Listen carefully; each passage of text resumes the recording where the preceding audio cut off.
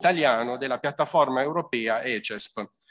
Eh, volevo eh, menzionare anche il, la piattaforma MetroFood per quanto riguarda la metro, metrologia sul, nel cibo e nella nutrizione.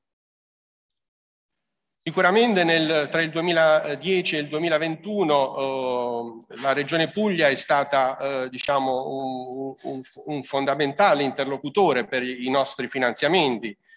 Eh, Eni ha partecipato ai programmi aiuto alle imprese con tre programmi partecipati, ai programmi di partenariato per l'innovazione, ai laboratori pubblici privati e alla eh, rete di innovazioni con le imprese eh, locali in diversi settori che vanno dal, dal sviluppo di nuovi materiali, di componenti e dispositivi per eh, l'energia, la sostenibilità e i monitoraggi ambientali.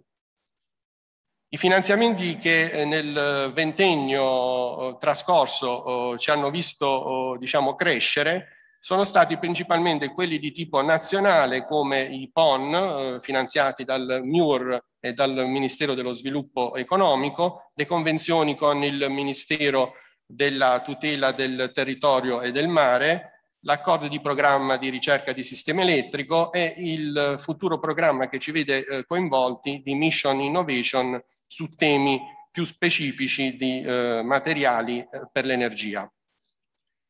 Eh, i, I, programmi internazionali che ci hanno visto coinvolto sono sicuramente i programmi Interreg Italia, Albania, Montenegro, vista anche la nostra eh, locazione geografica. I programmi eh, finanziati dall'IT Raw Materials, come il eh, Regional Center South Italy e diversi programmi di investimenti di innovazione per la realizzazione ad alto TRL, per la realizzazione di eh, eh, prodotti che portano a, da un'idea eh, di ricerca alla, eh, diciamo, alla valorizzazione con la creazione del valore economico. Programmi ovviamente Horizon Europe e H2020 e programmi di networking internazionale come la cooperazione scientifica e tecnologica COST. In portafoglio attualmente per il prossimo triennio, quadriennio, abbiamo eh, grossi eh, attività finanziate dal Ministero dello Sviluppo Economico, come per esempio la partecipazione al programma Mission Innovation nel settore di batterie fotovoltaico ed, ed idrogeno, l'accordo di programma di ricerca di sistema elettrico sui materiali per i dispositivi termoelettrici e un progetto PON per quanto riguarda la fabbricazione additiva laser e, e sostenibile che vede il laboratorio di Brindisi ampiamente coinvolto con le proprie competenze eh, e eh, facility economiche. Lo staff, come vedete, del laboratorio è di 46 unità, eh, opportunamente distribuito tra eh, 20 tecnici e 26 ricercatori, ben bilanciato tra eh, maschietti e femminucce e questo è importante, è un altro, diciamo, eh, etichetta di qualità che eh, mi preme sottolineare. Alcuni nostri partner li vedete qui nei, nei vari progetti che abbiamo svolto, sono piccole, medie e grandi imprese, eh, sono eh, in cantiere grossi accordi, un accordo con una grossa azienda locale per lo sviluppo e la caratterizzazione del packaging eh, qui a Brindisi, eh, progetti ovviamente eh, di, con grandi imprese locali eh, sia ovviamente i consorsi eh, come il CETMA, come il DITNE, il, il DTA, eh, che ovviamente eh, diciamo, sono oh, delle attività, sono delle eh, organizzazioni che, in cui Enea partecipa come socio eh, di eh, maggioranza o di minoranza nei settori strategici di interesse. Le università con cui collaboriamo sono quelle eh, che vedete qui e di cui qui in sala abbiamo dei rappresentanti, a cominciare dai magnifici rettori e dai eh, loro delegati, eh, l'Università del Salento in primis, eh, l'Università eh, di, Bari, l'Università di Foggia, il cui rettore è collegato online, e il Politecnico di Bari. Ovviamente l'ordine è semplicemente per una vicinanza geografica, l'importanza per noi di, collaborare con le università fondamentali perché ospitiamo diciamo studenti e, e, questo ovviamente è necessario potenziare accordi eh, in, in, questa direzione sia per eh, accordi quadro per ospitare dottorandi, tirocinandi e così via. E niente, questo vi volevo eh, ringraziare per l'attenzione che mi avete dato e adesso diciamo volevo eh, farvi eh, vedere eh, i colleghi che lavorano quotidianamente e che cosa facciamo. Quindi passiamo diciamo dalle, eh, da una presentazione slide ad dei laboratori a un filmato sui laboratori. spero che eh, diciamo, sia di vostro gradimento, so, sperando che l'audio questa volta sia migliore.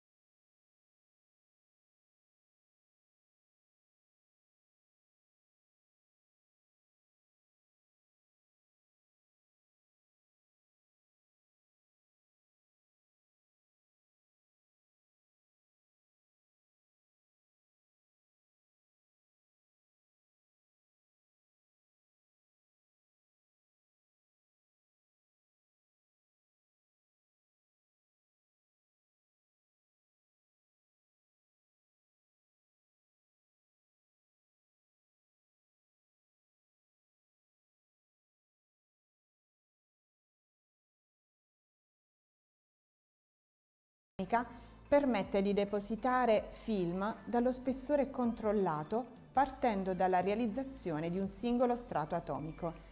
Il processo è generalmente costituito da una sequenza di due semireazioni che avvengono a diretto contatto con il substrato. Le semireazioni si autolimitano, cioè giungono al termine quando i siti attivi sul substrato sono tutti saturi. Questo consente di ottenere film perfettamente conformi al substrato e con stechiometria controllata. Il flusso di ogni singolo precursore ha una durata di pochi secondi, intervallo di tempo in cui si sviluppa una semireazione sul substrato. L'energia al processo è fornita o per via termica o tramite plasma. Lo svuotamento delle camere e l'emissione di un secondo precursore dà origine al secondo semiciclo. La conformità della deposizione può essere sfruttata per realizzare nanostrutture all'interno di substrati porosi e nanostrutturati. Il Centro Enea di Brindisi, in collaborazione con altri centri di ricerca Enea e università italiane, si occupa dello sviluppo di rivestimenti antimicrobici volti a contrastare la diffusione di infezioni e malattie causate da batteri e virus. Attraverso l'opportuna ingegnerizzazione dei materiali è possibile realizzare rivestimenti ad elevatissimo potere antimicrobico e ampio spettro, che allo stesso tempo presentino anche requisiti di biocompatibilità, assenza di tossicità e basso impatto ambientale, con finalità di utilizzo dunque in diversi settori, come quello biomedico-sanitario e alimentare. Si può ricaricare uno smartphone o un tablet utilizzando della polvere di carbonio? Sì, si può. È quello che viene studiato nel laboratorio di elettrosintesi, dove è stato prodotto un prototipo di supercapacitore utilizzando degli scarti ricavati dai filtri in carbonio mesoporoso. Quella dei supercapacitori è una tecnologia che permette di accumulare energia elettrica, ma rispetto alle batterie fornisce una maggiore potenza, cioè i supercapacitori sono in grado di erogare l'energia immagazzinata in tempi brevissimi. Inoltre, i supercapacitori possono essere utilizzati per accumulare l'energia sovrabbondante che viene prodotta per esempio dalla generazione eolica o fotovoltaica, per poi distribuirla alla rete quando ci sono cali di produzione, per esempio di notte. Nel nostro laboratorio abbiamo prodotto con tecnologie sostenibili e materiali di basso costo tutti i componenti di un supercapacitore, cioè gli elettrodi e il separatore. Li abbiamo assemblati per creare un dispositivo che sarà installato su una bicicletta elettrica.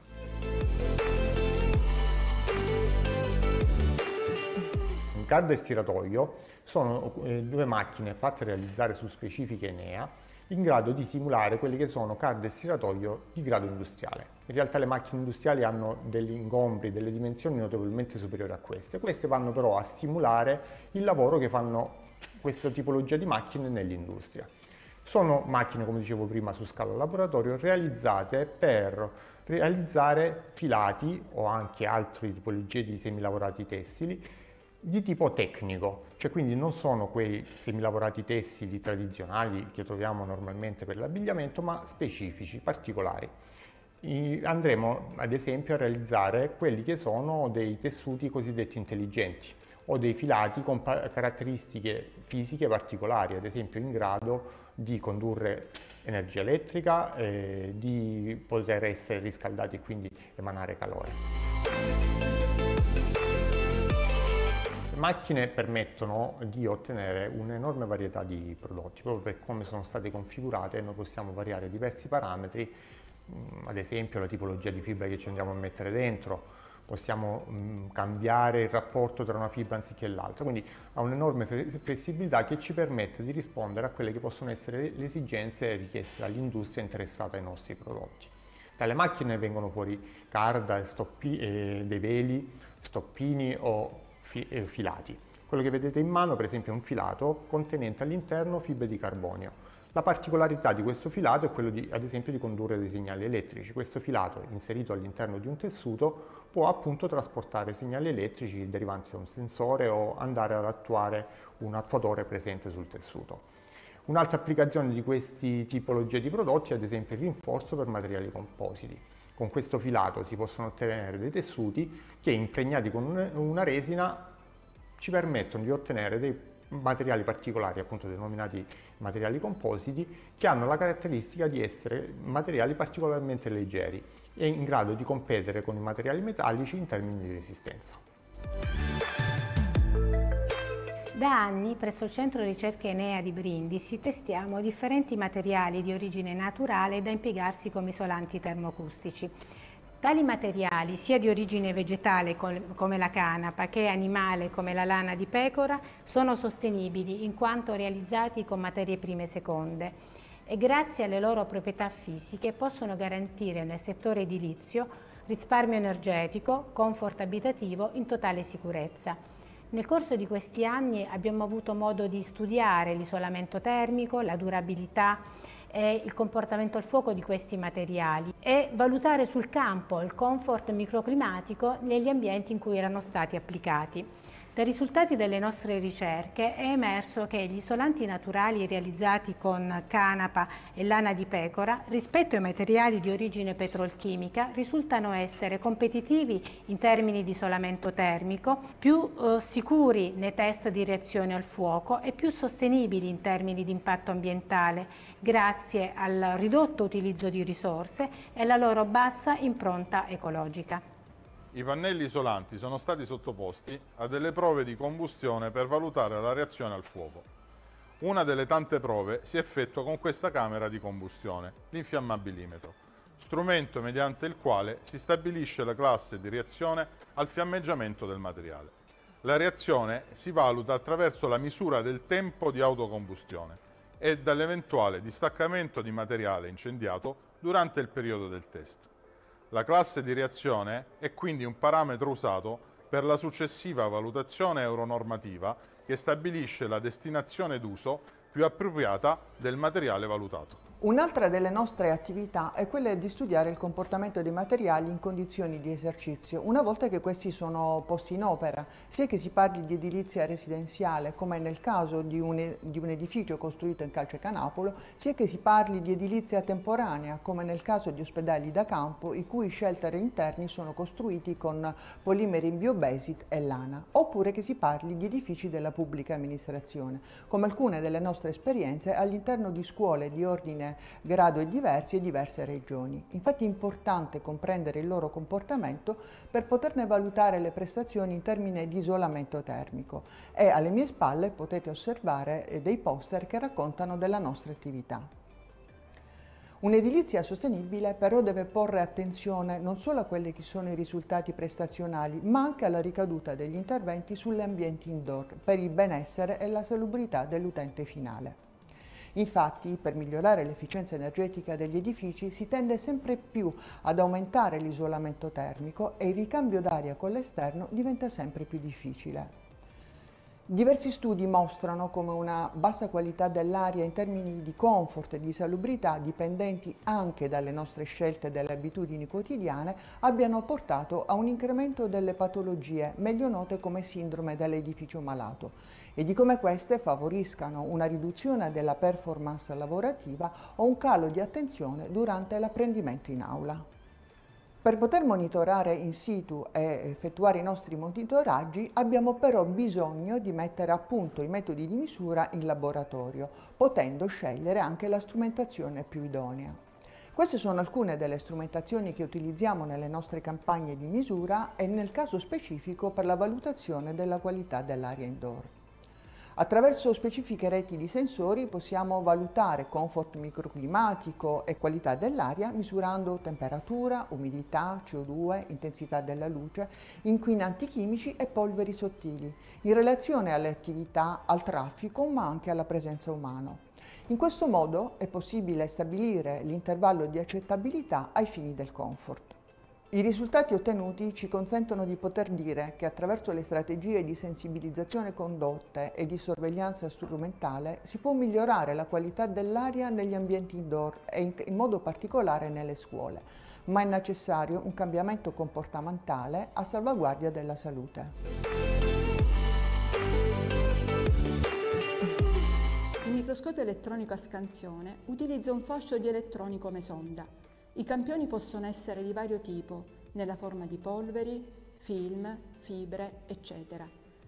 Scansionando con il fascio di elettroni l'area di interesse del campione, i segnali sia formati da elettroni che di raggi X caratteristici che provengono dal campione e sono causati dall'interazione del fascio di elettroni con il materiale stesso, permettono di ottenere delle immagini che forniscono informazioni sulla morfologia, cioè sulla forma del campione, e degli spettri di raggi X caratteristici che invece danno informazioni sugli elementi chimici presenti. Il diffrattometro a raggi X usa come sonda un fascio collimato di raggi X. Si possono analizzare campioni di diversa tipologia sotto forma di polveri, che però viene ben pressata nel portocampione, di film sottili e altre forme. Una delle informazioni che derivano sempre dall'interazione dei raggi X con il campione fornisce informazioni sulla particolare natura cristallina del materiale, cioè se gli atomi sono disposti in modo ordinato regolare e come sono disposti, in quale ordine, ma anche se sono presenti dei difetti nell'impilamento degli atomi stessi. Il risultato sono degli spettri in cui la posizione dei massimi di intensità è tipica e specifica della fase cristallina presente. Lo spettrometro di fotoelettroni mediante raggi X, chiamato anche XPS, sfrutta un fascio collimato sempre di raggi X per fornire informazioni composizionali di tipo chimico da una regione molto superficiale con profondità al di sotto del nanometro. Da varie tipologie di campioni, infatti, è possibile ricavare degli spettri in cui le posizioni dei massimi di intensità sono specifiche sia dell'elemento chimico, ma hanno anche informazioni del legame chimico che hanno con gli altri atomi vicini. Il microscopio a ioni elio utilizza come sonda un fascio di ioni elio concentrato sul campione. Possono essere esaminati i campioni sia conduttori che isolanti e scansionando con il fascio l'area superficiale di interesse, il segnale proveniente dalla, da una zona di dimensioni dell'ordine di pochi nanometri viene acquisito per formare delle immagini con elevata sensibilità, indicative proprio della morfologia superficiale e con un buon contrasto. Il nanotomografo permette di rivelare i dettagli della struttura interna di un campione solido illuminandolo con un fascio di raggi X, analogamente a un esame TAC medico. Si possono esaminare vari tipi di materiali, dalle schiume poliuretaniche usate come isolanti termici in eh, serbatoi criogenici, fino a strutture metalliche dalla geometria complessa realizzate mediante stampa 3D.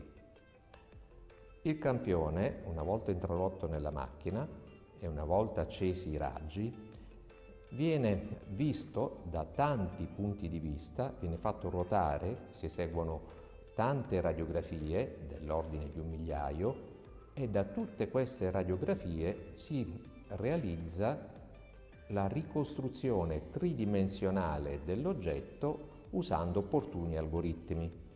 Da questa ricostruzione tridimensionale è possibile tagliare virtualmente il nostro oggetto ed esaminarne la struttura interna, un po' come si fa con l'attack su un paziente. In, in questo esempio si voleva verificare se la struttura stampata fosse conforme a quella disegnata dal progettista.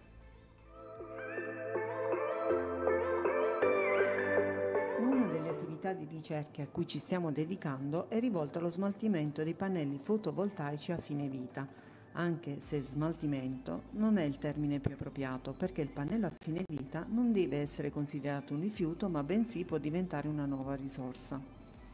L'obiettivo della nostra attività è quello di recuperare polvere di silicio da solar chips per un nuovo utilizzo. Una volta disassemblato il pannello viene recuperato l'alluminio che rappresenta il 15% del suo peso, il vetro circa il 70% e il restante 15% è composto da uno strato protettivo polimerico e da materiali nobili quali silicio, rame e argento, che viene triturato sotto forma di chips che fino a qualche anno fa veniva conferito in discarica. La triturazione è un processo meccanico molto efficace e con un impatto anche energetico molto basso e quindi efficiente. La prima parte del processo prevede un trattamento termico a 600 gradi per allontanare la parte organica per mezzo di un forno a muffola.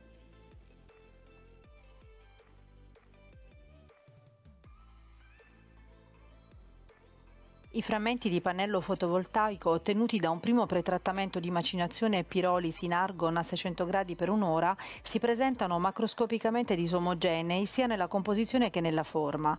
Viene effettuata pertanto una preliminare pestellatura all'interno di un mortaio in agata per rendere più omogeneo il tutto e si procede successivamente alla macinazione mediante l'utilizzo di un centrifugal ball mills. Il processo di comminuzione del materiale mediante questo sistema avviene inserendo il campione all'interno di una giara in presenza di un appropriato numero di biglie. Sia la giara che le relative sfere infatti vengono scelte opportunamente in termini di dimensioni, materiali e relativa durezza, in maniera che il tutto sia compatibile alla tipologia di polvere da processare. Il grado di polverizzazione ottenuto dipenderà fortemente dalla tipologia del materiale e dalla dimensione delle biglie utilizzate nell'intero processo. La giara, con all'interno il materiale da macinare, è quindi posizionata all'interno del centrifugal ball mill e mediante l'attivazione di uno switch posizionato sul pannello frontale dello strumento viene avviato il processo di rotazione assiale ad una velocità regolabile tra 0 e 530 giri al minuto. La riduzione delle dimensioni usando questo sistema avviene grazie agli impatti ad alta energia tra le sfere, il cui movimento è dovuto alla forza centrifuga, le pareti della giara e le particelle di polvere da macinare, che tipicamente ricoprono la superficie di sfere e giara. Questo sistema di macinazione, essendo totalmente ermetico, ci permette il recupero quantitativo del campione originale e ci consente di ottenere polveri con dimensioni submicrometriche. La polvere di pannello fotovoltaico così ottenuta viene poi recuperata, dispersa in un opportuno solvente e una precisa concentrazione sonicata in ultrasuoni e infine posizionata in cuvette per essere sottoposta a varie caratterizzazioni sia morfologiche che strutturali. La preliminare caratterizzazione effettuata sulla polvere riguarda la dimensione delle particelle per valutarne il grado di polverizzazione ottenuta a seguito della macinazione. Il laboratorio si avvale di un granulometro Z-Sizer ZS Malvern che attraverso un processo chiamato Dynamic Light Scattering misura la fluttuazione dell'intensità nella luce diffusa quando le particelle del campione vengono illuminate da un fascio laser con una lunghezza d'onda di 633 nanometri. Le polveri vengono digerite, come in uno stomaco, in acidi forti e grazie all'energia di microonde.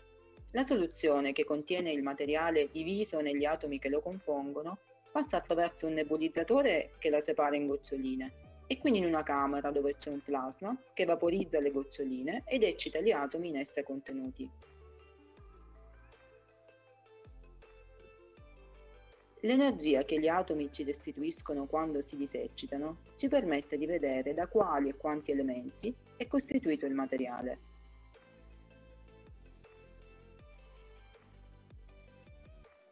Per un'analisi veloce di tipo composizionali delle polveri residue sono state effettuate misure FTR, allo scopo di indagare la composizione superficiale dei grani dove con più probabilità potevano essere rimasti residui di ossidi, si è scelto di ottenere gli spettri di assorbimento IR mediante l'accessorio ATR.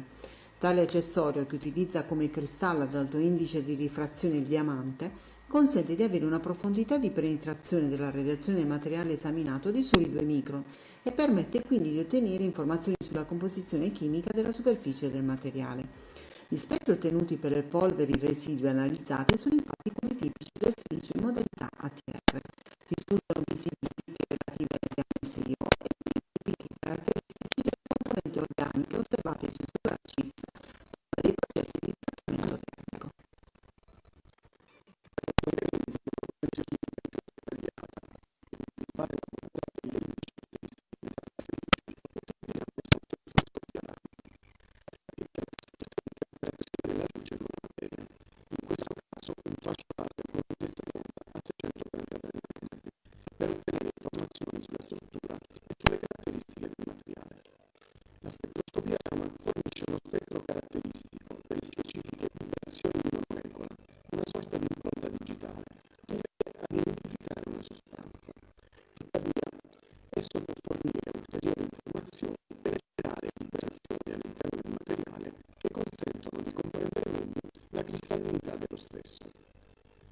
Nello spettro Raman caratteristico del silicio è presente un picco stretto e intenso a 520 cm al meno 1.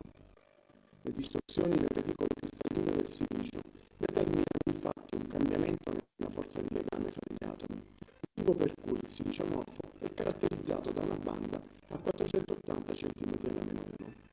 Il rapporto fra i picchi viene usato come indice di cristallinità. Al diminuire dell'indice di cristallinità viene osservato uno shift del picco a 520 ed il suo progressivo allargamento. In questo spettro la simmetria e l'elevata intensità del picco a 520 confermano l'elevato grado di cristallinità nella polvere dei solar chips. Cosa intendiamo fare del silicio recuperato dai pannelli fotovoltaici giunti a fine vita? Intendiamo riutilizzarlo per realizzare elettrodi di batteria a ioni di litio, in particolare per realizzare l'anodo in sostituzione della grafite. E poi vorremmo eh, infiltrare con eh, questa polvere di silicio un materiale ceramico che è il carburo di silicio per conferirgli proprietà meccaniche migliorate per applicazioni nel settore dell'automotive.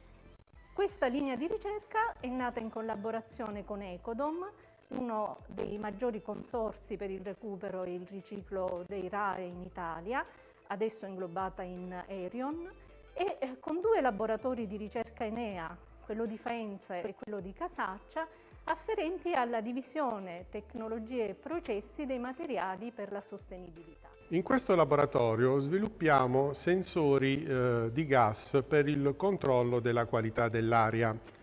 I materiali che assorbono le molecole gassose che vengono studiati in questo laboratorio sono essenzialmente nanotubi di carbonio funzionalizzati con metalli, ossidi metallici e altri materiali a base di eh, ossido di grafene. Le molecole gassose che, vengono, che è necessario rilevare sono per esempio biossido di azoto, monossido di carbonio, ozono e così via, in eh, concentrazioni relativamente in tracce e basse. I sensori di gas a basso consumo e a basso costo vengono normalmente eh, venduti dai produttori e fornitori non calibrati. Pertanto è necessario calibrarli sia in laboratorio, mediante misure di confronto con analizzatori chimici di riferimento, e sia in campo durante le campagne sperimentali, in quanto è necessario eh, considerare gli effetti di interferenza della temperatura ambiente e dell'umidità che possono sfasare, possono non dare delle risposte non corrette eh, dei sensori. Quindi quando si fanno misure sperimentali in campo è necessario un periodo iniziale di eh, formazione, di training dei sensori per calibrarli in campo. In definitiva, i sensori di gas a basso costo e a basso consumo di potenza sono utili per conferire ai cittadini la consapevolezza dell'inquinamento atmosferico negli ambienti in cui viviamo.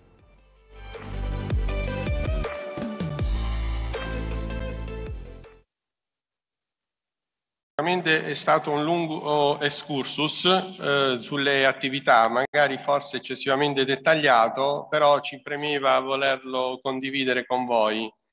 E niente, quindi diciamo questa sessione la eh, concludiamo con, questa, eh, eh, con questo video e, e, niente, quindi cedo adesso la parola a, a Dario per invitare l'altro panel di eh, interventi istituzionali con un cambio al, al tavolo.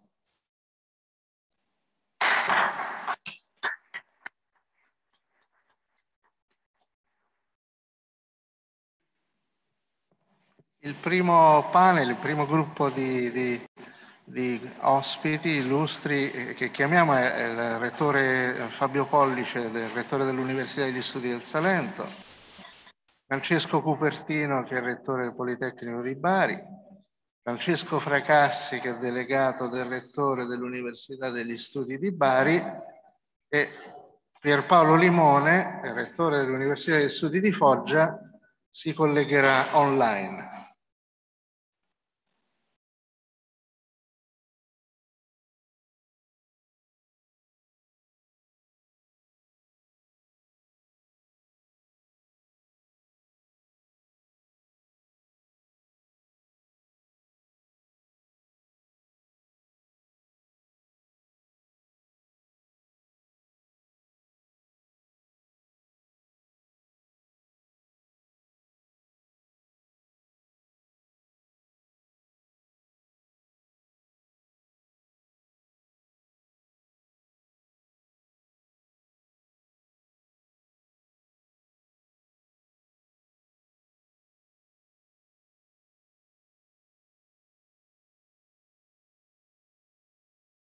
Allora, prego, eh, darei la parola al Rettore.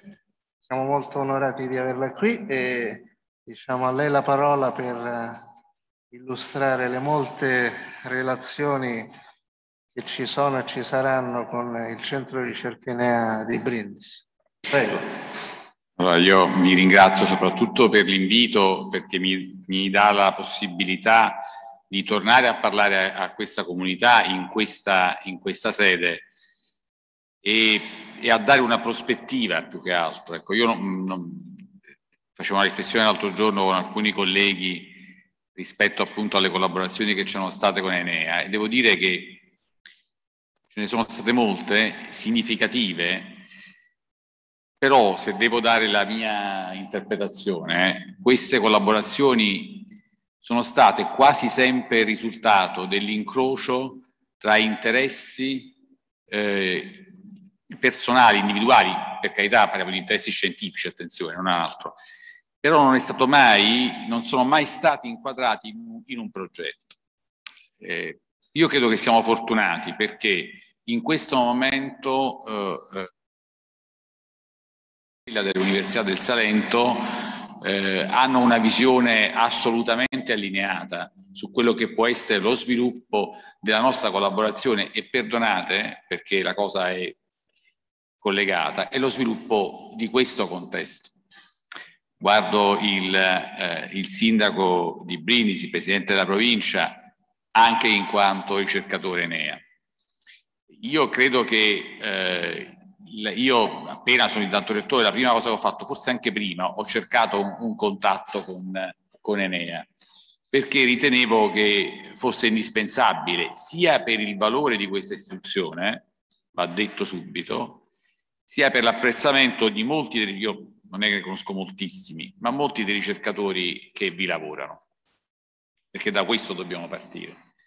Ora, che, quali sono le, diciamo, le prospettive di questa collaborazione? In larga misura queste dipendono essenzialmente da due cose, e cioè dalla capacità che dobbiamo attuare subito di mettere in contatto i ricercatori, perché questa è la prima cosa che funziona secondo me, al di là delle chiacchiere, questa è una cosa concreta.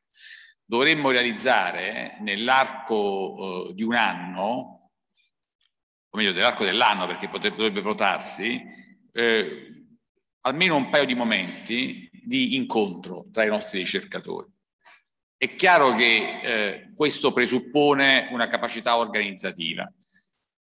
Io credo che però sia indispensabile che questo accada, cioè lo dico molto onestamente, se i ricercatori non si, si parlano è difficile che si incrocino i percorsi di ricerca perché qualcuno come me o come il direttore lo, lo, vuole. Io mi ha mandato un messaggio il direttore Morabito dicendo che insomma, dispiaceva moltissimo oggi non essere eh, qui con noi, un'emergenza lo ha trattenuto eh, quando ho ricevuto questo messaggio ieri peraltro da Roma e eh, l'impressione che eh, io ho avuto però dall'incontro che c'è, stato anche con Marco Albisi, cioè che ci sia oggi una volontà nuova, a me sembra che questo sia già un fatto positivo. Il problema è che eh, questa volontà nuova deve tradursi immediatamente in qualcosa di concreto.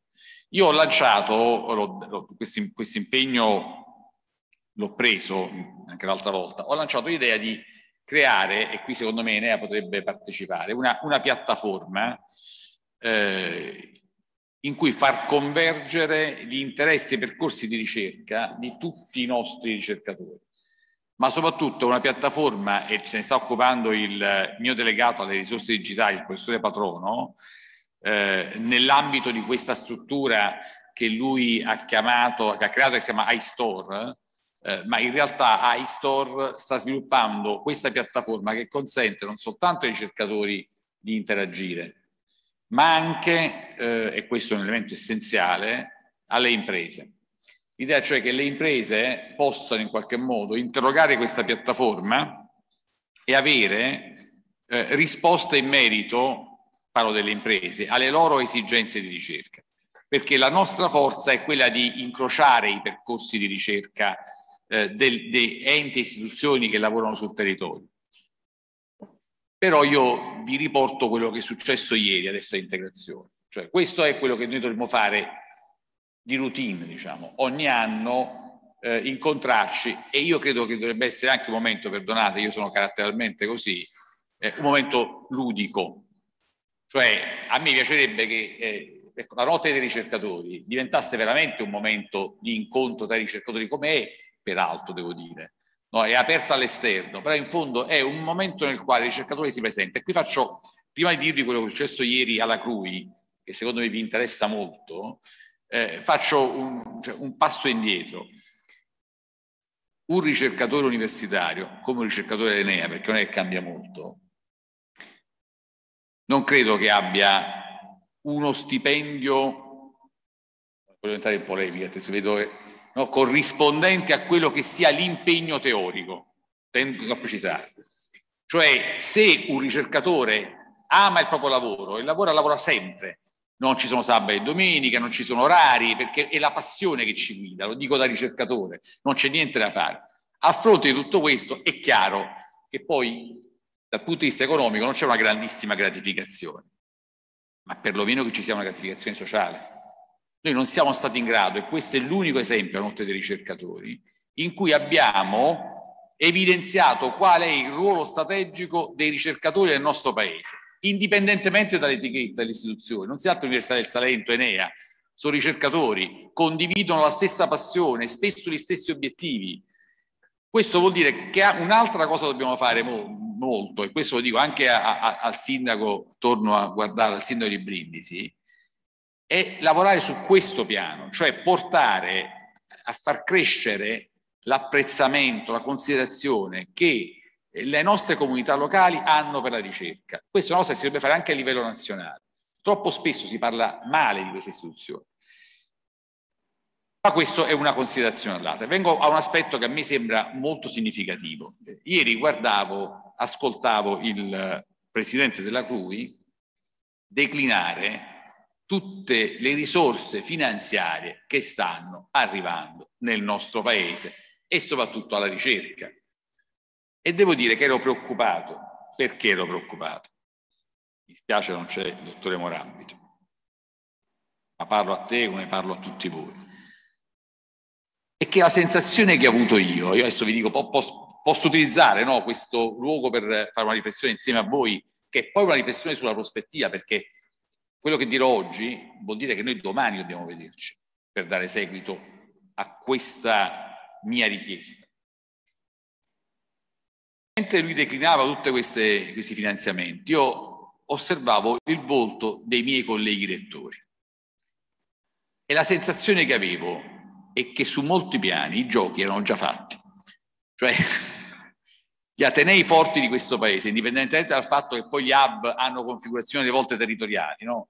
uno al nord, uno al sud, uno al centro, eh, poi ci sono progetti territoriali, indipendentemente da questo, io mi rendo conto di una cosa fondamentale, che molti di questi progetti sono delle opportunità, ma che tu puoi cogliere a due condizioni, anzi a tre, che sono collegate. Uno è che hai le risorse progettuali, cioè hai persone che possono mettersi alle a progettare. L'altro è che tu abbia le risorse finanziarie perché devi cofinanziarle, devi assicurare la sostenibilità in futuro oltre l'orizzonte del 2026 di queste iniziative.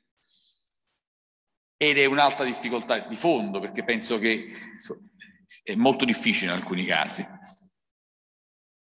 La terza, che presuppongono che tu abbia già costruito una rete. Ora, perdonate, a me non sembra lo dico non in tono polemico, attenzione, perché sono io il primo ad aver sbagliato. Ma ci siamo forse incontrati, Università del Salento Enea, per discutere rispetto al PNRR cosa vogliamo fare? No. E siete così convinti che in altri contesti del paese Enea invece non abbia intrapreso un percorso diverso, sia stato coinvolto, abbia coinvolto a sua volta? Questa è la nostra debolezza.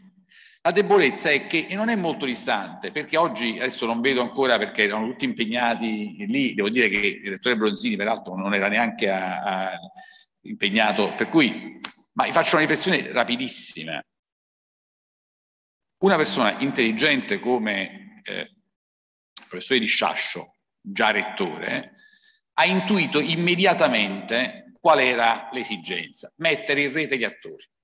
E lo ha fatto lo ha fatto intelligentemente come però vice sindaco, non come rettore, perché la mentalità è quella di, di, di Sciascio, non, non me ne vogliate, è imprenditoriale, lo è sempre stato.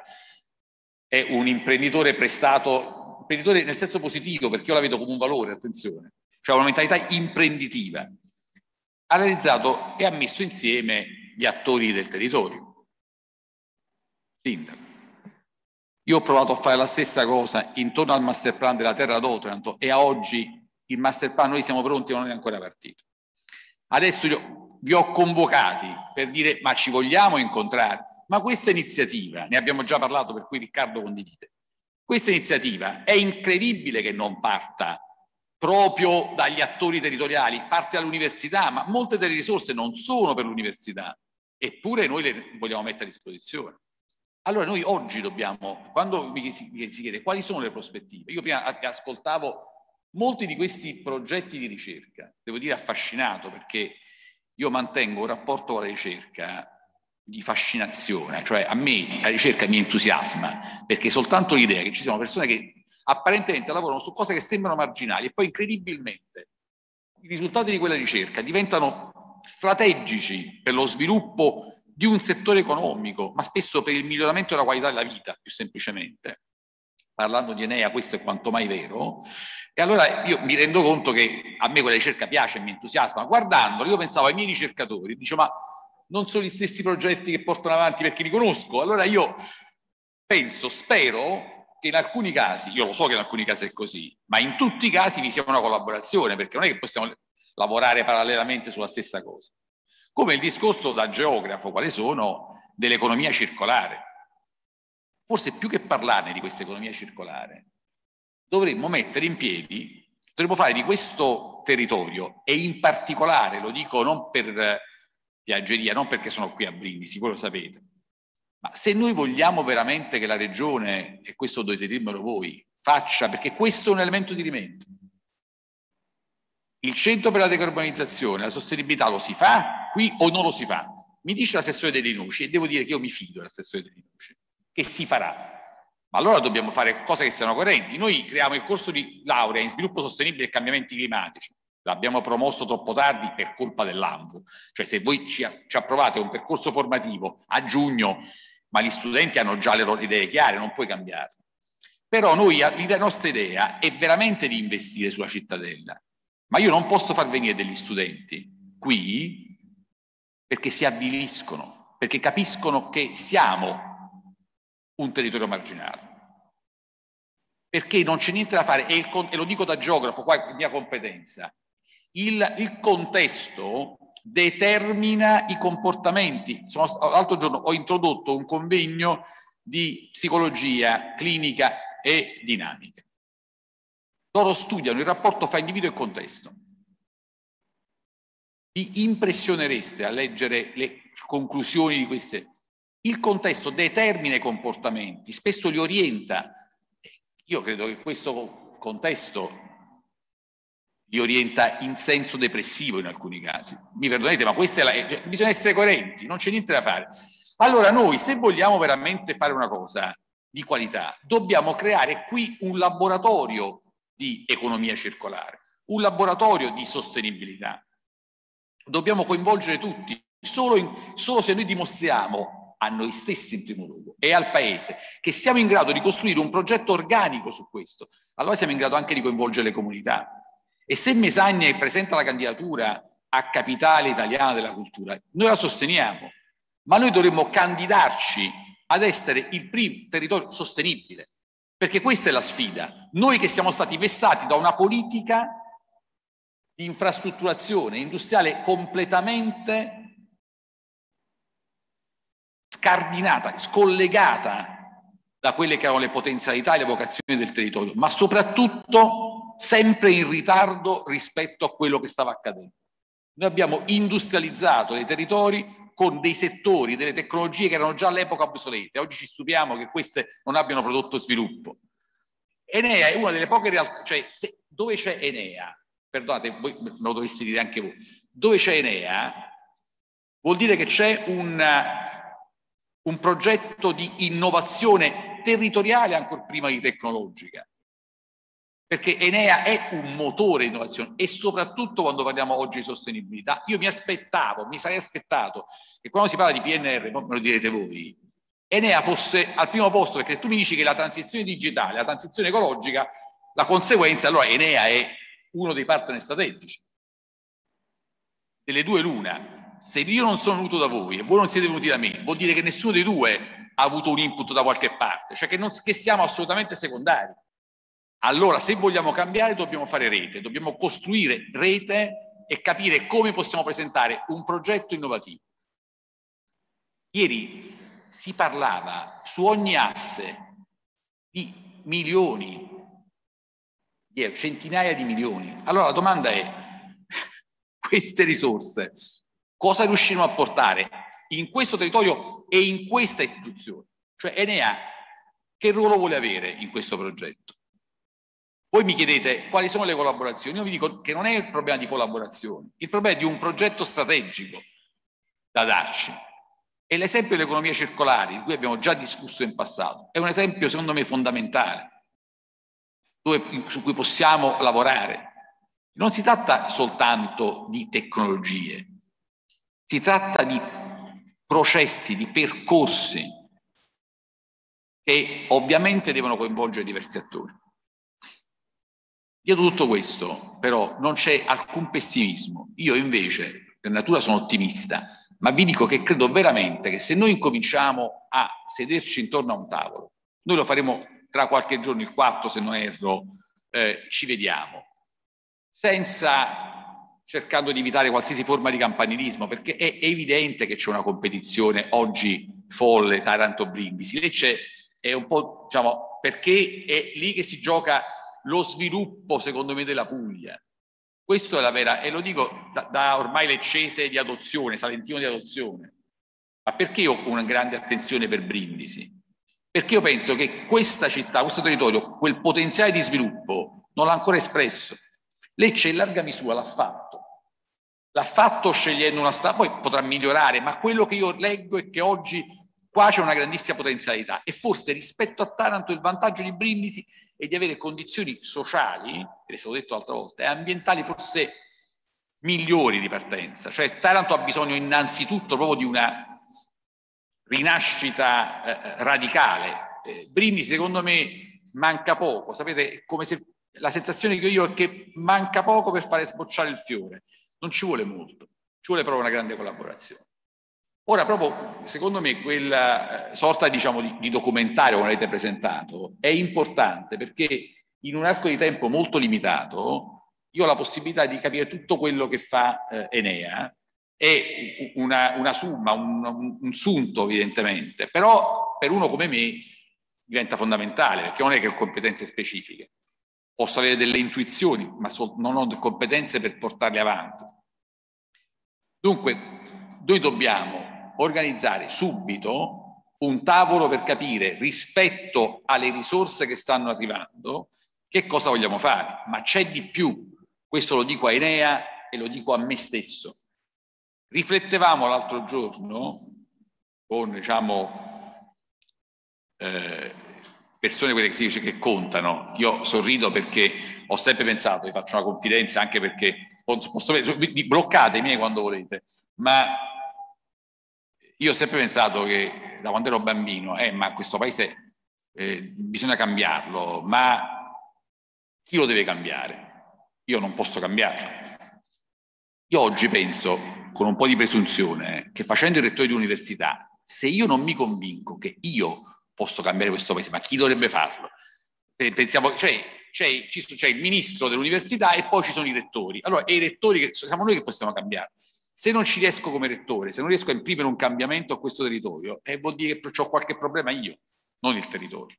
Perché c'è sempre le, lo strumento delle dimissioni se non sono in grado di portare avanti un progetto di sviluppo. Detto questo, l'interrogativo che è nato l'altra volta, è nato a Martina Franca, con un parlamentare, ma poi mi sono incontrato con altri, ne ho parlato, è che tutti parlano delle risorse del PNRR ma nessuno parla delle altre risorse, quelle liberate dal PNRR. Cioè, adesso, poiché nessuno è in grado di spendere queste risorse, di impegnarle entro il 2022 con orizzonte 2026, la domanda che faccio a tutti voi, le risorse, ma cosa stanno facendo? Tutti i progetti che tutti hanno nel cassetto, diciamo, tu c'hai qualche progetto nel cassetto, mettiamolo sul PNRR, ma quel progetto è finanziato. Quel finanziamento dove andrà? La sensazione che ho io, e che mi è stata confermata, è che se non ci attrezziamo a sviluppare un parco progetti, vuol dire anche nel cambio della ricerca, dei progetti di ricerca pronti lì, fortemente innovativi, ma pronti, appena usciranno quegli altri bandi che noi non conosciamo neanche, noi non avremo nulla da presentare. Ecco perché è necessario costruire una collaborazione, perché Enea, Università del Salento, e lo dico può sembrare per alcuni strano, Politecnico di Bari, Università di Bari, Università di Foggia. Noi tutti insieme dobbiamo lavorare perché qua non c'è più competizione possibile fra di noi. Dobbiamo lavorare insieme. Ieri, alla cui ho detto a, eh, a Matteo Lorito, rettore dell'Università Federico II, nella quale io mi sono laureato, ho detto Matteo, o noi ci accordiamo e facciamo un progetto, progetti insieme, Puglia e Campania, oppure resteremo fuori da tutto. Per cui è inutile farci la guerra, la competizione. Mettiamoci intorno a un tavolo e vediamo cosa va a te, perdonate la franchezza, e cosa va alla Puglia. Campania e Puglia, non c'è verso.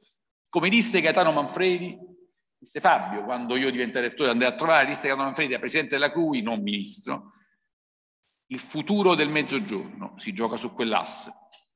Se tu riesci a fare dialogare queste due regioni, queste due culture, questi due gra questi grandi centri di sviluppo del mezzogiorno del paese, allora su quest'asse si gioca il futuro. No, pensare che è questo quello che dobbiamo fare. Allora, chiudo l'intervento dicendo, sono stato un po' prolisso come sempre. Domani, non so domani, poi ci sentiamo e vediamo quando è domani, però dobbiamo un attimo capire se ci sono delle eh, opportunità di collaborazione su alcuni assi del PNR. Bisogna scorrerli e dire su cosa vogliamo collaborare, perché sono convinto che solo così potremo restituire anche entusiasmo ai ricercatori. Può essere che i soldi non li prendiamo, ma perlomeno ci abbiamo provato. Questo è quello che chiedo. Perché non è accaduto? Perché l'Università del Salento non è andata all'Enea? Non è vero, ci siamo visti precedentemente. E che su questo discorso del PNRR nessuno di noi sa veramente cosa fare. Adesso partono i primi bandi, anzi, ieri mi hanno detto più che bandi, adesso saranno pubblicate le linee guida dal Ministero per tutto quello che riguarda le risorse che vanno alle università e agli enti di ricerca. Queste linee guida, ovviamente qualcuno secondo me, lo dico, non dico che già le ha, ma insomma un'idea se l'è fatta, io non, non, ce l'ho, altrimenti la condividerei con voi sicuramente, ma l'idea è che appena escono queste linee guida, noi abbiamo già la cabina di regia, le leggiamo, le facciamo leggere ai nostri ricercatori e decidiamo dove andare insieme perché non c'è alcun'altra possibilità, perché se mettiamo insieme Enea, Università del Salento, il Poliba e altri enti di ricerca, CNR come abbiamo fatto, IT, allora diventiamo più dinamici, diventiamo più propositivi. Io vi faccio un esempio dove che a me dispiace che Enea non ci sia, ma per me Enea è l'interlocutore, l'ho sempre detto. Quando abbiamo pensato al Salento Biomedical District, immediatamente io ho pensato, perché avevo incontrato Enea, che Enea dovesse farne parte. Poi per una serie di ragioni, eh, CNR, IT e Metronic, abbiamo creato questa struttura. Ma lì, quel Salento Biomedical District, che oggi è una scatola che si sta riempendo di contenuti, lì ci deve essere anche Enea. Io su questo non ho dubbi.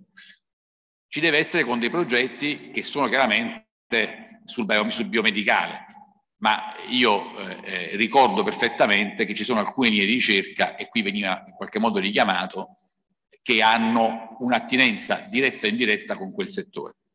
Ecco perché dico, quello è stato un esempio in cui noi abbiamo cercato di fare rete e eh, forse perché non c'erano le condizioni, oggi le condizioni ci sono, dopo un anno e mezzo, io penso che eh, l'interlocuzione che si è aperta con Enea eh, mi fa essere fiducioso sul fatto che le relazioni saranno sempre più stabili e collaborative. Questo è quello che io penso eh, dello sviluppo che ci attende. Daremo concretezza a breve individuando progetti su cui veramente lavorare insieme. Spero che questa indicazione, se non altro, vi abbia aperto una prospettiva, non dico più serena, ma più entusiasmante perché eh, i ricercatori, quando sono soli, spesso, devo dire, la mia impressione, anche come ricercatori, la depressione è dietro l'angolo, perché non sai mai se quello che sta facendo no, avrà un risultato, avrà una spendibilità sul mercato, avrà una, una, un riconoscimento sociale.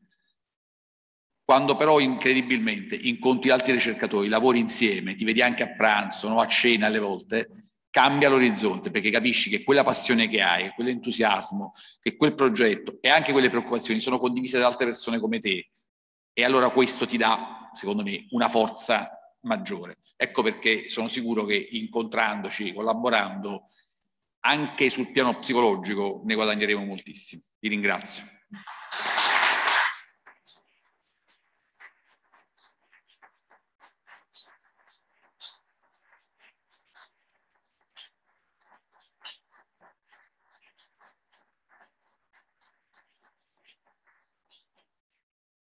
Grazie professor Pollice per questo sprone entusiastico al prossimo ventennio. Quando la sentivo parlare mi veniva, associavo diciamo, la situazione del mondo della ricerca un po' al sistema neuronale perché nel corso degli anni con pochi indirizzi, con poche risorse, è come se i, neur- allora, se i neuroni eh, avessero perso i collegamenti dendritici. No, le dico che allora mi è stato spiegato ieri dal presidente della CRUI che la regola vuole che se l'uditorio è a più di tre metri, chi parla può togliere la mascherina. Così miei mi hanno detto questa è la regola, io devo dire non l'avevo ancora capito, questo, però mi è stato detto chiaramente dal Presidente della CRUI, dunque chi parla può togliere la mascherina. Quindi lei mi invita a toglierla. Comunque sì, veramente grazie per il tono, lo sprone, lo sprone che ci ha dato. Purtroppo un'altra considerazione che mi faceva è che questo è un paese che oggi porta le mascherine perché per il seguito diciamo, della pandemia che ci affligge è un paese che ha le mascherine sugli occhi da tanti, troppi anni, quindi una visione superiore sarebbe... Era meglio il passato, una battuta, era meglio il passato, diciamo, il prosciutto sugli occhi, già era una cosa migliore, invece oggi la mascherina proprio... È triste proprio, devo dirlo. Però, comunque grazie di nuovo, ma siccome c'è eh, adesso il eh, dottor Acerno eh, che ehm, si vorrebbe collegare, credo sì, online credo dalla, ah, dall'evento di Grottaglie, quindi è il caso magari di venirgli incontro e passargli subito il collegamento.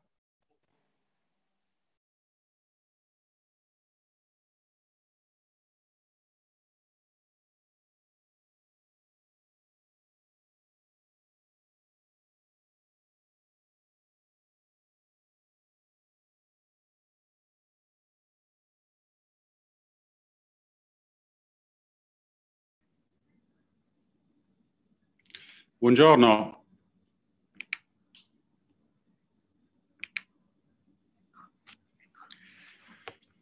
Buongiorno, non so se riuscite a sentirmi.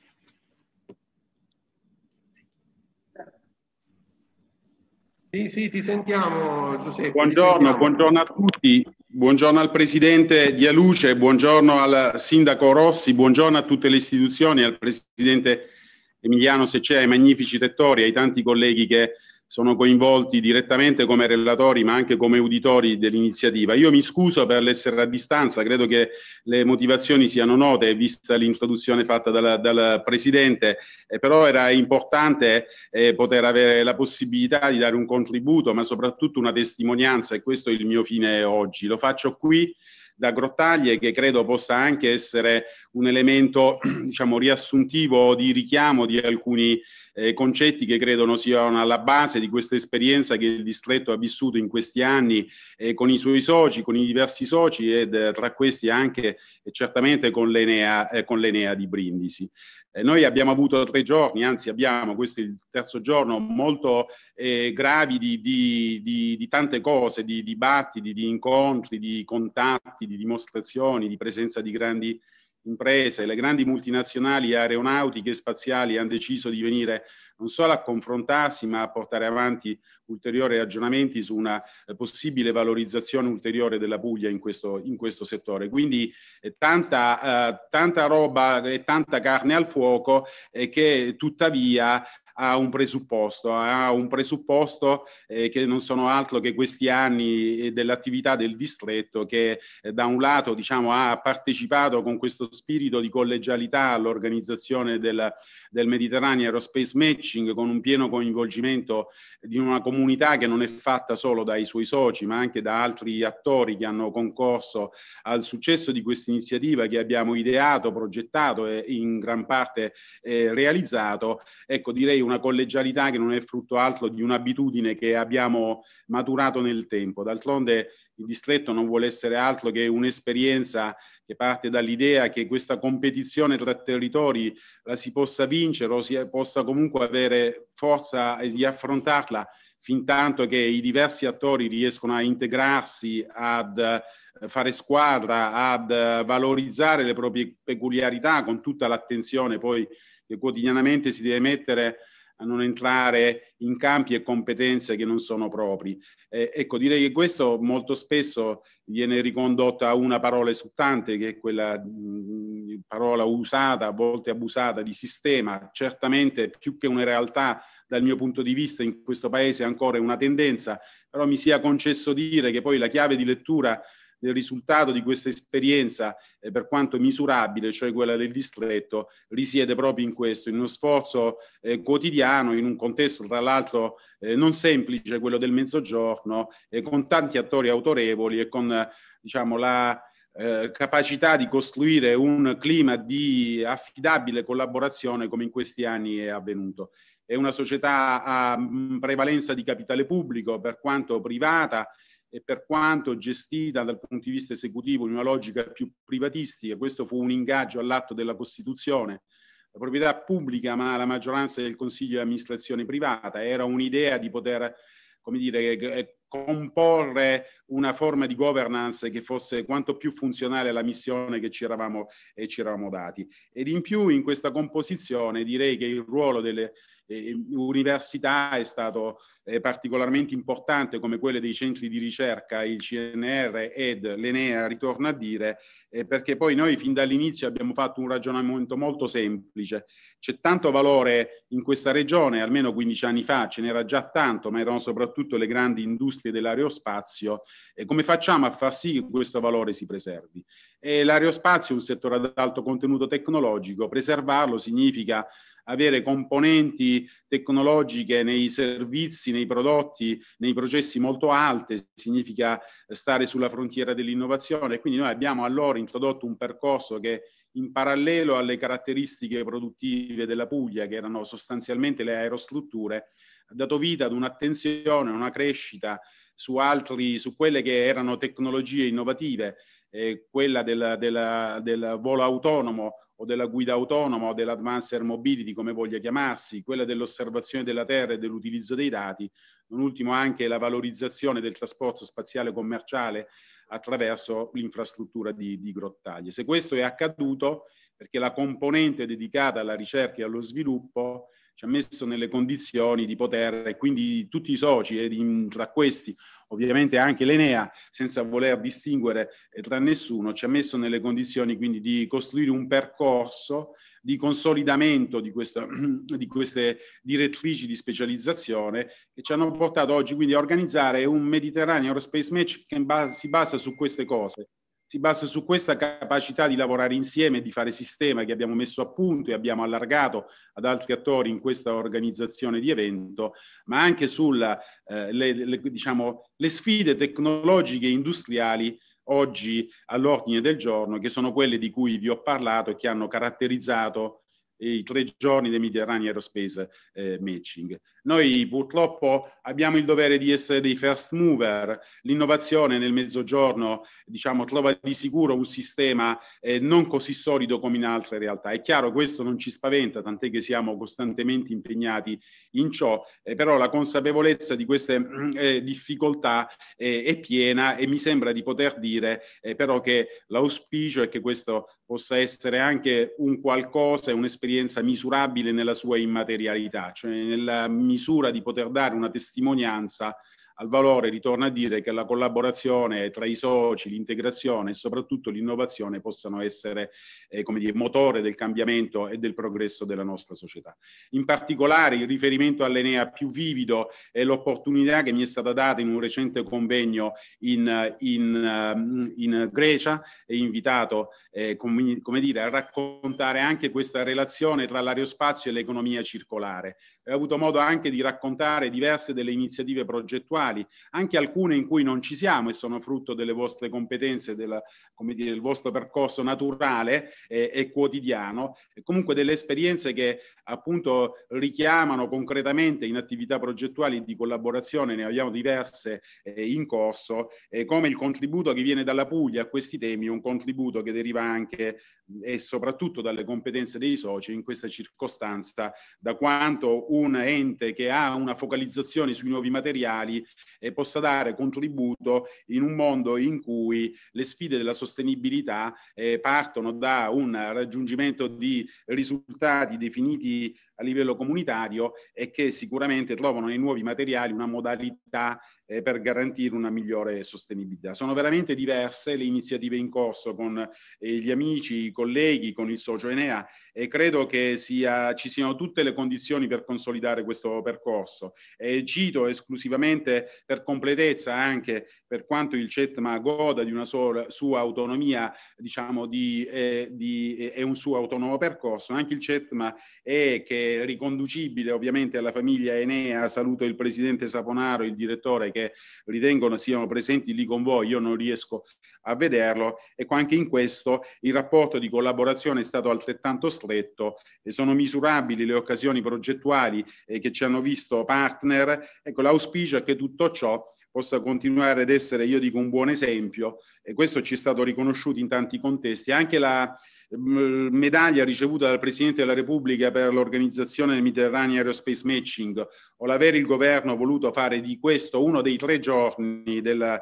eh, Space Week eh, che si svolge durante il G20 a Presidenza Italia, mi, cre- mi cre- credo siano ulteriori testimonianze di come eh, ciò che in questi anni è stato costruito eh, possa essere importante, importante per la Puglia e in ultimo direi importante anche per i tanti giovani che poi forse sono almeno dal mio punto di vista, il terminale ultimo di questo grande sforzo e con l'auspicio che il loro futuro possa essere sempre più ricco di un contenuto culturale ed direi anche intellettuale orientato al progresso e al cambiamento grazie anche all'utilizzo della tecnologia e all'utilizzo dell'innovazione. Io mi scuso per questa assenza eh, fisica, eh, per me è stata un'opportunità essere con voi e oltre che eh, avere il piacere vi devo ringraziare perciò e mh, purtroppo non potrò continuare a seguire perché noi siamo quasi in conclusione, quindi io sarò chiamato a concorrere alle conclusioni,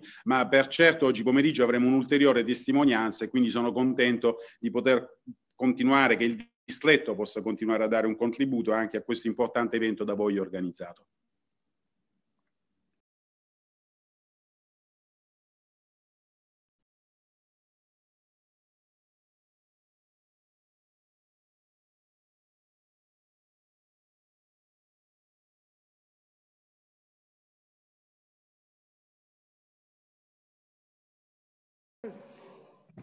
Ringraziamo il professor Acerno e eh, lo, eh, diciamo, la, la, visione che ci ha voluto dare su questo asse rilevante dei prossimi anni che sarà quello della space economy e eh, ci auguriamo che eh, le opportunità di interazione eh, già attive sui materiali si possano rinforzare con eh, connessioni con l'economia circolare che lei ha citato e colgo l'occasione per eh, confermare l'augurio che del miglior successo dell'evento che state conducendo a Grottaglie.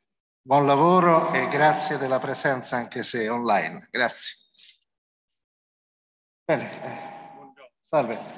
È arrivato il professor, eh, professor Cupertino, eh, però avevo promesso l'intervento al professor. Dobbiamo regolare. D'accordo, ma posso anche aspettare. Vabbè, tanto io... Non mi mettete in imbarazzo. Vabbè, allora vado. Io, io sono un chimico per cui sono molto schematico, poche parole. e innanzitutto vi devo porgere i saluti del magnifico rettore dell'Università di Bari, Stefano Bronzini, che eh, mi ha chiesto di rappresentarlo perché è stato trattenuto fuori sede da improcrastinabili impegni istituzionali. E, io prima di andare avanti devo però subito fare un commento sull'intervento del magnifico rettore dell'Università del Salento, perché mi trova perfettamente d'accordo su eh, vari diciamo, aspetti del suo intervento. Eh, lo dico subito perché a una certa età poi mi dimentico quello che devo dire, soltanto per questo. E volevo innanzitutto precisare che il vice sindaco della città metropolitana di Bari ha già da tempo fatto rete e ha convocato dei tavoli tecnici in cui tutti i portatori di interesse, lo dico in italiano che è molto più bello secondo me, e quindi università, centri di ricerca locale, sindacati eh, e tanti altri eh, enti, nonché le industrie. Sono stati messi insieme in un tavolo e abbiamo elaborato una serie di tematiche che riteniamo strategiche con, accanto ai centri di ricerca, le aziende. Perché noi possiamo fare rete e dobbiamo fare rete, sono perfettamente d'accordo, ma non dobbiamo dimenticarci che ci devono essere le aziende. Io aspetto con ansia di leggere queste linee guida e sono certo che qualcun altro già ce li ha, geograficamente magari più a, no, ubicate più a nord queste entità rispetto, non dico la Puglia, magari anche a Roma. No? Eh, perché la mia impressione è che si potrà fare tutto, ma ci dovranno essere le aziende, come tra l'altro accade adesso già. E questo, diciamo, un po' mi dispiace, sapete perché?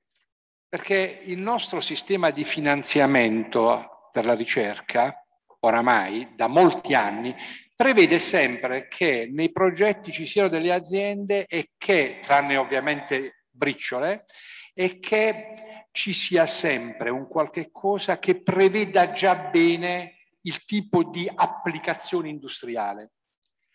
Eh, noi partecipiamo a tanti progetti come anche Enea e sapete che funziamo insieme in tanti progetti e sapete che è così. Questo che vuol dire? Vuol dire che a volte si perde l'opportunità di esplorare le potenzialità di idee ancora in fase embrionale. Questo è riservato solo ad alcuni canali particolari di finanziamento.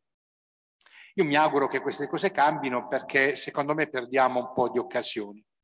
Adesso andiamo al mio intervento vero che diciamo, riguarda più che altro i rapporti tra l'Università di Bari e l'Enea, passati e futuri.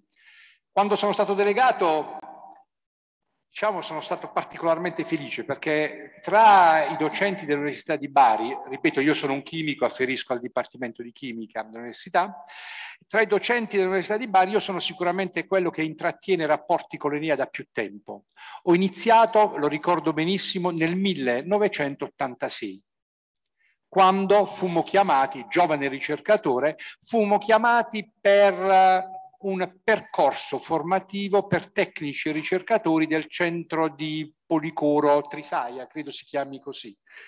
Perché in quel periodo Enea decideva di entrare pesantemente nel settore, tra virgolette, dell'ambiente e quindi aveva deciso di riconvertire un po' di professionalità e fummo chiamati a erogare un po' di formazione per trasferire le nostre conoscenze in campo chimico barra ambientale.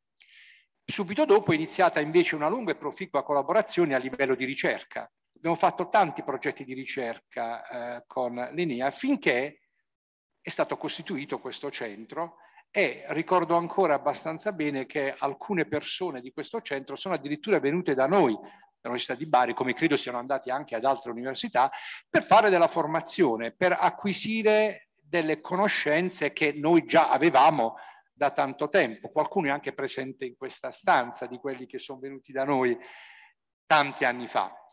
E, e poi man mano che eh, l'attività è proseguita, ecco che eh, i progetti comuni sono stati col centro di Brindisi, ma tantissimi. Tuttora l'Università di Bari credo che in questo momento ne abbia in corso almeno tre che sono in corso. Quindi diciamo c'è stata questa interazione eh, diciamo molto molto intensa. Ecco, in che cosa consistono queste collaborazioni? Nell'ambito di un progetto, come sapete, ognuno fa qualcosa. Diciamo che normalmente, a parte il discorso relativo alla, ai modelli matematici che, diciamo, eh, sono molto molto importanti. Essenzialmente eh, queste collaborazioni possono essere suddivise in due grossi filoni. In genere ci siamo quasi sempre occupati di materiali e processi innovativi.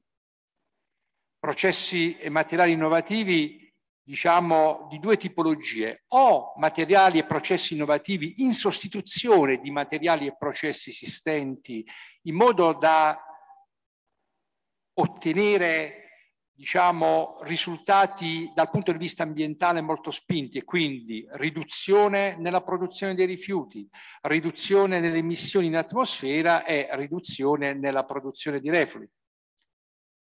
Allo stesso tempo processi più efficienti, e quindi riduzione dell'uso delle risorse. Stiamo nello sviluppo sostenibile per intenderci, no? Diciamo, l'altro grande settore invece riguarda nuovi materiali e nuovi processi, quindi non più qualcosa che sostituisce processi materiali già consolidati. E qui si entra nel settore dei materiali multifunzionali, nel settore dei materiali nanostrutturati, si riesce in pratica a inserire all'interno dello stesso materiale più funzionalità e quindi magari riuscire, abbiamo visto anche un esempio nel filmato che è passato prima, riuscire ad avere dei materiali che possano allo stesso tempo assicurare una purificazione dell'aria e ehm, essere più isolanti dal punto di vista termico e così via. Tante e tante possibilità, tante e tante applicazioni in vari settori, anche nel campo dell'aerospazio. Uno dei progetti che abbiamo in corso nel campo, campo dell'aerospazio. Abbiamo anche eh, collaborato col CETMA, che, diciamo, nel quale Enea ha un ruolo veramente importante. Dal punto di vista della ricerca, i risultati sono stati molto soddisfacenti, a mio avviso. E così come accade spesso, alcuni risultati meno buoni, altri buoni, altri molto buoni. E qui apro un discorso che non ha più a che fare con quelle che sono state le interazioni tra Università di Bari ed Enea. In generale, eh, negli ultimi vent'anni tutti i programmi di ricerca di un certo rilievo, sia a livello nazionale che regionale, che comunitario, prevedono sempre il partner industriale. Come vi dicevo prima, è necessario che ci sia ben inquadrata quale potrà essere l'applicazione industriale. A volte la ricerca raggiunge dei risultati veramente notevoli, quasi pronti per l'impianto pilota e poi per la futura industrializzazione. Ma specialmente quando abbiamo a che fare con progetti che attengono alla riduzione nella produzione dei rifiuti, o meglio ancora al riciclo e recupero dei rifiuti, ecco che allora la realtà è ben diversa. Nel momento in cui l'imprenditore decide di portare avanti questo suo programma e provare a vedere se l'applicazione industriale è realmente fattibile ed ecco che si deve scontrare con quelli che sono quelle che sono le lentezze della pubblica amministrazione. Ecco, succede specialmente quando abbiamo a che fare con rifiuti, come si sente la parola rifiuti, tutti quanti eh, si attivano, siamo tutti bravi a dire dobbiamo recuperare rifiuti, è vero, però poi quando presentiamo dei progetti ecco che vengono bloccati. Perché? Perché magari succede che queste società hanno bisogno di fare delle sperimentazioni intervenendo nel, nel, loro ciclo produttivo e magari si tratta di aziende che sono soggette all'autorizzazione integrata ambientale, alla valutazione di impatto ambientale, che sono degli strumenti eccezionali, insostituibili di tutela dell'ambiente. Quindi per poter fare qualsiasi nuova sperimentazione nella loro azienda e poi decidere se effettivamente si può modificare la produzione, ecco che devono modificare le loro autorizzazioni, quindi passare attraverso questi strumenti che, come ho già detto prima, sono eccezionali per la protezione dell'ambiente, ma che in realtà si dimostrano degli eccezionali strumenti di tortura. Perché perché a mio avviso non si è ben capito da parte di chi poi deve gestire tutte le procedure qual è lo spirito e quale deve essere l'obiettivo di questi strumenti di controllo. E quindi molto spesso, non sempre per fortuna, ci si trova innanzi a delle richieste assurde e l'imprenditore molto spesso se il ritorno economico previsto non è elevato, decide eh, di soprassedere. Per non parlare poi della lentezza. Di recente, una, qualcosa che ci è accaduto proprio pochissimo tempo fa, a conclusione di un interessantissimo progetto industriale, l'azienda ha deciso di provare la sperimentazione, quindi un impianto pilota ha avviato la procedura di screening di valutazione di impatto ambientale, cioè stabilire se è necessario o meno. La legge prevedeva 90 giorni, ha avuto la prima risposta dopo 400 giorni. Se vi fate un giro sul sito del Ministero troverete tantissime situazioni di questo genere.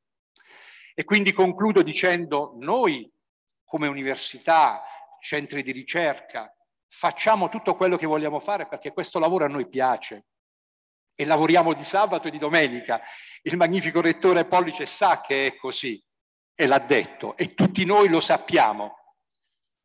Però spesso il nostro lavoro non solo non è adeguatamente remunerato, ma non voglio entrare nel merito, ma soprattutto non riusciamo ad avere neanche la soddisfazione di vedere concretizzato il risultato del nostro lavoro in qualche cosa di realmente produttivo.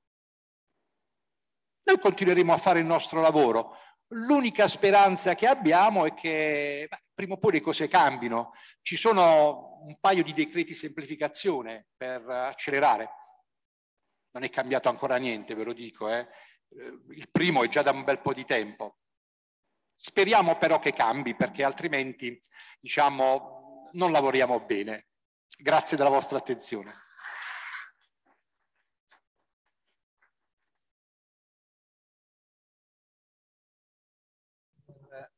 le sottolineature che ha fatto anche sulla collaborazione con l'industria che ci sta molto a cuore, non, però e non trascuriamo eh, secondo me anche eh, eh, come dice, la, puntare alle industrie che ancora non ci sono perché su quelle, diciamo, gli enti di ricerca, l'innovazione, diciamo così. Una brevissima integrazione. Devo dire che grazie alla politica regionale ci sono molte nuove aziende che sono nate, start-up e così via, e io, per mia diretta esperienza, ho constatato che alcune aziende non pugliesi hanno aperto delle sedi qui in Puglia produttive anche, grazie ai vari incentivi e per fortuna ogni qualvolta che bisogna iniziare una nuova iniziativa, scusate il gioco di parole, c'è sempre, è sempre previsto che ci sia una parte di ricerca affinché si possano avere i finanziamenti. Speriamo che si risolva anche il problema della crescita delle start-up perché quello è un po' il, la valle della morte, è un problema onnipresente, il momento in cui Bisogna aumentare gli investimenti per far crescere le imprese, ovviamente scegliere ancora di più uh, l'obiettivo e quindi andare avanti in quello che si definisce l'imbuto. Eh, per convogliare questi eh, fondi rilevanti, eh, quello è un, problema tuttora da risolvere, soprattutto in un paese povero di risorse finanziarie come l'Italia attualmente, a meno che il PNRR non porti? Non porti considerevoli novità e sia speso bene, perché il problema poi non è solo avere disponibilità finanziaria, ma spenderle bene. Non cito le parole di, di, di Draghi sulla spesa onesta, quella no. Sulla buona spesa, quella sì, quella è indispensabile. Però inutile far attendere ulteriormente il rettore Cubertino e diamogli la parola per i suoi Grazie, eh, innanzitutto buongiorno a tutte e tutti e scusate per eh, essere arrivato in ritardo, il eh, rettore Poli c'era con me stamattina a Grottaglie, lui evidentemente più atletico è stato più bravo a fare il dribbling e è, è arrivato, è, mi, mi, ha battuto sul tragitto. Eh, ci tenevo... Riesco a nascondere meglio, il professore Ubertino è più alto e l'hanno beccato subito. Può essere. Um, io ci tenevo comunque a essere qui oggi e un ventennale, penso che un ventennale si debba salutare con un augurio innanzitutto ad Enea per quello che, che, sarà il suo futuro nella regione Puglia in collaborazione con tutti gli enti e le università del, del territorio. Io eh, posso solo immaginare l'intervento del, del Magnifico Pollice anche con qualche suggestione che ho, ho recuperato dalla, uh, dalla, dall'intervento che mi ha preceduto, ma anche perché una cosa positiva, attuale del sistema anche universitario pugliese è la capacità di fare dialogo e la convinzione reciproca del dover, del dover fare rete, di dover agire in modo, in modo sinergico. Um, la, L'ultima suggestione del arriveranno risorse nell'ambito PNRR, dobbiamo investirle, dobbiamo cercare di utilizzarle eh, positivamente. Io non, no, davvero non, non, credo che uno, il problema del mondo della ricerca dei prossimi anni sarà il, la questione dell'ottenimento delle risorse. E sarà piuttosto quello di riuscire a immaginare delle attività che abbiano sostenibilità nel medio-lungo periodo noi dobbiamo riuscire a strutturarci per avere sempre di più una autonomia in quello che continueremo a fare anche a prescindere dal, dalle risorse del, del PNRR. E, um, proverò a portarvi al, alcuni, alcuni, esempi. Nella, ne, negli ultimi anni, um, la, per quanto riguarda le collaborazioni col mondo dell'industria, che sono, immagino state, saranno, state ricorrenti negli interventi di oggi, noi al, um, al, Politecnico di Bari abbiamo immaginato un modello di relazione con l'industria basato su dei contenitori che chiamiamo laboratori pubblico-privati, che consistono nel mettere a disposizione di aziende private parte dei nostri laboratori in modo tale da avere a lavorare fianco a fianco ricercatori dell'accademia con ricercatori dell'industria, con i nostri giovani talenti che quindi hanno possibilità di crescere, di continuare a studiare in un ecosistema che ne favorisce una formazione mirata rispetto a quelle che poi saranno le esigenze del, uh, del, del mondo del lavoro. Uh, grazie a queste iniziative siamo riusciti a, a completare eh, de, dello sviluppo di alcuni prodotti nati anche dentro progetti di ricerca in cui c'era, anche, anche NEA che nascendo in laboratori dei centri di ricerca piuttosto che delle università, sono diventati magari un oggetto che vola su un aeromobile, no? che è in fase finale di certificazione per arrivare, per arrivare al volo. Eh, se riusciamo a favorire un ecosistema nel quale ci possano, possano coesistere il mondo della ricerca, della speculazione scientifica, del fatto di poter fare formazione di conoscenza, che poi è quello che penso per la maggior parte di noi sia stato quello che ci ha avvicinato al mondo della ricerca e della, uh, della formazione universitaria, con chi poi i risultati di quell'attività di ricerca deve riuscire a metterli in campo, anche sfruttarli da un punto di vista economico, economico commerciale. E questo lo, dobb lo dobbiamo riuscire a fare continuando ad attrarre aziende che magari arrivano in Puglia grazie a un ecosistema che favorisce un certo tipo di, di, investimenti sul nostro territorio, che sicuramente deve essere una cosa sulla quale dobbiamo continuare a investire. Dobbiamo, secondo me, anche provare a fare uno sforzo su come portare all'interno di questo, di questo ecosistema la miriade di piccole e medie imprese che caratterizzano fortemente il tessuto economico della nostra regione, direi un po' di tutto il meridione eh, anche del, dell'Italia, dell'Italia, tutta, perché oggi viviamo un momento di, di grandi cambiamenti. Sicuramente le, le, grandi aziende per struttura, per mentalità, per organizzazione hanno una capacità di cogliere i cambiamenti o di fare investimenti di, eh, di prospettiva di medio periodo si rischia che in un mondo in così rapida evoluzione un pezzo importante del tessuto nostro economico e commerciale possa rimanere tagliato fuori per incapacità di seguire l'evoluzione di quello che sarà il mercato, la tecnologia, no? eh, il, il, posizionamento nei rispettivi, nei rispettivi settori. Io ritengo che il mondo della ricerca, e qui includo le università, i centri di ricerca, che sicuramente hanno fatto benissimo nella formazione, nel formare talenti, nello sviluppare tecnologie, in qualche modo debbano, devono riuscire a dare una risposta anche al tessuto delle piccole e medie imprese italiane. Io Immagino che il modello dei laboratori pubblico-privati che ho descritto, seppur brevemente prima, possa essere declinato anche in un'ottica di interazione con le PMI del territorio. Io immagino dei contenitori che facciano adesso anch'io um, evito le parole inglesi, però si parla di open innovation, no? quindi di innovazione aperta, eh, quindi distretti di innovazione aperta che siano focalizzati su delle verticalità, su delle tematiche, tra le quali sicuramente rivestono un ruolo i materiali innovativi, potrebbe esserci eh, l'economia dello spazio, no? ha parlato eh, Acerno uh, prima, poco, po poco prima di me.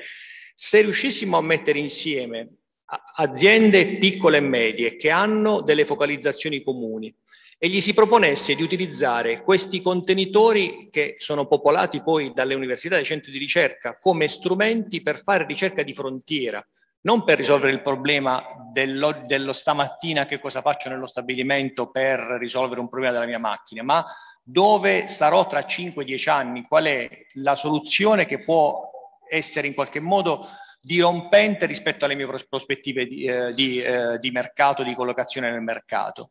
In questo modo, noi aggregando un numero importante di aziende, potremmo avere una massa critica che possa favorire la, lo sviluppo di iniziative di, eh, di, di, ricerca e potremo in qualche modo anche riuscire a superare l'incapacità delle piccole di dialogare tra di loro per una questione di eh, interessi di proprietà intellettuale rispetto a quello che si sta sviluppando. È chiaro che se noi sviluppiamo una soluzione che deve essere eh, sul mercato da un mese all'altro, avremo una competizione tra chi partecipa allo sviluppo di quella soluzione. Se invece proviamo a guardare la frontiera, quello che sarà da qui a 5-10 anni, in quel caso anche le barriere rispetto alla possibile collaborazione e condivisione dei risultati possono riuscire ad abbassarsi quel tanto che basta che ci possa permettere poi di aggregare e di fare massa critica.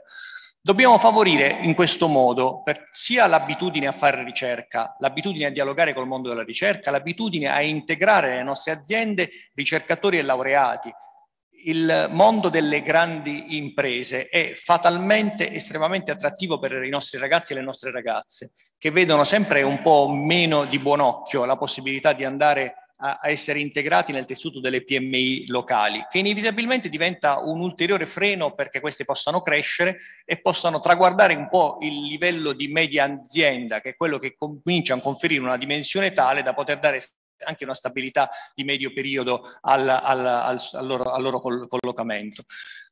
Io ritengo che volendo fare un augurio a chi compie 20 anni, il Politecnico non è, ne abbiamo compiuti 30 poco, poco, poco fa, per cui eh, siamo tutto sommati de, de, della stessa generazione sul territorio. Poi anche il Politecnico in realtà eredita una uh, tradizione di ingegneria all'Università di Bari ben, ben, ben più antica, però come, eh, sono, sono iniziative che nascono che eh, si in, insediano sul territorio uh, da, nel, nel, nel, in un periodo tutto sommato recente, dobbiamo riuscire a guardare con uh, fiducia nel, futuro, avendo in mente che cosa faremo di qui ai prossimi vent'anni, perché il PNRR, per tornare al PNRR, è uno strumento che la comunità europea intende destinato a iniziative che non debbano finire nel 2026, quindi sarà richiesto di dimostrare la sostenibilità dell'utilizzo di quelle, di quelle risorse. La sostenibilità noi la riusciamo a garantire soltanto se riusciamo a fare massa critica, cioè se riusciamo a mettere insieme su una tematica, quale potrebbe essere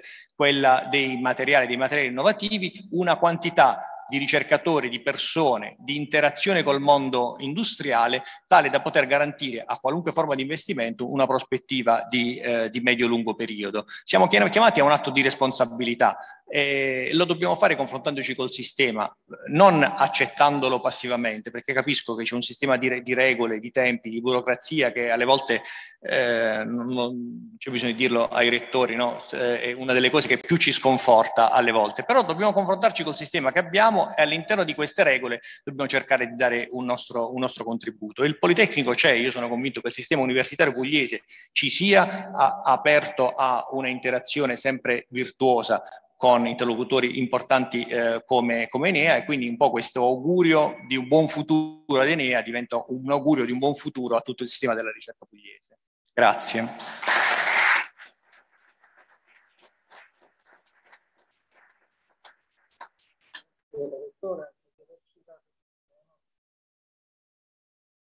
Almeno come organizzazione. Almeno come organizzazione. Vent'anni Ma sono... lei, ma lei 30 anni ce li ha per davvero, non solo il Politecnico. Io li porto, li porto bene, anche se mi batte sempre pollice nella- nei dribbling, però va bene. Comunque interessanti molto gli spunti che ci ha sottoposto. Ehm, ehm, eh, vorrei cogliere um, un paio di aspetti, diciamo così, su- sulle questioni regolamentari o strutturali che talvolta limitano i percorsi che lei ha, ha sottolineato, ad esempio nell'interazione industria eh, eh, enti pubblici, interazione pubblico-privato, sarebbe bello avere anche una possibilità di eh, transito da un settore all'altro più fluido, più meno vincolante, come ad esempio esiste in altri paesi. E, scusate, scusate, riguardo invece alle, alle PMI, eh, eh, sono motore diciamo, dell'economia italiana. Eh, rispondere però alle loro richieste, l'abbiamo sperimentato molte volte, eh, è una sfida in termini eh, di tempi, non tanto di economicità. Quindi almeno per, per enti pubblici, perlomeno quella che è l'esperienza dell'Enema, penso sia un po' generalizzato per i pubblici, avere qualche alleggerimento regolamentare eh, dal punto di vista amministrativo, gestionale, che gli consenta di rispondere nei tempi brevi che le PMI chiedono.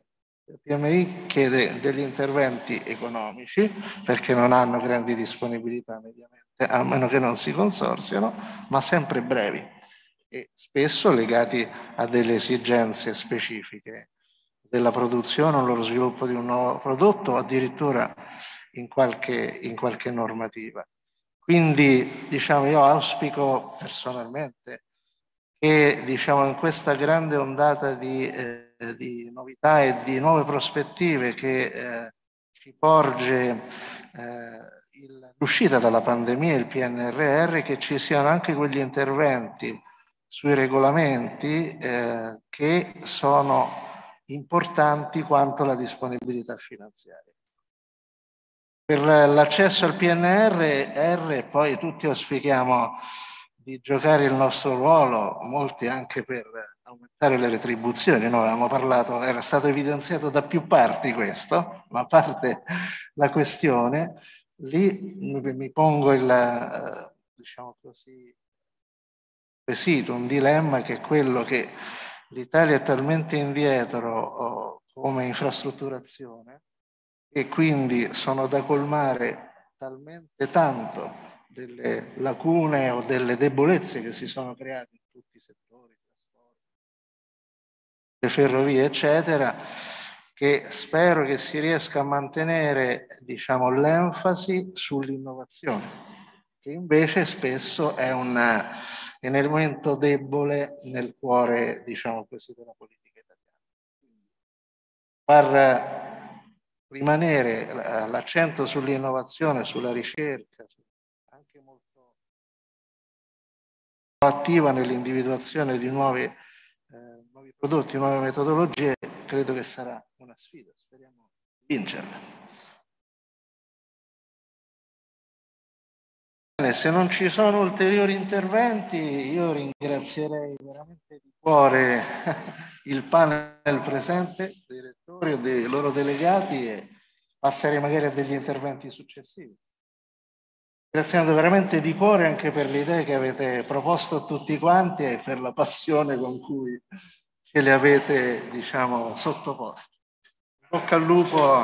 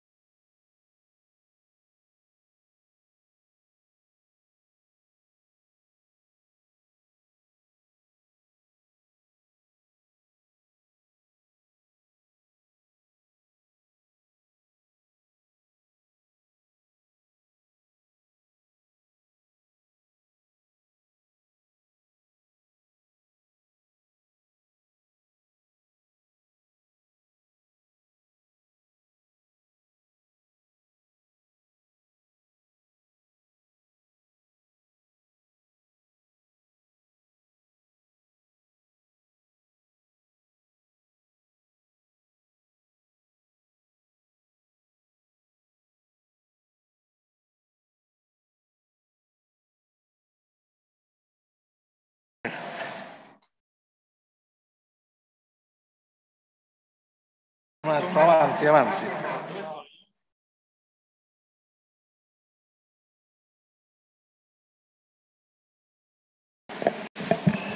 Siamo arrivato, arrivato dopo, quindi direi di un po' in ritardo. Io so, sono.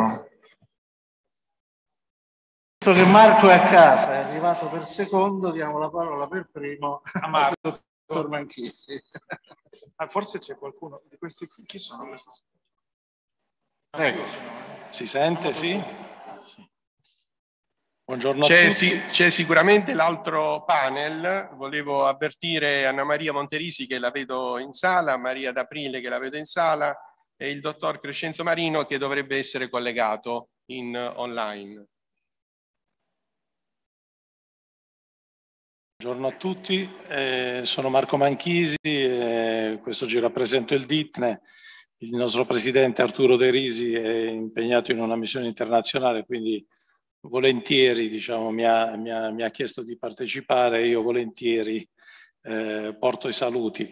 Porto i saluti anche del, del nostro consiglio di amministrazione, del comitato di indirizzo e, e dei molti soci del DITNE che hanno collaborato in questi anni, dal, sin dalla data della, della costituzione del DITNE, che ormai risale al 1 agosto 2008, con una serie di, di- di partner locali.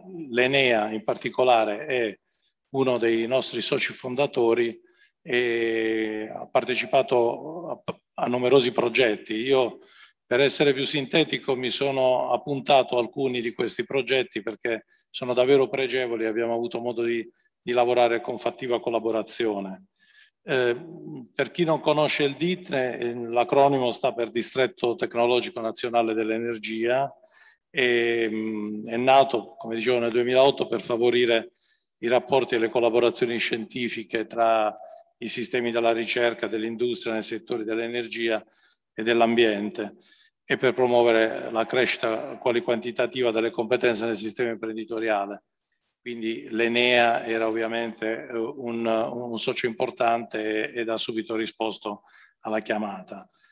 La visione che ha il DITNE e Enea condivide particolarmente questo con noi è quello di sostenere lo sviluppo della ricerca nei settori produttivi dell'energia e dell'ambiente nelle sue varie forme, compresa soprattutto l'efficienza energetica, di cui in Italia in realtà abbiamo un lungo ed antico patrimonio industriale, incoraggiare il trasferimento tecnologico, favorire i legami tra ricerca, produzione di beni e servizi, mondo finanziario, stakeholder, portatori di interessi in senso lato.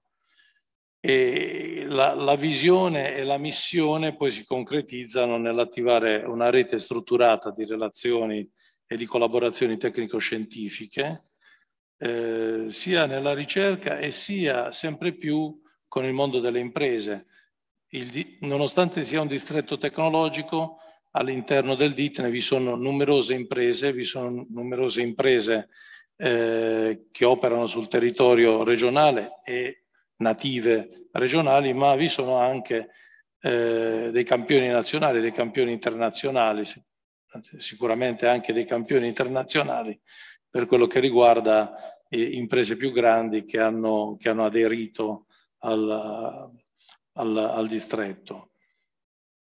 Altra missione è quella di migliorare gli investimenti in infrastrutture tecnologiche e tecnico-scientifiche dedicate, promuovere e sostenere la creazione di nuove aziende high-tech, rafforzare e migliorare la visibilità delle eccellenze locali nei settori energetici e ambientali a livello nazionale e a livello internazionale con ricadute regionali, promuovere la crescita professionale delle competenze.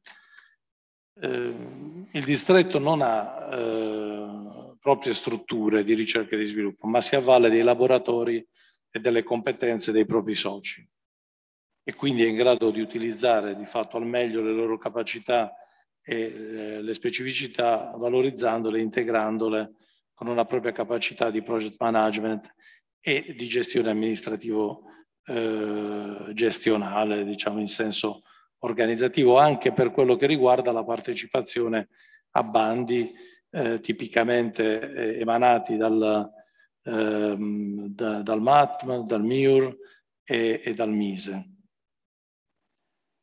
Il, eh, il supporto che insieme ai soci, e quindi qui mi concentro più su quelle che sono state quelle attività che hanno visto Enea presente, il supporto che il, il DIT ne fornisce è eh, nel favorire il trasferimento tecnologico su, impianti, su tecnologie per impianti a fonti rinnovabili con priorità su mini e microeolico, fotovoltaico, solare a concentrazione, biomasse, cogenerazione diffusa e da ultimo l'idrogeno, questo vettore su cui noi eh, riponiamo grande fiducia per, per una vera e propria transizione ecologica ed energetica, soprattutto nei settori hard to abate e nei settori in cui la necessità di avere un combustibile evidentemente alternativo a quello fossile, ma che non si riesce a, a rendere succedano invece con, con, con green fuel, eh, ci vede particolarmente impegnati. Enea è anche il, eh, il soggetto che, che, è stato scelto, cioè è stato, a cui è stata affidata la, la missione da parte del Mise di coordinamento delle eh, iniziative eh, dell'IPC idrogeno e, e, quindi piacevolmente collaboriamo anche eh, diciamo, su alcune di queste attività e siamo anche ehm, all'interno del CTNE, Cluster Tecnologico Nazionale dell'Energia, eh, presieduto e coordinato dall'ottimo Giampiero Celata. Eh, io ehm, volevo soltanto accennare, mi scuso in anticipo se eh, gli acronimi sono in inglese, perché come diceva il, il magnifico del, dell'Università del Salento, eh, l'italiano è molto bello, eh, ci appassiona anche molto, diciamo, addirittura romantico alcune volte, anche per i ricercatori, però tant'è, gli acronimi sono, sono in inglese, quindi mi, mi, diciamo, mi, mi scuso, non, non, li tradurrò, diciamo, evidentemente perché da voi diciamo, abbastanza, diciamo, abbastanza agevole. Ehm, nel, nel, 2000, nel, 2018, anzi diciamo all'inizio nel, nel 2010, quindi poco dopo essersi formato, abbiamo partecipato ad un progetto che, insieme ad Enea che si chiama Orecca, Offshore Renewable Energy Conversion Platform Coordination Action e eh, sin da allora, ormai già due lustri fa, avevamo ipotizzato ed evidenziato le, le possibilità dello, dello sfruttamento eh, offshore di, di, di, impianti eolici. Un altro progetto molto importante eh, nell'ambito dell'Interreg Italia-Albania-Montenegro è stato il REHAB, Regional Energy Efficiency Hub, e in questo in particolare eh, con molto piacere con i colleghi eh, transfrontalieri abbiamo dato vita ad un vero e proprio luogo di incontro in cui i responsabili delle politiche locali dei paesi coinvolti hanno avuto un dialogo aperto con la cittadinanza. Sono stati coinvolti alcuni comuni piccoli che difficilmente entrano nelle reti dei grandi progetti e mh, mm, è stata molta attenzione anche da parte dell'industria dei materiali da costruzione, di molti progettisti e di PMI verdi. Altro progetto da segnalare è il BRICS, Building Refurbishment with Increased Competence, Knowledge and Skills, e ha visto soprattutto lo sviluppo di un sistema di formazione per migliorare le conoscenze, le abilità e le competenze dei lavoratori impegnati nella riqualificazione energetica degli edifici e nel contestuale uso di eh, fonti rinnovabili di energia, un modello di certificazione, eh, innovativi modelli di formazione in cantiere e la gestione di un marchio BRICS. Eh, poi vi sono tre progetti in cui diciamo, eh, con Enea siamo stati particolarmente impegnati nei, nei cosiddetti PONREC, e sono il Novasol, che è un, un progetto che come tradisce evidentemente il nome dell'acronimo, riguarda sviluppo di tecnologie innovative nel campo del solare a concentrazione, EFEDIL riguarda soluzioni innovative per l'efficienza energetica in edilizia e, In particolare siamo riusciti a, a sviluppare dei laterizi innovativi innovando materiali quali PCM, Phase Changing Materials. Ancora un progetto molto interessante che è lo Smart Energy Boxes e riguardava la ricerca e sviluppo di sistemi per la produzione efficiente, la gestione e l'accumulo di energia elettrica e termica, il tutto integrato ed interconnesso con un virtual power plant. Eh, io diciamo, mi fermerei qui perché ce ne sono poi altri, diciamo, ma evidentemente avete compreso quelli che sono i filoni di ricerca su cui abbiamo condiviso queste esperienze molto positive con l'Enea. Eh, voglio solo riportarvi l'auspicio del, del Consiglio d'amministrazione del DITRE che è quello di una particolare attenzione alla formazione. Eh, ci teniamo molto, eh, essendo sostanzialmente un distretto che ha nel suo DNA proprio la, la, la volontà di fare matchmaking tra tutti gli operatori eh, che sono presenti diciamo, sul territorio, noi vogliamo contribuire alla formazione di nuovi ricercatori. Eh, il messaggio che vogliamo portare insieme a Enea, insieme a CNR, insieme ai centri eh, di ricerca regionali, insieme all'Università e al Politecnico, stimolare eh, i nostri ragazzi ad avere diciamo, quella fame, quella curiosità sulle nuove tecnologie in tema di energia e di efficienza energetica e di, e di nuovi materiali. Buon, buona prosecuzione in questo, eh, questa giornata celebrativa del ventennale. Siamo davvero molto, molto vicini agli amici di Enea tutti. quanto seminato con il DIT è stato positivo perché abbiamo anche il Rehab Plus recentemente avviato. Quindi... Era troppo, troppo bravi. Quindi, quindi diciamo, ci auguriamo appunto che la collaborazione con Ditene prosegua ampia e, e, e proficua come è sempre stata anche in occasione di questa innovazione nel settore energetico oltre che ecologico. Eh, va bene, io passerei oltre visto diciamo un po' di sì. ritardo che abbiamo accumulato, sì. ma... Ma eh, probabilmente i colleghi dell'ONU probabilmente stanno... Assolutamente sì, tanto Prego, io sono prego. di casa, offro volentieri. Prego.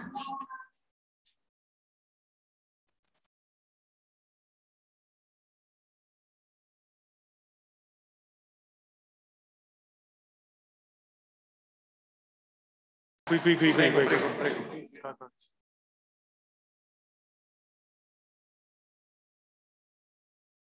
Grazie mille.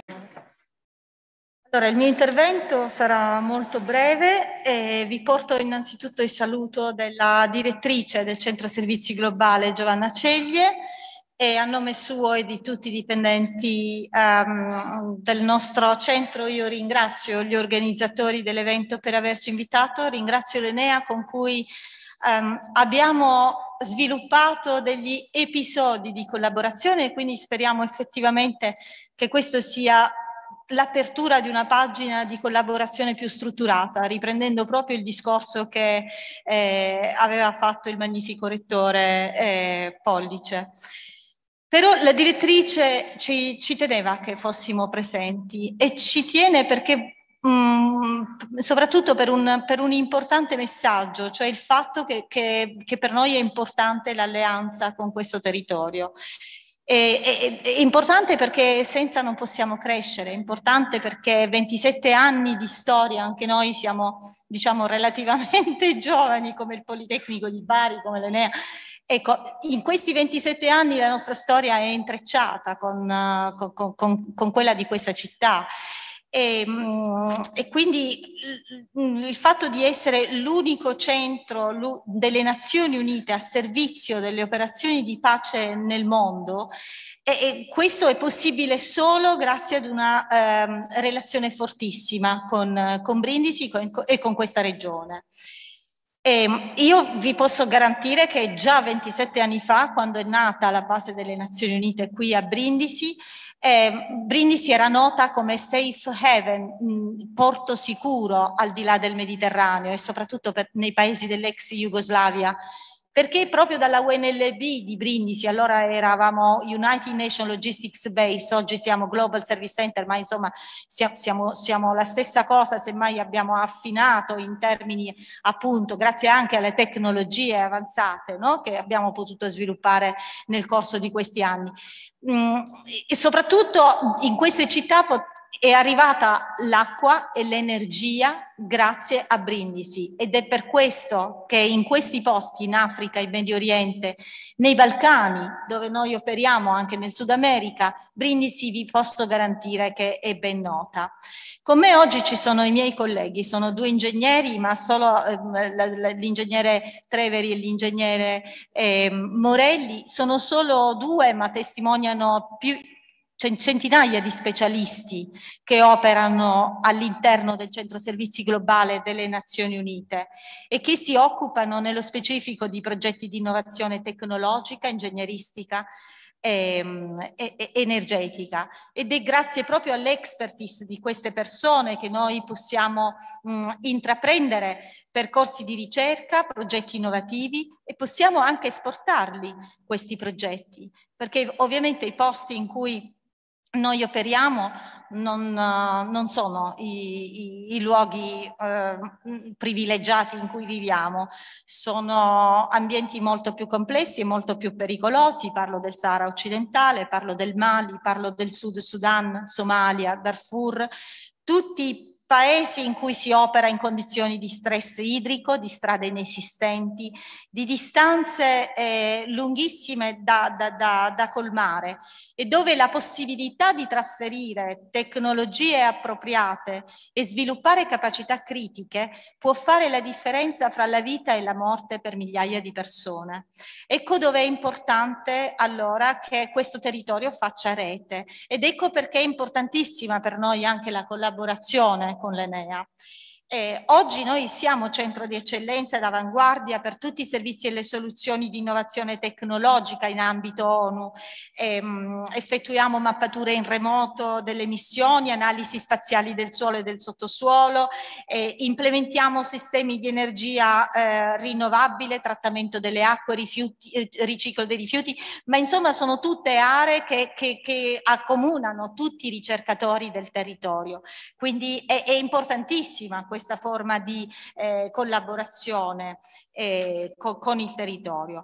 Ecco, eh, perché noi questo non, non, lo possiamo fare, non lo possiamo fare da soli. Allora la consapevolezza che siamo effettivamente più forti se siamo insieme è quello che ha fatto spingere l'acceleratore sull'idea della partnership, che guarda caso è l'obiettivo 17 dell'agenda 2030, quello che chiude il cerchio no? dei 17 obiettivi. Per esempio leggevo a proposito del programma dell'Italian Tech, eh, Tech Week di questa settimana che l'ingrediente fondamentale per l'innovazione tecnologica non è una tecnologia particolare, ma è il coraggio nel porsi sempre nuove sfide e, e, e realizzarle. Ecco, riflettendo sui progetti che già ha avviato questo territorio, penso che, che, il coraggio sia lì. Faccio per esempio un uh, riferimento ai nuovi corsi di laurea che, che si stanno avviando a Brindisi grazie all'Unisalento, ma penso anche ai progetti che già abbiamo in Fieri, noi come base ONU con il Politecnico di Bari. Allora, la partnership sottende uno scambio generoso tra le parti, cioè implica l'allineamento nei sistemi di valori perché significa collegare scelte giornaliere con quello che è lo scopo di vita, con quello che è il goal nobile che ci, ci prefiggiamo. No?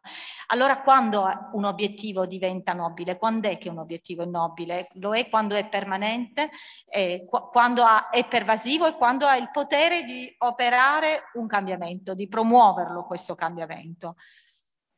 Allora bisogna promuoverlo perché in questo territorio e dovunque c'è bisogno di una cultura di pace, c'è bisogno di formare nuove generazioni, ossia persone che, si, eh, che prendano, che sentano su di loro la responsabilità della trasformazione della società. È vero che ognuno di noi ha la responsabilità della propria vita individuale, però è vero anche che eh, abbiamo la responsabilità della società, che è un impegno enorme, però l'alternativa è peggiore. Quindi eh, questa organizzazione delle Nazioni Unite che io oggi ho l'onore di rappresentare insieme ai miei colleghi, eh, con i suoi obiettivi, nonostante tutti i suoi limiti e anche tutti gli errori, rimane effettivamente il traguardo possibile. Allora, a questo traguardo, per raggiungerlo, noi abbiamo bisogno di voi, e abbiamo bisogno di lavorare insieme. Grazie mille e tanti auguri a tutti.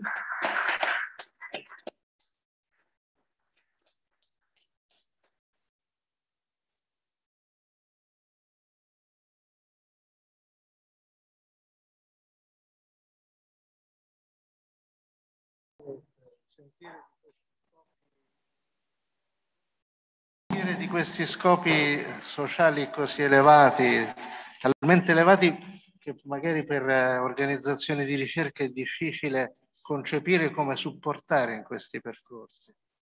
Però che l'auspicio che abbiamo è di intuire ancora meglio come collaborare in termini pratici a perseguire questi obiettivi così nobili che avete a nome di tutta, di tutta l'umanità. Grazie. Va bene, passiamo la parola a Marco o no? O no? Abbiamo, fatto salire, abbiamo fatto salire Anna Maria Monterisi perché sennò rimaneva come una particella di sodio, diciamo, tra i relatori nella platea. Allora, grazie intanto, grazie per l'invito, porto i saluti sono Marco Alvisi, neo direttore generale di CETMA e porto i saluti del presidente Francesco Saponaro che è fuori è in Portogallo oggi per cui non poteva materialmente essere presente, quindi mi ha chiesto di delegarlo, ma porto anche i saluti del eh, ex direttore fino a ieri, fino a un mese fa, eh, Luigi Barone che ovviamente essendo anche un collega di Enea ha vissuto direttamente dalla parte CETMA questi vent'anni di Enea. Io ovviamente, come sapete tutti, li ho vissuti dalla parte di, di Enea. Sono particolarmente emozionato oggi perché tutta una serie di sollecitazioni, ultima questa dell'ONU, nella quale tra l'altro lavorava mia zia a New York, che ho visitato insomma, quando avevo vent'anni, e mi, mi, mi, sollecitano perché vivo la parte di la parte di chat, ma il discorso interessantissimo che, che, ha fatto il rettore Pollice, che veramente come dire, è una risorsa enorme, io penso, per questo territorio, accompagnato dalle sollecitazioni e dai contributi degli, del, del, delegato di eh, Università di Bari e di, del rettore Copertino, mi sembrano che, come dire, la carne al fuoco sia molta. Allora, rapporti CET-Menea hanno più o meno quasi tutti in questa sala li, li, li conoscono, hanno subito varie fasi. Le, proprio faccio un flashback di due minuti per, come dire, provare a fare una narrazione condivisa, ancorché sintetica, poi ognuno ovviamente avrà la sua. E il CETMA nasce, l'anno scorso ha fatto il 25ennale, per cui rispetto a Enea, diciamo, nasce 5, Enea di Brindisi ovviamente, nasce 5-6 anni prima, nel, nel 95 e poi realmente poi nel 96. Quindi quando il centro Enea di Brindisi è nato nel 2001 e più o meno anche negli anni successivi, il CETMA era già diventato una realtà significativa, circa 30 persone, adesso ci sono Alessandra, in particolare Passaro della divisione AMPA che mi, mi correggerà insomma, se sbaglio, forse qualche dettaglio lo, lo sbaglio, e, ehm, e, quindi era già una realtà e, e, insomma, presente sul territorio, no? nata proprio con la funzione che ricordava prima anche il rettore eh, Cupertino, lui e, chi eh, di Sciascio prima di lui hanno costruito questi laboratori di pubblici privati, uno dei eh, motivi dell'esistenza del CETMA era fare da centro di trasferimento tecnologico dell'Enea no? e degli altri soci. E di, da, di, fare da consorzio inizialmente di secondo livello per sviluppare un'integrazione un di progettualità come è stato poi con la stagione di PON. Quindi quando l'Enea è nata, io ovviamente sono stato assunto nel 2001, il CETMA viveva un supporto di Enea nella sua fase di start-up e, mentre Enea ricominciava diciamo dalla fase precedente di Pastis. Successivamente c'è stata una stagione in cui il CETMA ha è stato come dire, utilizzato dai propri soci in un'ottica proprio di consorzio di secondo livello come sistema integrator, si dice, come il, il DTA eh, rappresentato prima da Giuseppe. E, cui, e quindi è cominciata la grande stagione dei PON, che si è conclusa più o meno nel 2015, in cui il, il sistema e l'impianto dei contributi ministeriali alla ricerca e all'innovazione consentiva anche a strutture di, di, tipo privatistico, quindi non sostenute da contributi ordinari dello Stato, nonostante la parte di cofinanziamento che per il CETMA poi ha rappresentato, come dire, un, e rappresenta ancora un vulnus economico, eh, e consentiva di, di, di, sviluppare grande progettualità eh, sempre di ricerca applicata, quando non industriale, quindi ha consentito al CETMA di accumulare grande know-how e anche attrezzature, ma di riversare sui soci, in primis Enea, importanti commesse, importanti attività. Eh, ma eh, ovviamente noi ricordo siamo il 50% socio Enea, 10% Unisalento e, e abbiamo dentro, era prima qua presente insieme al rettore il professor Naso dentro il CDA, quindi il Politecnico di Bari per noi è uno stakeholder eh, fondamentale ma non è tra i nostri soci e poi abbiamo dentro Rina e altre università e altre scusate PMI e aziende. Quindi è cominciata la stagione dei PON e questo ha fatto sì che il CETMA crescesse in maniera importante. Immaginate, siamo arrivati fino a 110, mi sembra, dipendenti, 112 dipendenti con un fatturato di 12 milioni, quando in quell'epoca il centro di eh, ricerca Enea era sui 50, no? dicevate oggi la bella ricostruzione che hanno fatto sia Piero che Michele. E dopodiché è cominciata, insomma, c'è stato il 2008, è, cominciata la spending review e è cambiato l'impianto diciamo, del, dei contributi, della percentuale di contributi sui progetti di ricerca, quindi sono, è, è, cambiata la regolamentazione, quindi si è molto abbassata, è arrivata al 50%, a quel punto il CETMA non ha avuto più le possibilità, avendo accumulato anche come dire, un ingente eh, eh, come dire, capitale di debito no? Eh, dovuto al cofinanziamento, come fu nel passato del Pastis, e poi successivamente, a causa del, del blocco del, dei pagamenti del MIUR, un, una delicata situazione finanziaria che nel 2017 ha creato una, un rischio enorme. Il CETMA ha operato, io da quel momento lì ho, ero, mh, sono stato nominato dall'Enea come consigliere d'amministrazione, ha operato una virata del modello di business. Adesso anche Dario è, con me nel consiglio di amministrazione, quindi l'ha osservata diciamo, in questi ultimi anni, in cui mentre prima la, la percentuale di servizi commerciali e di eh, nei confronti delle piccole e medie imprese, di centro di ricerca e trasferimento tecnologico, di sviluppo prodotto nei confronti delle piccole e medie imprese, ma anche delle grandi, era abbastanza limitata a, a qualche insomma 10, 15, forse no, massimo 20% del fatturato rispetto ai grandi progetti PON, ha assunto un'importanza e fino a quasi il 50% di oggi. Cioè noi oggi su un fatturato di circa 5 milioni, 5 milioni e mezzo, probabilmente copriremo diciamo, nel 2021 quasi il 50% con servizi commerciali e di trasferimento tecnologico, quindi con eh, risorse che vengono direttamente dalle imprese, dalle piccole e medie imprese.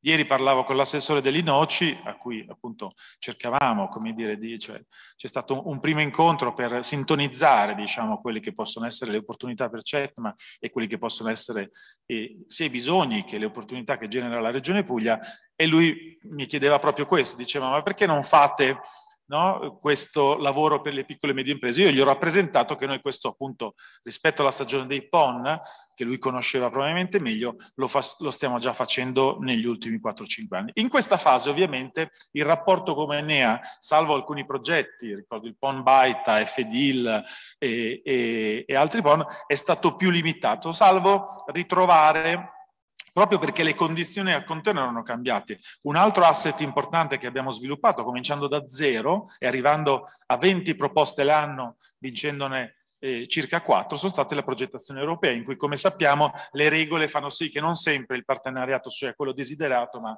bisogna scegliere, di solito noi italiani non avendo altri fondi, siamo proiettati sulla progettazione europea, per cui eh, dire, ci sono sempre troppi partner italiani, quindi non sempre la partnership con Enea è possibile, però quando c'è stata, ed è ripartita una stagione, questo devo dire veramente eh, grazie a Dario, all'Enea che ha coinvolto Cetama e a Dario della Sala che ha portato in Italia la chicromateria con la chicromateria, in cui dire, le, le, le, competenze consolidate di eccellenza a livello europeo sui eh, materiali compositi, ma in generale sui materiali polimerici, e di CETMA e hanno trovato uno spazio insieme ad Enea per eh, sviluppare quello che la Kikro Material cerca di sviluppare, cioè come dire, il circolo virtuoso all'interno de dell'ottica della triple elica tra conoscenza, formazione e industria. E quindi, come dire, ripartita no? una stagione di collaborazione stretta, come dire, per CETMA se volete, e probabilmente anche per Enea, limitata, perché eh, capite bene che su,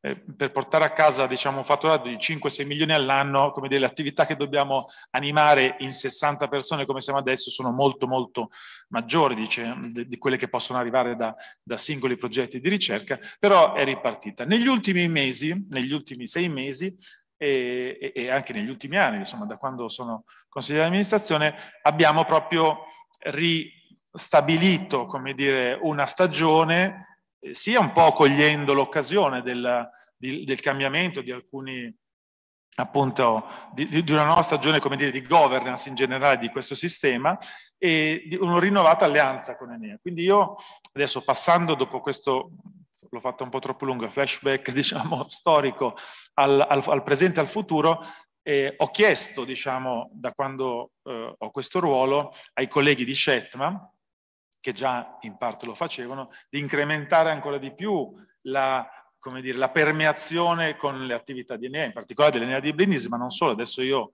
sono in, in contatto con eh, tutti i dipartimenti, Abbiamo, ho ricevuto un mandato in qualche modo dal precedente presidente eh, come, come ruolo, come sa anche Dario che sta nel Consiglio di amministrazione, proprio di eh, costituire una cerniera che possa crescere questa relazione, quindi di trasformare il CETO da un problema finanziario non causato da noi, ma come dire, dal nostro beneamato Ministero della Ricerca, in un'opportunità. E quindi questa cosa mi sembra no, stia procedendo eh, in, in, dalle piccole come dire, alle grandi cose che speriamo siano quelle che ha, ha prima rappresentato il rettore Pollice. E, e, quindi io il futuro in questo momento lo vedo eh, ah no, dicevo, sono in contatto, adesso dovremo incontrare il presidente di Aluce, eh, Saponaro ha già, ha già inviato diciamo, una, una, richiesta, una disponibilità per rappresentargli la realtà CETMA e, e nelle, nelle, prossime settimane penso che questo verrà fatto, però sono in contatto direttamente con tutti i dipartimenti dell'Enea perché stiamo cercando di portare qua attività mh, proprie della fusione, di lavorare sulla filiera dell'idrogeno, ovviamente di lavorare in primis, eh, sono state le prime cose che abbiamo fatto insieme con, con eh, i materiali, con la divisione di Dario, ma anche col Dipartimento di Sostenibilità dei Sistemi Produttivi e Territoriali di eh, Morabito. Per cui io, il, il, futuro, come diceva l'altro giorno anche l'assessore, il problema forse non, non sarà quello di risorse, ma sarà quello di riuscire ad avere dei progetti credibili e soprattutto che generino impatto, perché su questa, secondo me, è la parola, a parte che è richiesta dalla Commissione europea, insomma, ma noi verifica impatto è una parola che, insomma, almeno io personalmente ho cer sempre cercato nei dibattiti pubblici di, di portare all'attenzione dei decisori, di quelli che contano, come diceva il rettore Pollice, io penso che dobbiamo costruire delle progettualità che intercettino queste risorse, ma più che intercettarle che rispondano a, a, questo enorme. Noi siamo davanti all'inizio del PO, no? Ieri l'assessore mi diceva che probabilmente a febbraio dovrebbe essere... Eh, cioè del, del, del, POR, diciamo del settennio del POR. Siamo, è partito il primo anno del settennio della Commissione Europea di Horizon Europe. C'è il PNRR, c'è il PNR, che NEA tra l'altro ha partecipato in alcuni eh, pezzi a scrivere, E quindi siamo davanti a una quantità di risorse incredibile, ripartirà tutta ovviamente anche la parte interreg, no? cioè, eh, diciamo progetti eh, transfrontalieri, quindi siamo davanti veramente a una quantità di risorse, ma è una necessità di generare impatto e, e, infrastrutturazione eh, de, della ricerca e dell'innovazione che ha in primis le criticità, perché poi Polli ci ha messo il dito in, in varie piaghe, diciamo, sia nazionali che locali, nella, nella, cittadella della ricerca e anche lì tutti i presenti sanno quanto io mi sia speso in questi cinque anni e continui a telefonare a Vito Albino circa ogni 20 giorni per sapere l'andamento di questo passaggio, nonostante non abbia più ruolo, diciamo, dal punto di vista di me, ma almeno lo, lo faccio ugualmente.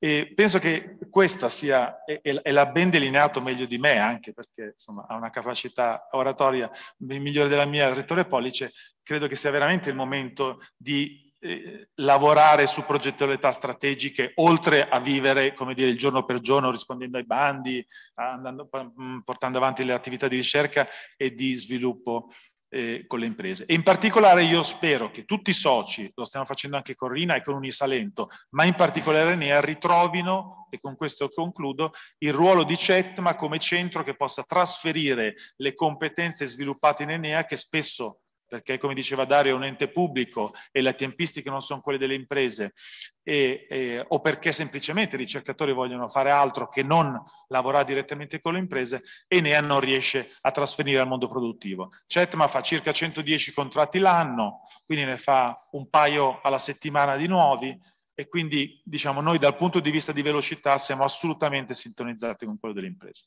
Grazie e auguri ovviamente a noi stessi. perché...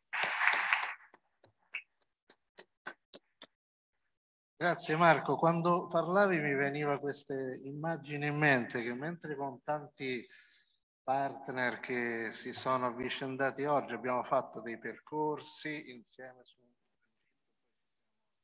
per altre cose trovati insieme su altri tragitti concetto è come se avessimo viaggiato in sidecar. Ogni tanto guidava Cetma e Lenea stava sul predellino poi ci siamo scambiati ruolo e Marco ha cambiato posto su questo sidecar che viaggia da tanti anni. Comunque, sì, eh, eh, grazie per l'escursus che hai fatto e anche per aver citato quell'idea, quel momento dei PON che fu un momento importante che però poi ha lasciato dei frutti avvelenati. Periodo molto importante in cui un ministero, nel caso specifico il MIUR, aveva una visione un po' molto più ambiziosa, ecco, con iniziative nei laboratori pubblico-privati, nella creazione o sostegno di distretti. Però poi A, non c'è stata la finalizzazione di queste cose, le misure di accompagnamento per stabilizzare le realtà che erano state create, soprattutto i laboratori pubblico-privati. Poi, vabbè, è entrato in stato po' confusionale direi il MIUR con la sua programmazione dei finanziamenti, questo ha generato dei problemi lancinanti per tanti stakeholder, soprattutto per il CET, ma al quale però bisogna fare i complimenti per aver saputo cambiare percorso in un periodo difficile ed esserci pienamente riuscito. Quindi complimenti e speriamo che questo sidecar faccia altri lunghi percorsi insieme. Va bene, e mi sembra che c'era un, inter... un, intervento, sì, supplementare del, del dottor Marino che si è collegato, quindi tutti d'accordo per dargli sì, buongiorno, buongiorno, buongiorno a tutti e grazie per aver accolto questo mio invito ad anticipare il mio intervento. Purtroppo ho un impegno eh, di famiglia fra, fra qualche minuto.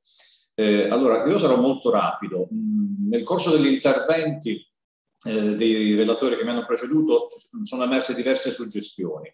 Eh, sicuramente l'aspetto fondamentale è il ruolo che ha avuto Enea e la relazione che ha avuto con eh, la nostra regione e in particolar modo nella sua veste di soggetto che ha partecipato eh, molto attivamente ai nostri avvisi, ma mi riferisco eh, a quelli relativi alla ricerca collaborativa, allo sviluppo sperimentale, per esempio come è emerso nell'intervento del, dottor Penza eh, con ben quattro progetti sull'avviso in network e ne ha dato il suo contributo. Eh, in particolar modo sono avvisi che segue la sezione ricerca, eh, della quale mi occupo, eh, nei quali evidentemente eh, l'ente di ricerca, il portatore di conoscenza, quindi nel caso di specie l'Enea, ma anche eh, gli Atenei pugliesi, eh, affiancano le imprese per sviluppare delle soluzioni innovative, alcune delle quali, devo dire, arrivano anche a, a, eh, ad essere caratterizzate da un TRL molto elevato. Per cui poi emerge l'altro mh, aspetto importante, quello dell'ingegnerizzazione delle soluzioni, quindi quello poi di eh, portarle sul mercato e in questo oh, anche eh, la, la nostra regione è molto attenta con gli avvisi dei quali si è parlato prima. Eh, e poi anche in questo momento sono autorità di gestione dell'Italia Albania Montenegro, l'Enea è presente anche nella programmazione 14-20. Noi stiamo lavorando, manterremo senz'altro il ruolo di autorità di gestione del programma IPA eh, Cross Border Cooperation eh, qui eh, in Puglia. Stiamo lavorando già eh, attivamente con la task force e all'inizio del 2022 eh, senz'altro partirà, partirà il programma, il nuovo programma del settennio 21-27.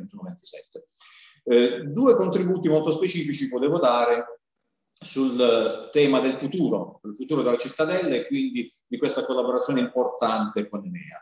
Eh, come è noto, ehm, la, la, Regione Puglia ha dato un indirizzo in sede di giunta regionale eh, per mh, provare a mettere sul tavolo eh, il futuro della cittadella nella sua interezza. Ovviamente questo interessa da vicino anche l'Enea, nel senso che la Regione Puglia ha affidato all'Arti, probabilmente la collega si soffermerà un po' più nel dettaglio, uno studio eh, teso a prefigurare che scenario si può realizzare, si può verificare concretamente in Enea. Per dare eh, dignità agli ambienti, ho segnato l'intervento eh, del dottor Talmesio che parlava di un plesso che ormai eh, non è più dignitoso. Quindi verificare le possibilità che ha la Regione Puglia eh, eh, di acquisire a, a titolo magari di un comodato, di subcomodato dall'ente proprietario della cittadella. Eh, porre in essere degli interventi infrastrutturali importanti che consentano poi la riallocazione in, in, un contesto più dignitoso e soprattutto ben gestito, perché poi bisognerà mettere in piedi anche un modello gestionale e di autosostenibilità finanziaria in qualche modo anche eh, della, del futuro della cittadella. E all'interno di questo, per cui mh, è verosimile che alla fine dell'anno questo studio verrà preso in carico dalla Regione, saranno fatte una serie di valutazioni che ovviamente riguarderanno più dipartimenti, dal Dipartimento delle risorse finanziarie, quindi segue il patrimonio, al Dipartimento di sviluppo economico con il quale lavoro. Eh, per eh, cercare poi di comprendere se esistono anche degli strumenti nella nuova programmazione oppure comunque nei, nei vari piani, perché forse il problema delle risorse finanziarie è quello meno importante in questo, in questo, periodo storico, in cui addirittura si rischia la sovrapposizione, come la conferenza Stato-Regioni ha osservato, al Ministero si rischia la sovrapposizione eh, in, in, sui alcuni temi, ma anche eh, dal punto di vista eh, della gestione dei tempi fra il PNRR, fra i POND nazionali e i POR regionali. Eh, per cui potrà essere ridisegnato uno scenario della cittadella nella sua interezza. Diventa di fondamentale importanza perché rappresenta una priorità e questo invece riguarda solo Enea e la Regione Puglia, una rifunzionalizzazione del, del comprensorio diventa eh, fondamentale per l'avvio del centro per l'economia circolare. Noi con Enea abbiamo, questa l'ho seguita personalmente, abbiamo sancito un accordo fra pubbliche amministrazioni che ovviamente ha un livello molto alto, ma è finalizzato di fatto a mettere in piedi il Centro per l'Economia Circolare con una serie di iniziative di formazione, ma anche di alta, di, alta eh, di specializzazione, per esempio con l'avvio di dottorati di ricerca tematici o l'avvio anche di assegni di ricerca. È chiaro che sono state gettate le basi, però avremo poi bisogno di accordi attuativi nei quali saranno recuperate anche le risorse finanziarie che finanzieranno queste iniziative, diventa però dirimente comprendere se effettivamente il Centro per l'Economia Circolare avrà a disposizione spazi, una infrastrutturazione decisamente rinnovata per, perché possa poi avviarsi, così come il Centro per la decarbonizzazione, cui faceva cenno, se non ricordo male, il Rettore Pollice, è chiaro che sono tutte iniziative che troveranno una collocazione dignitosa e anche eh, per esempio un, un, canale di finanziamento che potrebbe essere, la lancio lì secondo me il più adatto, è il polo per l'innovazione che è previsto dal regolamento GBER che consente anche di avviare poi eh, un'iniziativa e consente anche in questa fase di, di start-up di finanziare anche delle spese di funzionamento. Quindi le, queste due iniziative ovviamente se, seguiremo nei prossimi mesi eh, come, come, evolveranno, però è chiaro che eh, diventa fondamentale eh, restituire una vivibilità agli spazi e soprattutto dotare la cittadella poi di un sistema di eh, gestione che consenta non solo agli attuali ospiti della cittadella di eh, avere condizioni di lavoro e, e di sviluppo nell'immediato più eh, dignitose, torno a usare questo termine, ma anche eh, pensare ad un allargamento e, quindi pensare alle nuove iniziative che pure sono già in cantiere che potrebbero utilmente collocarsi nell'ambito della cittadella della ricerca. Vi ringrazio, eh, buona giornata e auguri per i 20 anni all'Enea.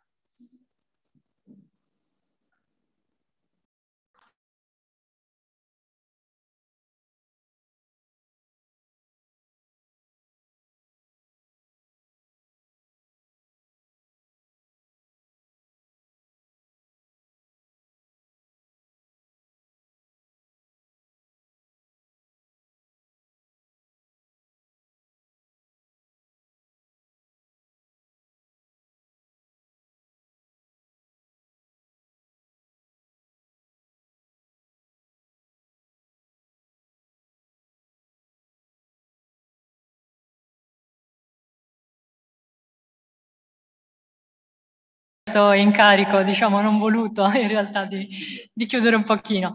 Allora, intanto grazie per l'invito, eh, come sapete penso sono Anna Maria Monterisi, sono la responsabile delle relazioni esterne dell'Arti e vi porto i saluti del Presidente Albino e in realtà di tutta la struttura dell'Arti perché eh, penso che Enea e Cetma ci conoscano in parecchi, noi non siamo tanti, siamo nati un po' dopo di voi come agenzia e, e, quindi va bene, i nostri auguri sono un po' gli auguri dei cuginetti piccoli, diciamo, non troppo più piccoli. Voglio fare semplicemente un augurio che parte da, eh, da un'esperienza. Eh, il professore Albino non è qui perché anche lui a Grottaglia, dove ero anch'io stamattina, mi sono fatta tre giorni ehm, al MAM, al Mediterranean Aerospace Matching. E, ehm, la cosa che mi viene in mente adesso è che da tutti gli interventi che ho sentito questa mattina, eh, in realtà si evince ovviamente una grande voglia di, eh, come dire, di riprendere l'ENA su tanti fronti, sul fronte delle infrastrutture primariamente perché è un fronte abilitante direi, cioè è, è chiaro che eh, se la cittadella riesce a Ehm, provare una modalità eh, chiaramente con eh, una progettazione più eh, dire, eh, condivisa no? e con, con, linee chiare eh, è sicuramente una precondizione fondamentale al mh, miglioramento, all'incremento, alla moltiplicazione dei fronti di ricerca che a questa terra sono richiesti in questo momento. Non è che ce lo stiamo chiedendo da soli, però oggi io facevo una constatazione. Eh, sono venuta da Taranto, stamattina sono partita da Bari, poi sono andata a Taranto Grottaglie, poi da Grottaglie sono venuta qui, più tardi passo da Brindisi, vado a Bari.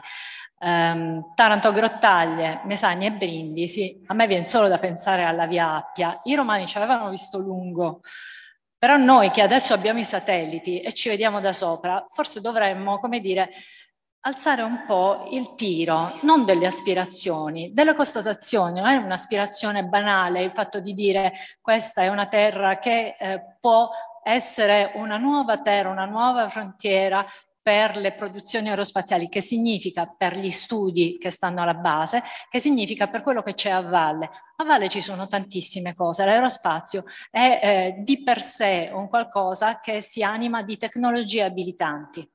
Voi qui a Enea eh, di questo tanto vi occupate. Eh, e però non vi occupate solo di questo, vi occupate di tanti studi, tante ricerche, tante tecnologie su frontiere e sono frontiere che partono dall'aerospazio, passano per la transizione digitale, passano per la transizione ecologica. Questa è una terra che ora, senza voler, eh, dire, amplificare l'importanza di quello che negli ultimi vent'anni si è fatto in questa terra, però è una terra che ha cercato, sta cercando con difficoltà, con, eh, dovendo scontare tante arretratezze da un certo tipo di vista, di trovare una propria strada in un futuro. Io non parlo di ciò che è passato, non parlo neanche di quello che Arti e Enea hanno vissuto insieme, perché è stato, devo dire, magistralmente riassunto dal sindaco e presidente della provincia, che ben lo sa, perché insomma anche lui è stato parte di, di, questa, di questa vostra impresa, chiamiamola così. Ehm, però ecco, se questa regione può avere e legittimamente deve avere delle ambizioni, le può e le deve avere in un luogo che è un insieme di luoghi che visti dai satelliti sono in fondo una striscia, se vogliamo un triangolo, se ci metti dentro anche l'ARTI, cioè un vertice amministrativo, come dire, che può aiutare, eh, se ci metti dentro un'agenzia che adesso ormai da tre anni è agenzia strategica, cioè che ha il compito di accompagnare la regione nel disegno delle traiettorie di sviluppo, nell'individuazione di quali sono i grandi trend a livello globale e nel capire ciò che di quello che accade a livello globale è ragionevolmente sperimentabile qui, grazie a quello che c'è qui, grazie a quello che insieme si può come dire, aumentare, migliorare, costruire. Per cui da questo punto di vista l'Arti, nella sua rinnovata veste di agenzia strategica, eh, è al fianco di questi processi eh, come ben sa anche il DITNE, come sa il CETMA, come sa Enea, come sa la struttura cittadella, eh, noi siamo impegnati ehm, a fianco della Regione su alcuni di questi temi, la transizione ecologica sicuramente, ma eh, eh l'idrogeno altrettanto sicuramente, eh, gli studi eh, relativi all'ILVA, le ZES che contengono da un punto di vista geografico e da un punto di vista economico e sociale tanti di questi temi.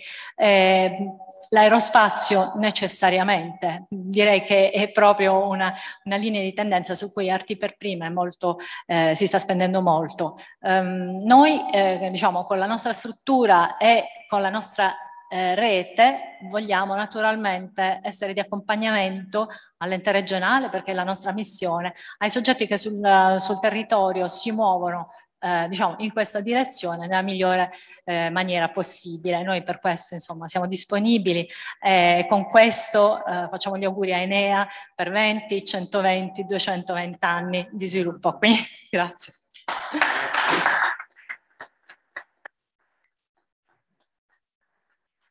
Grazie, grazie dottoressa. E la presenza di arti che tuttora cerchiamo di coinvolgere anche in progetti, negli ultimi fatti. Cito quello che mi ricordo che è Solar Dust perché è molto recente. Ma eh, le parole che diceva eh, sottolineavano nella mia mente eh, categorie di, del centro di Brindisi, eh, la grande potenzialità di intervento, la grande dote di conoscenze, allargando tutta la cittadella, poi si scontra con delle lacune infrastrutturali oggettive e diciamo così scoraggianti, come un po' purtroppo la situazione del paese. E quindi sperando che quelle si risolvano con gli interventi dei giusti stakeholder, però eh, sottolineo una cosa che eh, se eh, poi eh, si cerca ehm, di dare un'opportunità a un territorio, alle aziende, con, eh, con, lo sviluppo di nuove pratiche, ma portate fino al livello di sviluppo adeguato per creare posti di lavoro, quindi per sviluppare una nuova tecnologia su un qualsiasi argomento eh, eh, nuovo, importante, la taglia degli investimenti è fondamentale.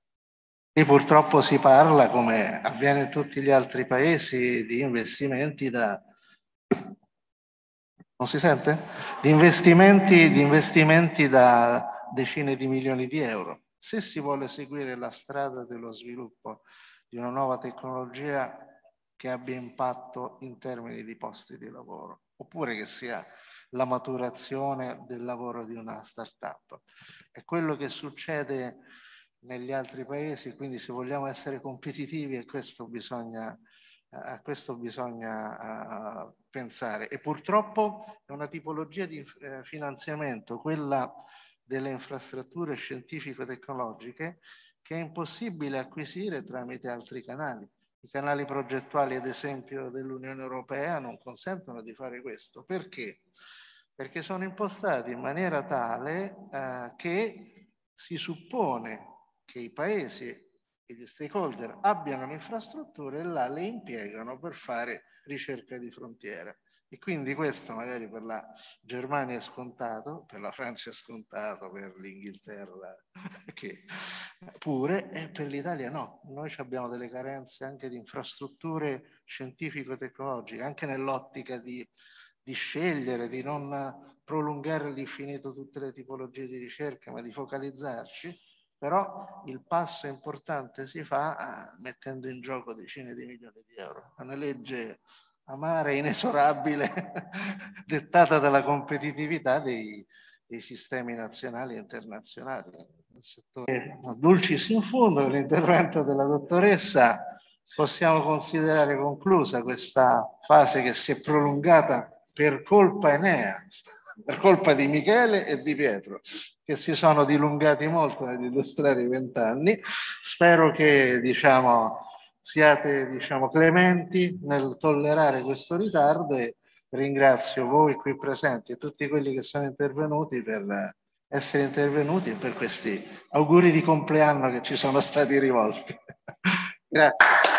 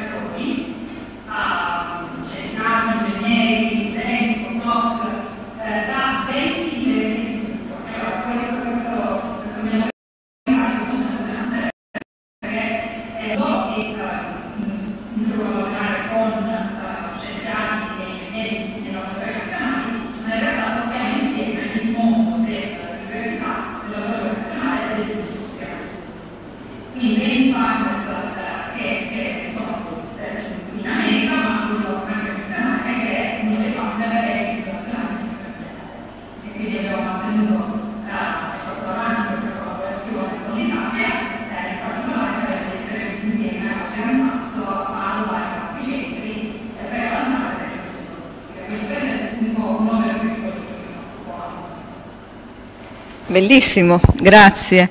E, mm, e, quindi a questo punto la domanda naturale è che cos'è un computer quantistico? Avevo letto una cosa molto carina eh, nella tua intervista a Sole 24 ore della primavera scorsa in cui si citava, eh, aiutami con la pronuncia, mi pare eh, Shoini Goshe, questa fisica mh, mm, quantistica che, che, lavora in Ontario e che paragonava il passaggio fra il computer classico e quello quantistico al passaggio tra la candela e la lampadina, cioè non si può fare una lampadina migliorando una candela, è proprio tutto un altro. Eh. Per cui ci, eh, ci, ci, spieghi cos'è per quanto possibile e a che punto siete. Diciamo un'operazione che adesso il computer quantistico riesce a fare, se già riesce a farla, oppure a che punto siamo.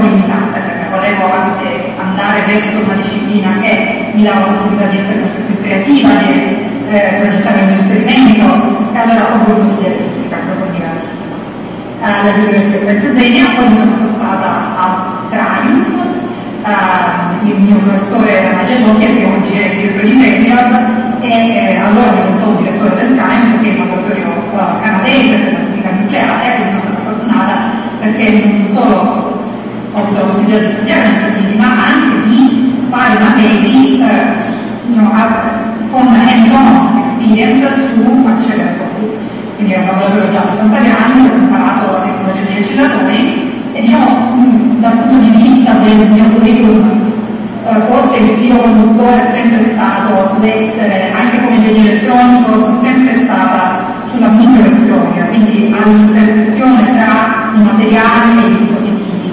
Ed è stato anche quello che ho continuato a fare nella mia tesi di, di PhD di dottorato perché ho lavorato all'intersezione tra le proprietà produttive dei, dei, dei materiali per, queste, per questi acceleratori e appunto le performance dell'acceleratore stesso. È stato sempre una cosa, diciamo, quello che mi ha sempre spinto, mi ha sempre affascinato è stato il sogno di poter spingere verso macchine eh, più ambiziose, più grandi e quindi ho sempre lavorato alla performance, al, al, diciamo, a cercare di spingere verso cambiamenti che potessero trans trasformare le performance di questi acceleratori.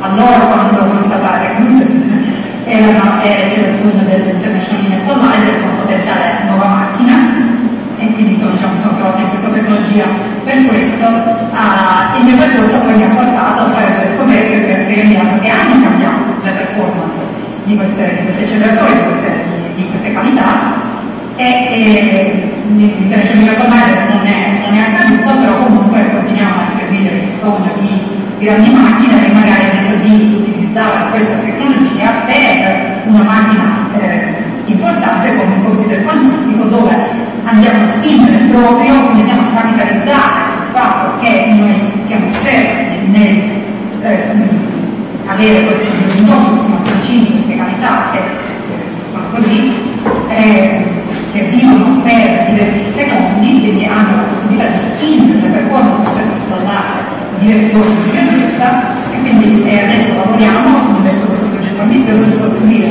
un computer quantistico che contenga centinaia o migliaia di questi oggetti e che davvero riesca a, a dimostrare qualcosa di importante dal punto di vista di una eh, educazione, una situazione per innanzitutto per la scienza e per il mondo della fisica delle particelle, ma eh, anche potenzialmente per altri campi, anche con l'industria, eh, incluso per esempio Goldman Sachs, il mondo della finanza, e vedremo insomma in che, in che, in campi riusciremo a dimostrare che questa macchina può fare Mi sembra un percorso molto lineare, molto naturale. Hai avuto incoraggiamenti, ti ricordi, ti ricordi ostacoli o, o, no? Qualcosa di, qualcosa di significativo in questo campo, che sono incontri cruciali che ti fanno scegliere.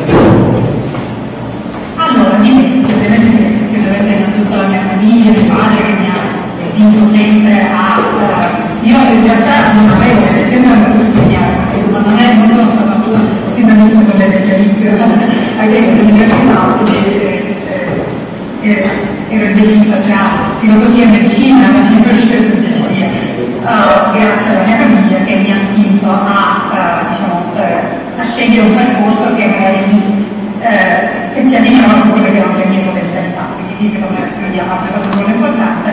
Um, ovviamente l'incontro con il mio, con il mio professore, Logger, è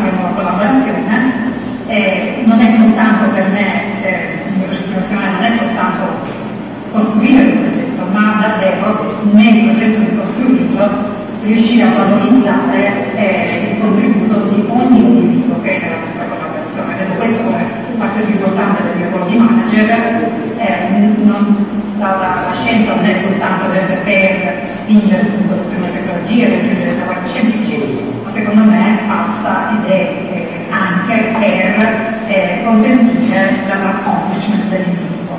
E quindi mi impegnerò molto con il nostro team per eh, portare appunto tutte le cose che stiamo discutendo, portare eh, nuova vita, nuove persone, diversità in questo progetto e vedere realizzate con diciamo, portare in quello è un progetto molto ambizioso, ci sono tante tecnologie, tante cose da spingere, quindi c'è spazio per tutti per eh, portare il prodotto.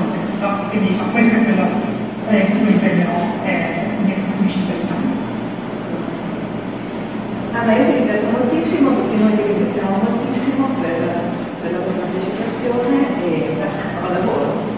两次两次吧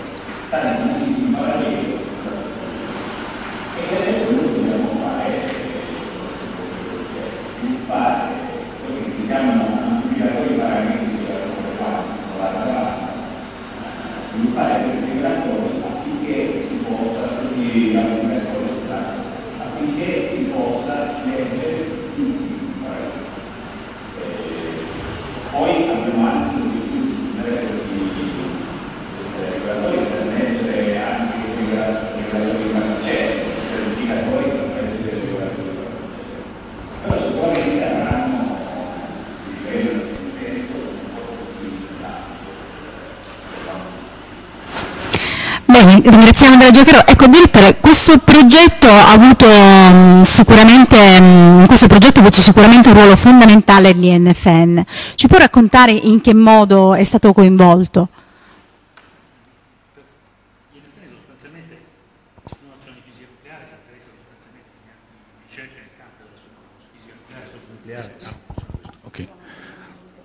Allora, stavo dicendo, l'INFN come dice lo stesso significa Istituto Nazionale di Fisica Nucleare e Supernucleare, si interessa sostanzialmente di ricerca in questo campo.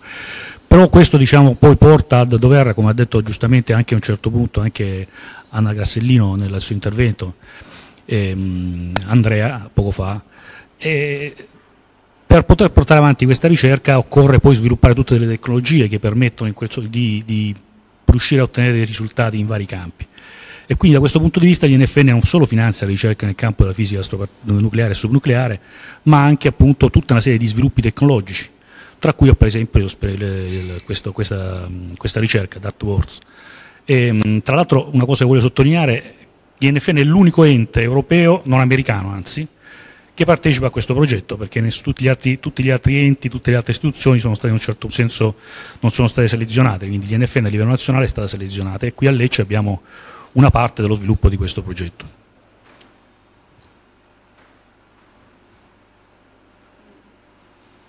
Chiamo la signora ad accomodarsi perché siamo in diretta, signora, benvenuta, salve. E, ehm, mh, grazie direttore per questo, per questo overview, è molto importante sapere appunto che l'Istituto Nazionale di Fisica Nucleare ha avuto questo ruolo centrale. Ecco, chiederei invece ad Andrea Giachero, questo nome, Dart, Dart Wars, pesca un po' forse dalla, dalla science fiction, eh, come, come nasce la ricerca di questo nome per il progetto?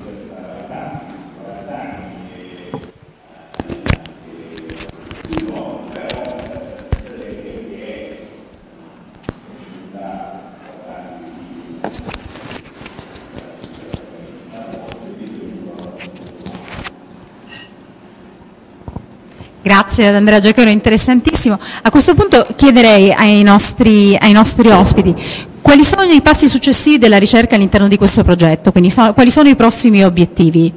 Eh, direttore, chiedo a lei. È microfonato, ecco, finalmente si è microfonato, cioè, cioè, bene, bene. Beh, chiaramente diciamo, in qualche modo è stato illustrato anche, è stato illustrato anche da Anna prima, cioè, l'obiettivo è quello di riuscire a sviluppare dei computer quantistici che riescono a un certo punto a essere estremamente utili nel campo della ricerca anche in fisica nucleare e subnucleare.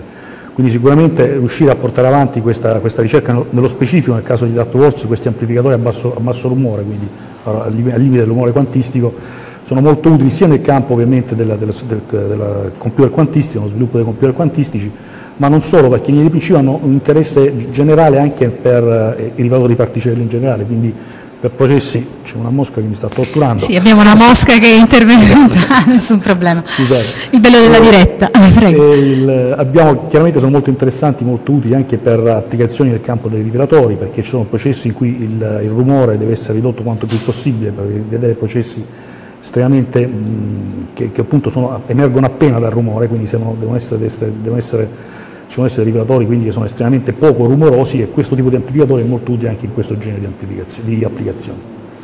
Grazie, grazie direttore. Mi piacerebbe che eh, qualche spunto su questo argomento fosse dato anche da Giuseppe Maruccio che è qui con noi, non so se è esattamente a favore di Camera. Allora, ricordiamo che Giuseppe Maruccio è coordinatore del progetto Erna Puglia, quindi European Research Night, e eh, è anche insomma, associato in NFN e ordinario presso il Dipartimento di Matematica e Fisica dell'Università del Salento. Gli lasciamo la parola. Dark Wars, qualcosa che non abbiamo ancora detto e qualcosa che potremmo aggiungere aggiungere su questo interessantissimo progetto eh, rispetto a quello che hanno già illustrato i nostri ospiti? Ah, primo aspetto mi verrebbe da aggiungere che questo progetto è esemplare di come funziona la ricerca in questi settori. Infatti nasce da, ad esempio il nostro coinvolgimento nasce da una pubblicazione fatta su un articolo vista da colleghi in Italia dell'INFN, ci hanno scritto, abbiamo iniziato a interagire, ci siamo incontrati in un meeting scientifico in cui l'INFN voleva stimolare la, il, ehm, il, lavoro, la ricerca sulle tecnologie quantistiche e da lì la discussione a questo meeting e da mh, interazioni e conoscerci anche con altri colleghi è nato il nostro coinvolgimento nel progetto. Ecco, quanto è importante, e questa è una domanda che rivolgo, insomma, mi piacerebbe a tutti i nostri ospiti, anche il direttore nel frattempo ha ceduto il posto, quanto è importante questo dialogo all'interno della comunità scientifica, quindi la capacità di scambiare informazioni, la capacità di fare rete, penso sia uno dei fattori fondamentali, soprattutto oggi. Rispondo io? Sì, è un aspetto molto importante anche perché eh, tante volte eh, le nuove scoperte vengono all'interfaccia tra diverse discipline, magari in questo caso discipline, sottodiscipline possiamo dire, perché noi applichiamo tecnologie quantistiche, pensiamo possano essere anche utili per la ricerca sulla fisica fondamentale, sulla ricerca sulle, mh, sulla materia oscura di cui si parla tanto e affascina eh, il, il pubblico eh, oppure possono essere anche l'interfaccia tra fisica e ingegneria con la medicina per sviluppare nuovi dispositivi diagnostici per una medicina di precisione e di personalizzata. Quindi il dialogo diventa estremamente importante. Quindi l'interdisciplinarità, la, la, commissione se vogliamo di ricerca e la congiunzione in punti fondamentali.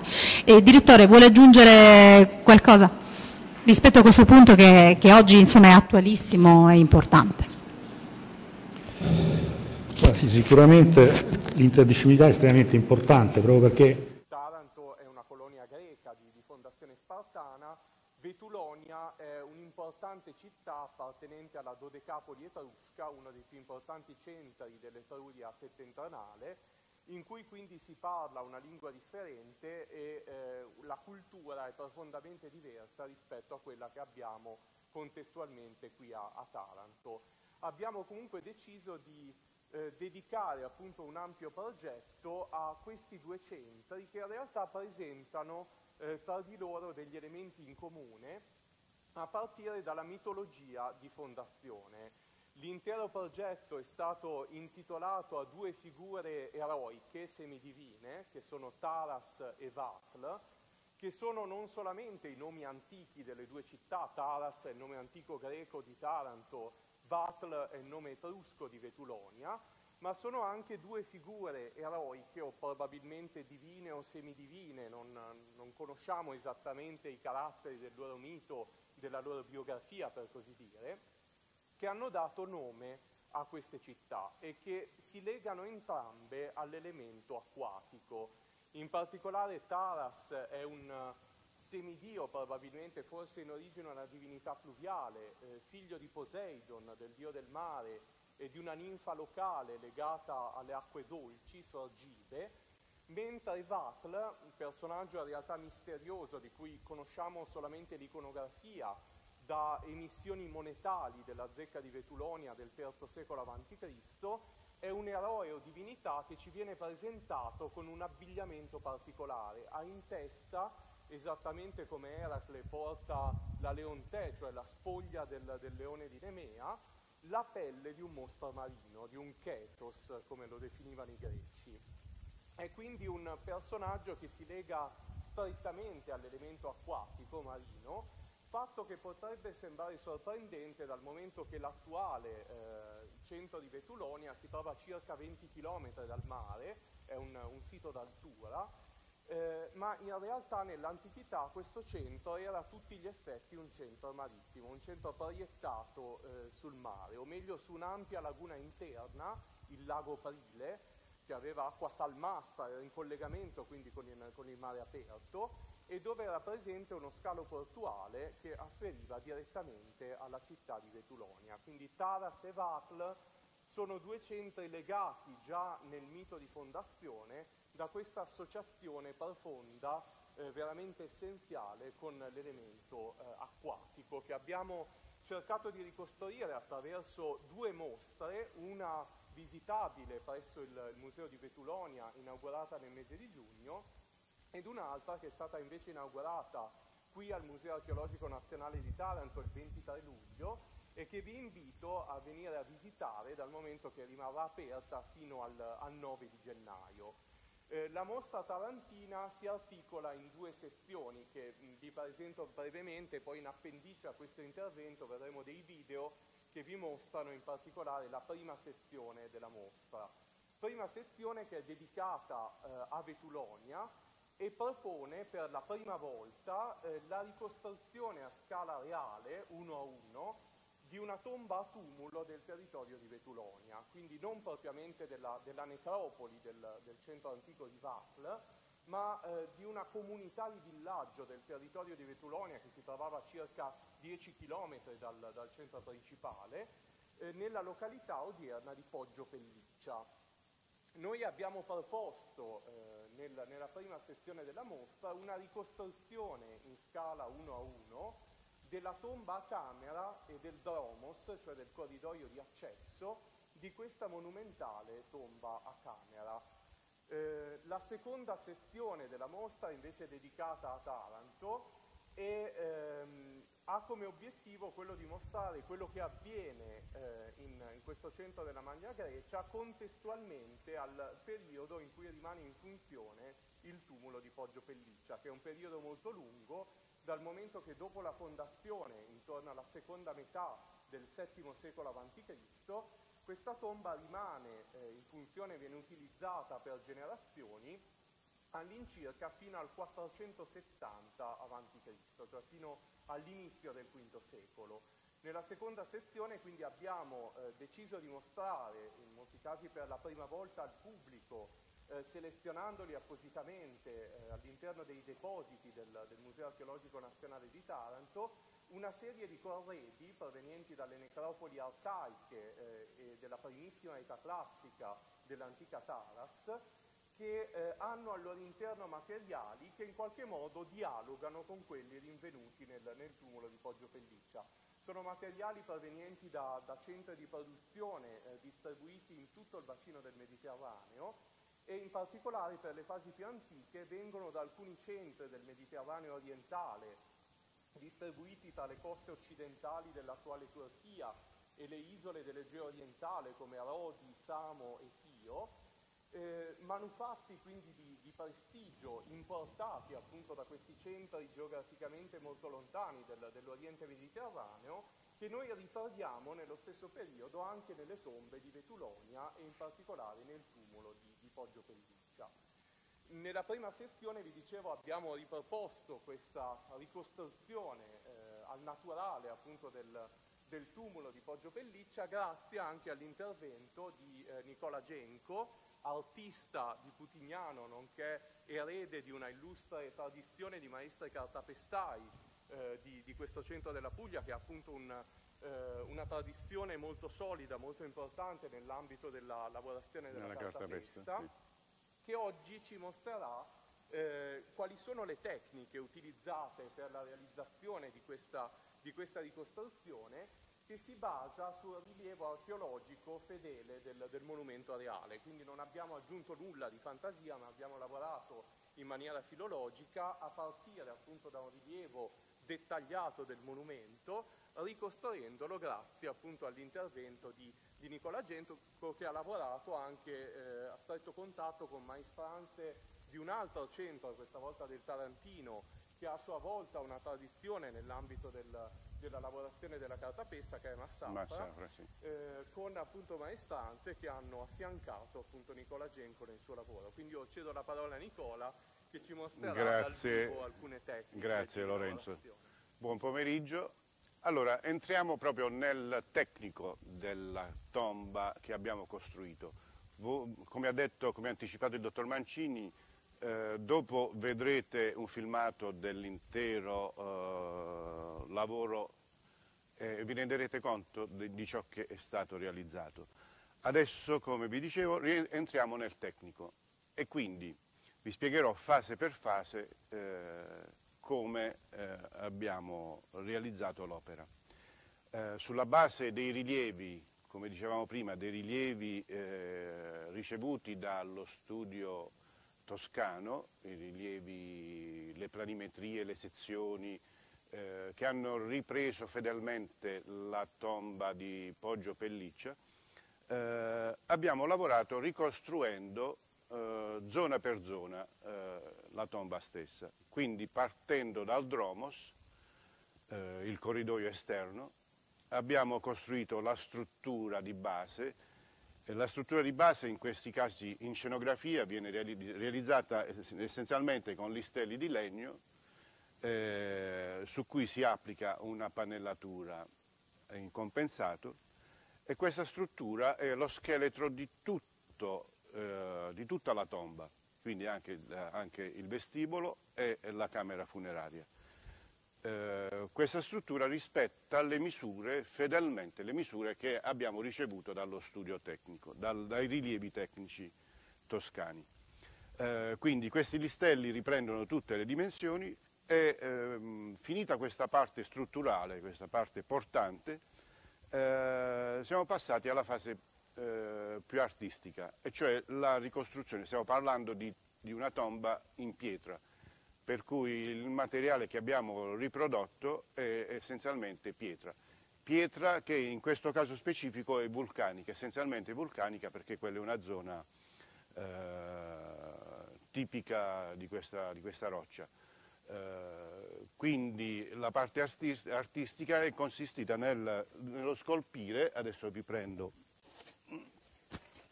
un foglio di polistirolo, siamo partiti da questa base dove eh, abbiamo disegnato pietra per pietra tutta la muratura, sia interna che esterna, compresa la cupola circolare a, a, a cono. Quindi rispettando la tipologia di pietra del posto non abbiamo inventato niente, dovevamo riprodurre fedelmente ogni particolare, restituire fedelmente ogni particolare, soprattutto per non eh, creare un falso tra, il, ehm, tra, i reperti reali, tra i reperti che abbiamo inserito all'interno della tomba e ciò che abbiamo creato, ciò che abbiamo ricreato. Quindi tecnicamente, torniamo al tecnico, abbiamo disegnato queste pietre una per una su questa pannellatura, dopo l'abbiamo incisa con un taglierino, adesso vi faccio vedere, quindi tutti i solchi pietra per pietra, un lavoro, quando vedrete il filmato del lavoro finito vi renderete conto de, di quanto lavoro ci sta sotto, dietro a questa, a questa fase che vi sto, facendo, vi sto mostrando, e quindi questa fase di scultura delle rocce eh, viene definita con la fiamma. E questo su questo materiale, polistirolo ignifugo, restituisce la superficie in maniera perfetta delle rocce. Chiaramente con un po' di abilità si riesce a ottenere un effetto realistico. Eh, fatta questa prima fase di scultura, eh, abbiamo deciso di eh, unire due tecniche, una della cartapesta e quindi su questo stampo, questo è diventato in pratica lo stampo, in, in, la base, su questo stampo abbiamo fatto un calco in gesso, un calco in gesso qui è già realizzato ed è questa porzione di, di muratura, questo calco in gesso è stato rivestito con la carta, quindi la, tecnica, la classica tecnica della cartapesta a strati. Foglio, pezzettino di carta per pezzettino di carta, abbiamo creato eh, il muro così come è, eh, lo vedrete nella tomba. Chiaramente questa è una porzione, noi stiamo parlando invece di una superficie di quasi 200 metri quadrati all'interno del, della tomba stessa. Questo è il risultato in cartapesta. Abbiamo usato due tecniche, ehm, preferito di usare, unire due tecniche, questa della cartapesta e lasciare in alcune zone il polistirolo ricoperto chiaramente di resina, di stucchi, in modo da renderlo resistente al, al tatto. Questo per dare un effetto più realistico in un caso e un, effetto, un altro effetto nell'altro caso. Quindi tornando a noi, una volta realizzato, eh, realizzata la zona di pietra in cartapesta, si è passata alla colorazione. La colorazione, con, sempre con colore ad acqua, siamo stati attenti a non usare vernici infiammabili chiaramente perché stiamo sempre la, par, parlando di un museo e quindi non potevamo utilizzare materiali infiammabili. A questo punto con i colori ad acqua siamo passati alla colorazione. Eh, la colorazione eh, consisteva, consiste nell'intanto decidere quale tipo di pietra stavamo colorando e quindi se è una pietra calcarea, una pietra vulcanica, una pietra eh, arenaria, in questo caso era vulcanica, quindi di un colore grigio, grigio ed esterno, quindi ancora più scura. La, la pietra all'interno ha una colorazione leggermente diversa, più chiara, fino ad arrivare al marroncino, che è la pietra usata all'interno della tomba, del, della camera funeraria. Quindi sulla base in cartapesta abbiamo passato questa prima colorazione che è il colore di fondo della pietra scelta faccio vedere velocemente una, solo una piccola parte.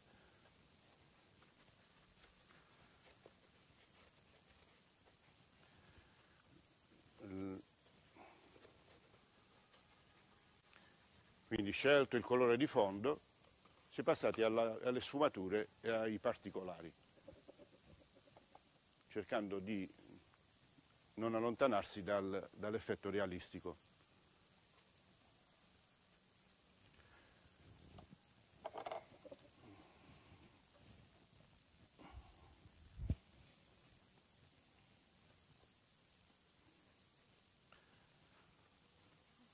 La particolarità dei colori ad acqua è che eh, ci permette di ottenere un effetto quanto più verosimile possibile solo utilizzando anche l'acqua sporca di pulitura dei pennelli.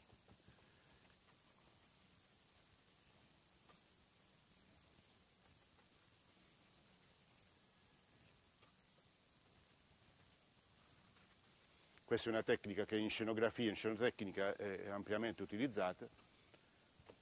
In questo caso funziona benissimo perché dobbiamo riprodurre fedelmente una, una parete di roccia. Non abbiamo voluto utilizzare resine o materiali particolarmente tossici proprio perché per il rispetto comunque dell'ambiente. Quindi come dicevo con i colori ad acqua è più semplice eh, realizzare, ottenere un effetto naturale dei solchi, delle, delle, delle sfumature, dei difetti della pietra stessa.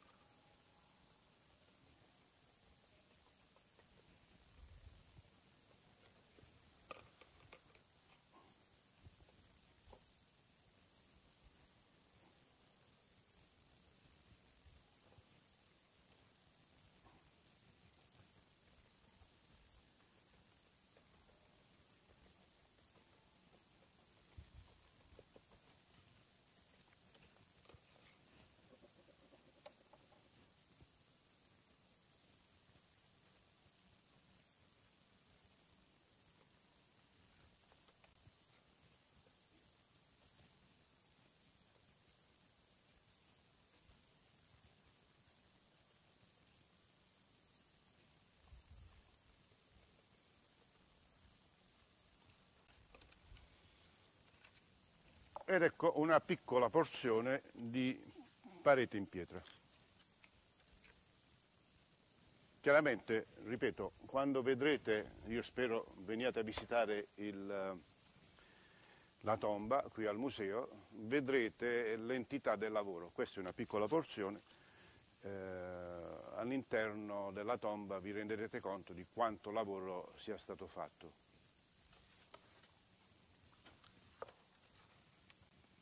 Ecco qui. Immaginate questa piccola porzione ripetuta per un centinaio di volte.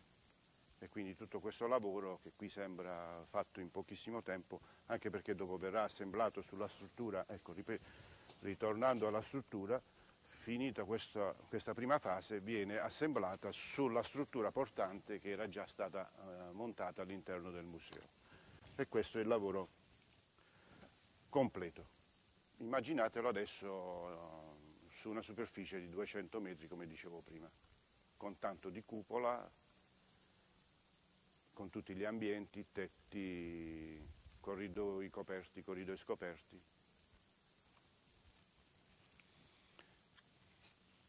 Penso sia stata chiara come spiegazione, come tecnica. Grazie a voi.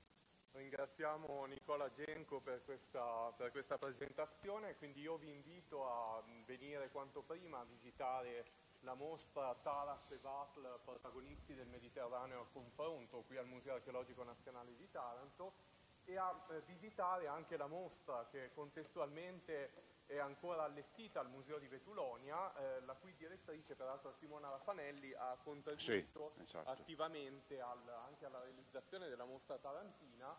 Eh, non solo lei, ma anche il padre Luigi Raffanelli, architetto, che è stato eh, lo studio, è stato fondamentale sì. Eh, nella, nell'elaborazione del, sì. eh, delle grafiche e poi sono state alla base appunto del, del lavoro. Eh sì, perché lì c'è stato...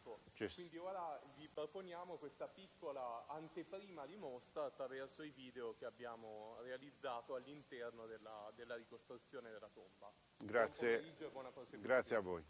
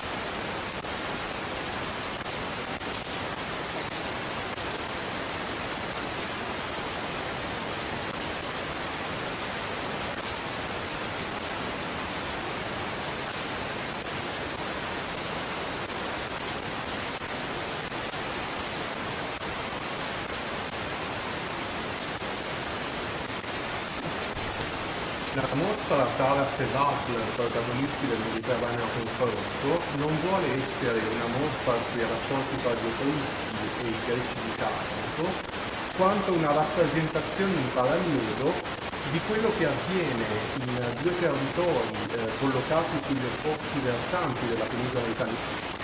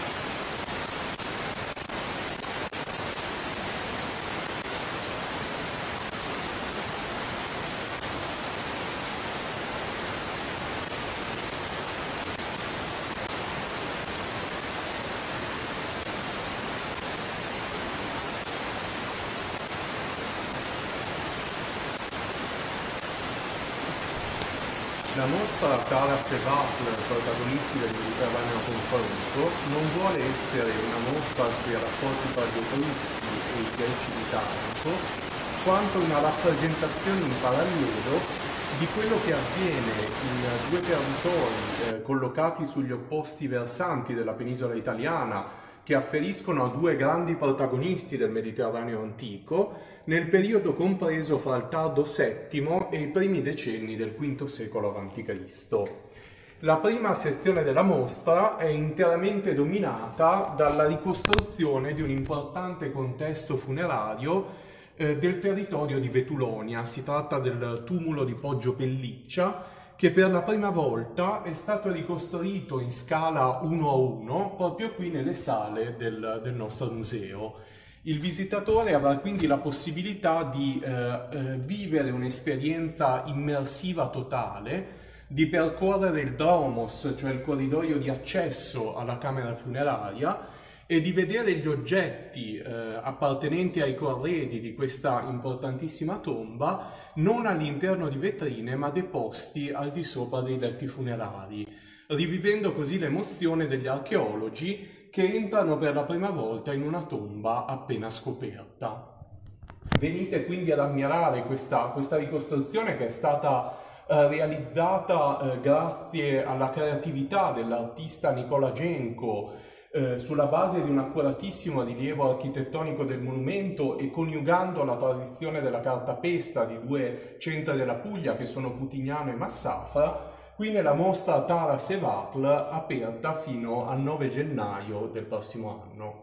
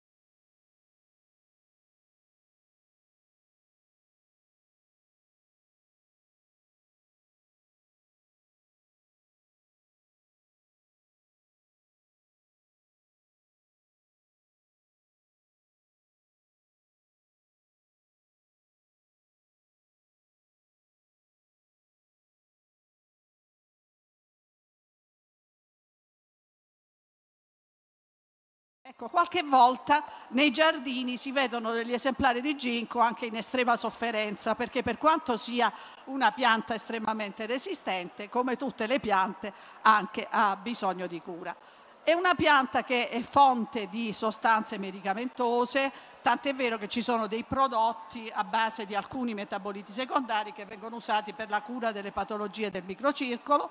Da ultimo è anche i suoi semi sono cibo perché con precauzione possono essere consumati in alcune ricette di cui è esperta la cucina orientale. No, un grande consumo è da sconsigliare perché contengono anche delle sostanze tossiche.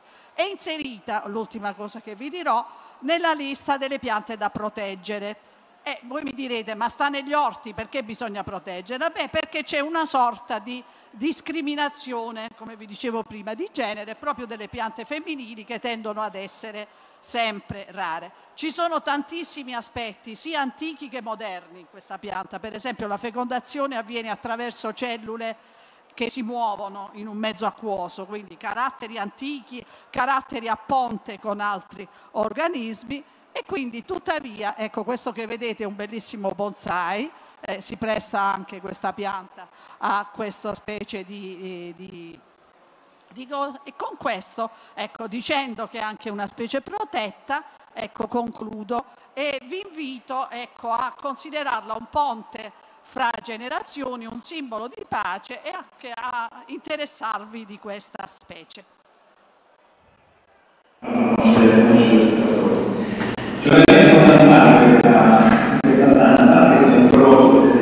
E gli orologi. Mi aiutano anche per esempio Israele, questo della sinistra in Argentina, questo è è uscito Ecco, professore, siccome eh, intanto è molto affascinante questo aspetto, il fatto che ci siano tre orari differenti. Noi li vediamo davvero male allo schermo, devo essere franca. Ci dice, eh, per esempio, che ora è in questo momento in Argentina, giusto per dare una dimensione del vostro lavoro a livello temporale. A Marco sono 12 e 25, mezzogiorno e 25. E infatti adesso non stanno prendendo dati perché è giorno.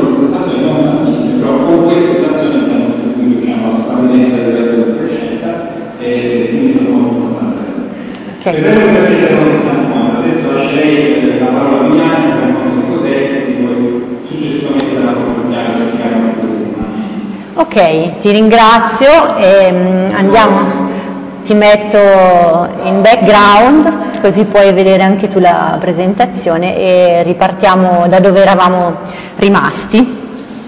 Quindi abbiamo detto abbiamo un altro messaggero, un messaggero che, che ci arriva da fuori della nostra galassia, ha queste energie. Ovviamente noi possiamo vedere diverse energie, però un'altra cosa che volevo dirti sui dirvi sui messaggeri è quella che abbiamo scoperto da poco, e cioè beh, lo sapevamo già che Einstein avesse ragione, però eh, nel 2016 è stata dichiarata la, la, la scoperta breakthrough, cioè proprio eccezionale dell'anno ed è anche valsa il premio Nobel del 2017 a, a quelli che hanno eh, fatto funzionare e portato ai massimi livelli i rivelatori LIGO e anche Virgo, i rivelatori di onde gravitazionali. Questo è un nuovo messaggero, non sappiamo ancora eh, quanto lontano ci porterà, ma, ehm, ma sicuramente eh, siamo stati capaci, cioè la cosa che rende l'idea è siamo stati capaci di rivelare una vibrazione nello spazio, eh, nello spazio-tempo diciamo, una rivibrazione del, del, dell'ordine del capello successa in uno spazio eh, più lontano della stella più vicina, cioè la precisione di un capello su una misurazione di una distanza di una stella. In realtà l'evento che abbiamo misurato è stato eh, talmente lontano che non, può, mm, eh, non ci rendiamo nemmeno l'idea di quanto sia, cioè un gigaparsec, milioni di anni luce per, per, arrivare, per arrivare da noi quindi, eh, però invece la, la, distanza di una stella e la precisione di un capello vi rende l'idea di che strumenti eccezionali sono stati capaci di costruire gli uomini. In realtà proprio la nostra fisica, la fisica delle astroparticelle è un'altra di quelle cose, si dice sempre l'arte ci distingue dalle scimmie, ma anche la fisica delle astroparticelle ci distingue ci distingue da, da, da, dall'animale, diciamo così. Quindi quello render, di cui volevo rendervi l'idea è che si sta facendo uno sforzo comune, uno sforzo comune per capire il nostro universo. E, mh, proprio questo evento di, di, onde gravitazionali che si è generato dalla fusione di, di due stelle di neutroni oppure di due eh, buchi neri nel lontanissimo universo Ehm, è, stato guardato poi, osservato da tutti gli altri, da diversi altri esperimenti, tra cui il nostro, che per caso in quel giorno, in quel momento, poteva vedere eh, particelle provenire da, da quella direzione nel, nello spazio. Quindi tutti i rivelatori eh, sono stati allarmati, un, allar un, allarme positivo che ha permesso eh, a tutti gli esperimenti, guardando su diverse frequenze, in diverse finestre temporali, di concentrarsi su quel, quella zona nello spazio e di capire che cosa, che cosa era successo, cioè un evento cataclismatico, una, due stelle di neutroni che si, che si, uniscono, spiraleggiando insieme, poi si uniscono e, e, e mandano un'energia un incredibile sotto forma di particelle verso di noi. E, ehm, questo è un'altra di di quelle cose che vengono da uno sforzo comune, un'altra sorgente che, ha, che, ha, che ci ha mandato un neutrino, anche questa è una sorgente lontanissima, fuori dalla nostra galassia, Texas 0506, che nome strano, però ehm, l'esperimento Ice Cube che sta al polo sud e nel ghiaccio ehm, nel ghiaccio sono state scavate delle, delle, mm, dei buchi e ci sono state messe delle specie di lampadine al contrario che mandano un segnale elettrico quando arriva la luce, eh, una particella che emette luce nel ghiaccio. Ognuno di questi puntini è una di queste lampadine, guardate quante sono e questo neutrino ha interagito con il ghiaccio ed ha prodotto un muone che, che ha prodotto energia visibile da tutte, queste, da tutte, queste, lampadine. La direzione di arrivo è stata ricostruita, un allarme, vedete qua uno schermo nero tipico dei, dei, dei, dei fisici, un allarme che viene mandato e tutti gli esperimenti che erano attivi in quel momento, tra cui Agile, Magic, che sono esperimenti in cui anche l'INFN ha una grossa parte, hanno potuto rivelare questa, nella stessa zona del cielo una, un nucleo galattico attivo rivolto verso di noi che ci manda delle particelle ad altissima energia. Ora vi faccio vedere ecco, uno di questi incredibili nuclei galattici attivi, cioè questo è una cosa delle dimensioni di milioni di, di masse solari, una cosa gigantesca. Al centro di questa, di questa galassia, di questa nube di polvere, ehm, c'è questo buco nero gigantesco, che è nero perché attrae tutto con una forza tale che nemmeno la luce esce, però siccome la materia che sta intorno viene, viene attratta e collidendo va a, a aumentare la massa del buco nero, però qualcosa deve uscire e esce ai poli dove il campo magnetico la fa andare, vedete anche per esempio questa foto è la stessa cosa, cioè il buco nero è qui, intorno c'è tutto questo, questo, toro ruotante intorno al all'asse del campo magnetico che è questo e i jet jet, cioè che sono appunto flussi di particelle che, che, partono dal buco nero e incontrano la materia che sta a milioni di, di, di, di chilometri a distanza. Questo particolare che abbiamo visto prima, questi, questo asse ce l'ha verso di noi, per cui la materia è stata capace di arrivare fino a noi, quindi ci sono arrivati i, i raggi cosmici, le particelle da, da, quella parte lì, i raggi gamma, eccetera. Quest'altra cosa è l'esplosione di una supernova, questa è un'altra cosa bellissima che c'è nel, quando un'animazione che fa vedere questa regione dove l'esplosione ha una velocità di, di migliaia di, di chilometri al secondo eh, accelera, può accelerare delle particelle. Quest'altra cosa qui sono addirittura due galassie che nel tempo, ora qui è accelerato ovviamente, ma le galassie nel tempo subiscono l'attrazione um, gravitazionale e andranno, e ce ne sono alcune che stanno collidendo e anche qui si generano degli shock e le particelle possono essere accelerate continuamente.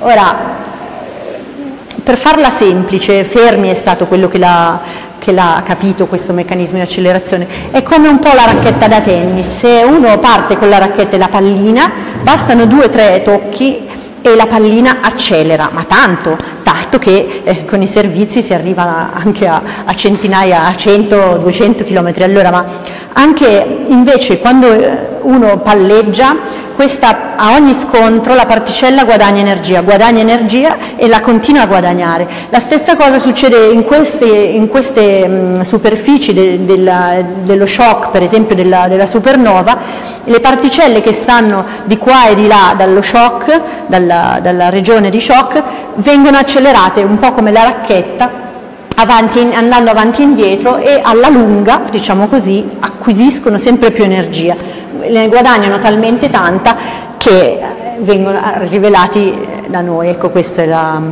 Ora se andate su di sopra poi vedrete anche un altro modo per accelerare particelle. Io vi, vi ho messo qui dei, dei, dei reminder, dei, degli inviti, diciamo così, per andare anche a visitare gli esperimenti dei nostri colleghi. Ok. Sì, perché mh, dottoressa ricordiamo appunto sì, che sì, eh, nella parte centrale quindi del monastero appena, dell'ex monastero appena all'ingresso possiamo eh, visitare ed esplorare tantissimi laboratori ed esperimenti interattivi dedicati a bambini e ragazzi ma anche ad aziende ed adulti e questo è il valore aggiunto di questa manifestazione, la possibilità di entrare nel mondo della scienza e di toccarla con mano. Eh sì, questa è anche, si può fare quasi a casa, no, non esageriamo. Allora, queste particelle, ora questo è, è brutta per, eh, magari per, un, per uno che non, è, che non, è, dentro questa cosa, ma questo è soltanto un grafico che dice da che distanza ci possono arrivare le particelle. Questo dipende dalla loro energia iniziale, perché eh, tutte le particelle, protoni, nuclei, fo anche fotoni di luce, incontrano, incontrano, nel loro cammino una, una radiazione di fondo che, eh, con cui interagiscono, fanno altre particelle, perdono la loro energia e insomma eh, incontrano non solo, non solo, quello, ma anche i campi magnetici. Per esempio la galassia ha un suo campo magnetico che devia tutte queste particelle, le devia meno se hanno più energia, quindi più le particelle sono energetiche più ci punteranno alla loro sorgente. Oppure l'altra idea è che le particelle non siano cariche, allora ci, ci arrivano dalla sorgente, come i fotoni della luce visibile che ci arrivano proprio dalla stella, per esempio, che li ha prodotti. Ora, mh, mm, perché li studiamo questi raggi cosmici? Non sono pericolosi, anche se eh, giornalmente, anche ogni minuto ci attraversano, probabilmente eh, alla lunga ci, ci, ci cambiano anche l'evoluzione, chissà, è stata magari persino triggerata, causata da, dai raggi cosmici ma mm, quello che, mm, quello che, che il perché noi li studiamo è perché ci sono, perché sono abbondanti e sono più abbondanti, cioè sono abbastanza abbondanti il 20% di, di quella che è la radioattività naturale che c'è per esempio qui, che esce dalla, dalla terra e dalle, dalle rocce. E quindi noi vogliamo scoprire la natura di questi raggi cosmici e le interazioni che hanno con le altre particelle, ma soprattutto, siccome hanno energie che noi non possiamo riprodurre sulla Terra, ci possono dare delle informazioni, anzi gratuitamente diciamo, delle informazioni che eh, i nostri acceleratori non ci possono dare, quindi una fisica anche potenzialmente nuova andando a esplorare anche eh, la materia e l'energia oscura nel cosmo. Quindi eh, un, due, due, mm, slide di, di, storia, solo per farvi capire che, che dopo la scoperta della, della radioattività naturale ehm, le prime cose che sono eh, state, eh, si è capito insomma, che, questa radiazione, ehm, che questa radiazione variava in base alla quota a cui noi andavamo a misurarla. Questo lo si è capito con un elettroscopio, che è una macchina anche molto semplice, infatti qui c'è un altro quadratino che vi fa capire che potreste per esempio andare, voler andare a costruirne uno, cioè è fatto in modo tale che che queste due linguette di ame tipicamente si separano più la carica, eh, più la carica si accumula su queste due cariche elettriche dello, che arriva da, da fuori, insomma sullo stesso, su, eh, dello stesso segno, quindi più si accumulano cariche, più queste due queste due linguette, essendo cariche nello stesso modo, si separano. Allora con questo, e qui c'è il vuoto però, e quindi qui soltanto sono le particelle della radioattività naturale in cui siamo immersi, eh, loro pensavano eh, possono scaricarla, ma poi sono state, eh, sono state mh, fatte diverse misure, cioè quando si è visto che queste due linguette alla fine tornavano attaccate, quindi qualcosa era successo perché non erano più cariche, eh, si è provato ad andare per esempio sulla Torre Eiffel. E, mm, e, quindi dicendo la radioattività naturale andando sulla cima della torre diminuirà perché deriva dalla terra e quindi non succederà più che si scarica l'elettroscopio se io gli do una carica iniziale. E invece, e invece hanno visto che sì è vero eh, le particelle alzandosi in quota diminuivano ma non abbastanza, non abbastanza. E nello stesso tempo anche Pacini che era un fisico italiano è andato a fare delle misure eh, anche eh, sott'acqua, perché lui diceva hm, se per caso queste particelle non fossero radioattività naturale ma fossero invece qualcos'altro, vedi la, la, la, genialità delle persone, anche senza soldi, hm, senza tanti soldi come tipicamente gli italiani sono, eh, la genialità sua è detto vediamo cosa succede andando in profondità sotto il mare e lui ha visto che diminuiva, non è che la, la, la terra sotto la faceva aumentare. Il, quindi cosa è successo? Poi quello che li ha veramente scoperti e che in tutto il mondo è conosciuto per aver scoperto i raggi cosmici, anzi per averli chiamati raggi cosmici, è Victor Hess, che è un tedesco che appunto eh, era dotato di più risorse alla ricerca ed è riuscito ad organizzare un volo su un pallone e a fare questo grafico che fa vedere quanto, andando su, anche sulla Torre Eiffel, si vede un po' di discesa, ma poi il flusso delle particelle aumentava addirittura andando con un pallone sopra la Terra. E quindi cosa vuol dire? Che non era la, la radioattività della Terra, perché, perché aumentava allontanandosi dalla Terra e perciò il nome, raggi cosmici, quindi e che aumentano con la quota, anzi cioè, eh, venendo sulla Terra diminuivano perché si perdevano nelle interazioni, perdevano l'energia. Quindi inizia quella che si chiama la, la fisica, de, diciamo così, delle, tra l'altro proprio quella delle particelle, perché non c'erano ancora acceleratori o altri punti dove si studiavano questo.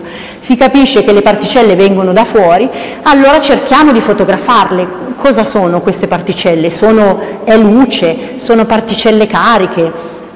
Allora eh, l'elettrone si conosceva già, si, si, scopre anche il positrone, cioè adesso lo sappiamo, l'antimateria, tutto ha una controparte eh, col segno opposto, l'antimateria. E, e, poi si scoprono le altre particelle fondamentali, il muone, che, eh, e anche pioni, particelle strane, poi i nomi mancavano, quindi li hanno creati, hanno detto sono strani, e hanno, hanno, cercato di, di, chiamarli. Ma la prima cosa che sono riusciti a fare poi, eh, con eh, questo nome impronunciabile, è costruire una macchina fotografica per particelle. Questa, anche questa, forse sono riusciti i nostri colleghi ad installarla fuori per vedere se siamo fortunati con la luce le tracce dei raggi cosmici che stanno passando in questo momento eh, da noi. Lui eh, mettendo un campo magnetico ha visto che queste, che queste particelle facevano un'orbita circolare, che è quello che succede a una particella carica immersa in un campo magnetico e quindi ha detto no, non sono fotoni, sono particelle cariche, però invece come, se, come spesso ehm, le cose sono sempre entrambe magari, quindi ci sono sia i fotoni nei raggi cosmici e sia particelle cariche, nuclei o anche i più piccoli componenti come i protoni. Allora adesso la domanda è chi, cioè qualche persona importante del nostro, del nostro, campo. E quello più importante per il nostro osservatorio, che si chiama Osservatorio Pierre Roger, è ovviamente Pierre Roger. E lui che cosa, cosa, ha concluso? Lui aveva dei contatori di particelle, le voleva contare, li ha separati sulle Alpi eh, in montagna, le ha separati di, di, mm, da, con metri di distanza e ha visto che questi contatori scattavano insieme. E allora cosa ha capito? Ha capito che, che doveva esserci una cosa unica che ne generava delle altre nello stesso momento, cioè una particella che forse pote potesse generare altre particelle su una superficie più grande. Questo tra l'altro è una cosa anche strana da pensare, se avesse avuto dei rivelatori magari temporalmente più precisi, non l'avrebbe capito perché avrebbe detto ok questo scatta a questo tempo, questo scatta in questo tempo. Quindi le scoperte vengono di passo con la tecnologia e alcune non sarebbero state nemmeno scoperte perché avrebbe, si sarebbe concentrati, adesso stiamo concentrando sui dettagli, lui invece ha capito una cosa fondamentale eh, che queste cose avvenivano insieme. Se avesse avuto il dettaglio di 0,0002 secondi e l'altro era 0,0004 secondi, magari non l'avrebbe capito. Per cui passo passo si va avanti nella... La macrovisione, che eh oggi sì, non avrei. Sì. Un, un, altro importantissimo, un altro personaggio è John Linsley che vedete in questo bellissimo deserto eh, nel New Mexico, eh, negli anni 70 ha, ha, costruito il primo rivelatore di questi, di questi che Auger aveva capito si chiamavano sciami estesi, eh, eh, sciami atmosferici estesi, cioè docce di particelle che si estendevano su una superficie di anche chilometri, centinaia di metri, chilometri.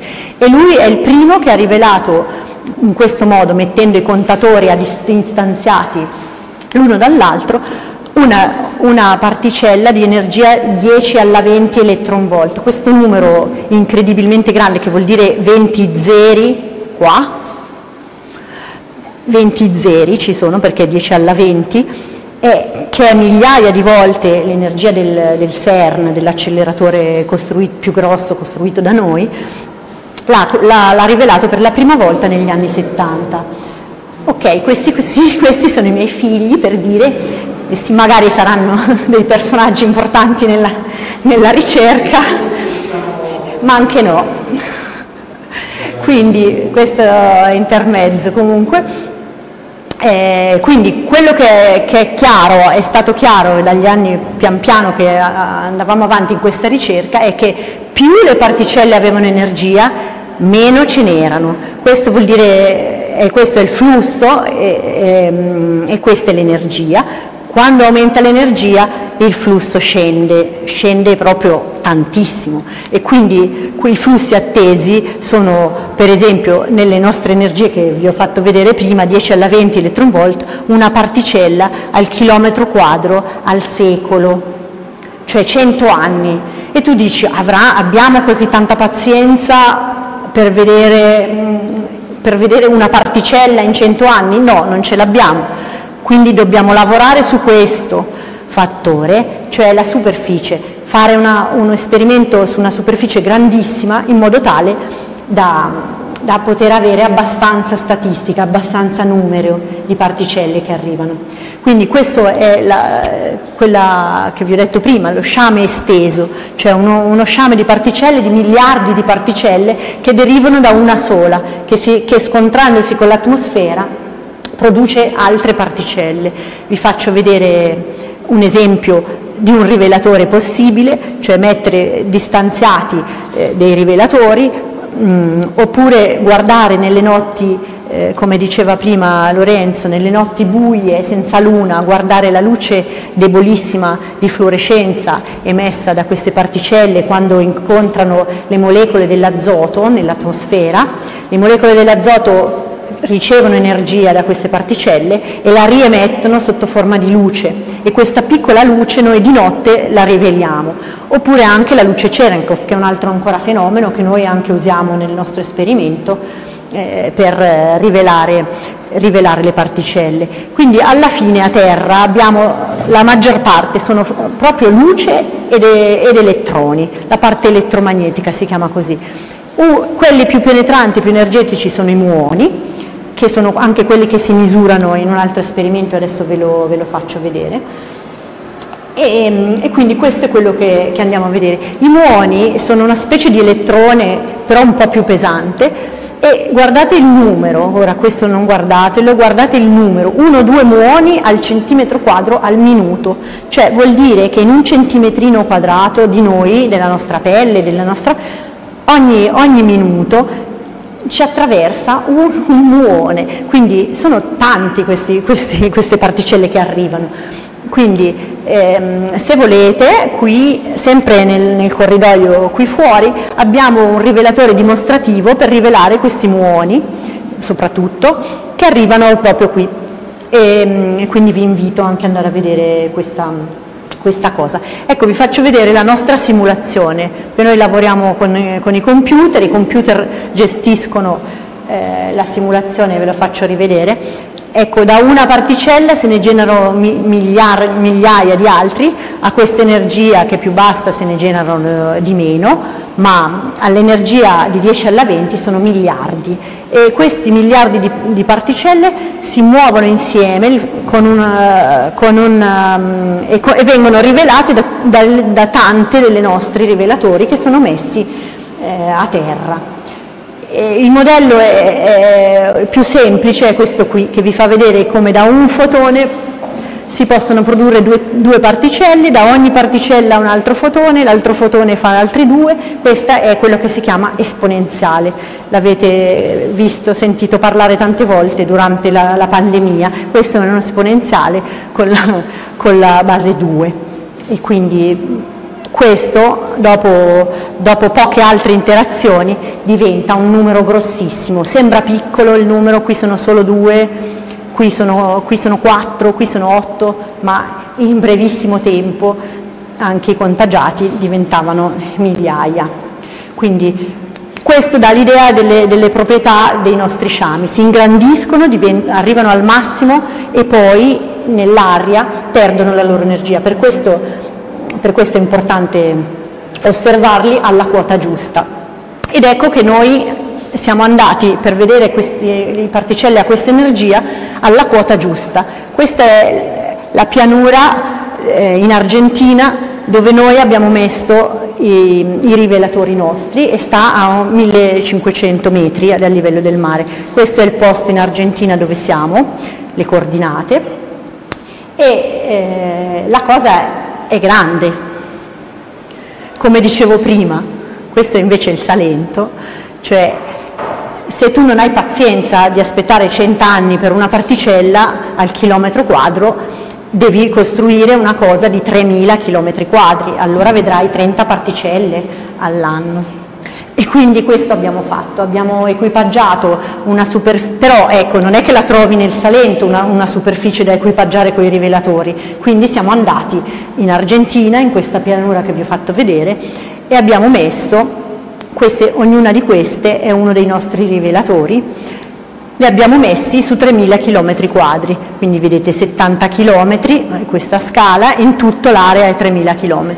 Qui c'è una piccola cittadina, per il resto non c'è niente, soltanto uh, la pampa, la pampa neanche tanto erbosa e neanche tanto piena di mucche, poche sono, e, ehm, e, però eh, lì dobbiamo stare perché lì non c'è la contaminazione luminosa. E qui abbiamo messo sia i 1600 rivelatori che vi farò vedere adesso sia ai lati del, di questa pianura quattro rivelatori di fluorescenza. Ora ve li faccio vedere le foto. Questo è il rivelatore di fluorescenza e questo è invece il rivelatore eh, uno dei 1500, 1600 rivelatori messi nella Pampa argentina. Qui la foto sotto eh, si vedrebbero, ecco nella foto se ne vedono diversi e stanno a un chilometro e mezzo l'uno dall'altro.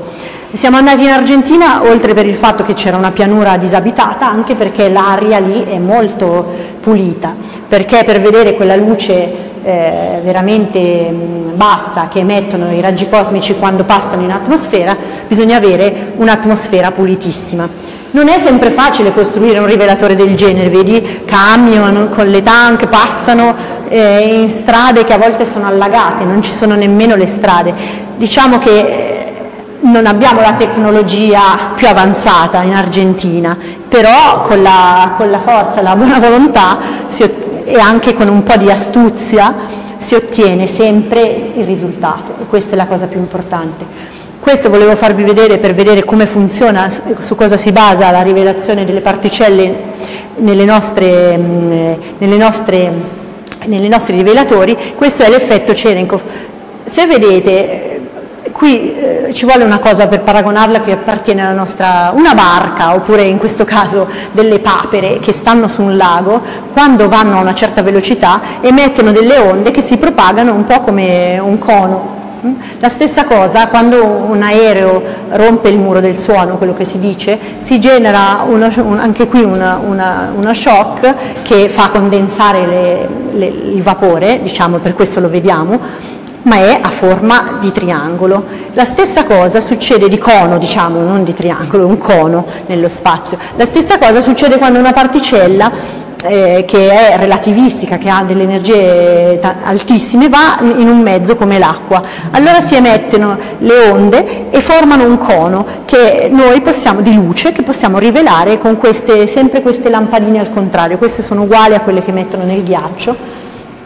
E adesso vi, vi faccio vedere l'animazione di quello che succede dentro la nostra, la nostra, la nostra tank, diciamo così, e qui eh, emettendo la luce, i fotoni di luce sbattono contro le pareti, poi vengono rivelati da, da questi rivelatori e, mm, okay, e, poi vengono trasmessi segnali. Intorno qui abbiamo, i, quattro, abbiamo detto i quattro rivelatori di fluorescenza e la fluorescenza funziona così, i raggi arrivano su uno specchio vengono poi eh, messi a fuoco su questa superficie dove ci sono 440 di questi piccoli eh, rivelatori però eh, esagonali messi come un nido d'ape. E quello che si vede è una luce che passa e si accende in una direzione. E da qui possiamo, possiamo farlo. Eh, hai il collegamento? Sì, dottoressa, devo un attimo sì. lanciare il collegamento da Foggia. Ok, prego. Possiamo procedere? Quindi da Foggia intanto in diretta dall'aula magna dell'università eh, alle 18 dovrebbe esserci uno spettacolo. Se dalla regia mi confermate che siamo in collegamento.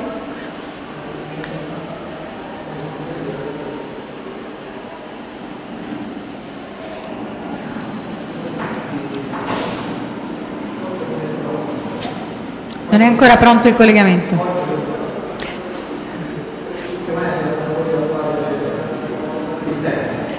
Va bene, allora lasciamo la dottoressa. Aspetta, vi faccio vedere un video che, che forse potete apprezzare nel vostro collegamento. Finito.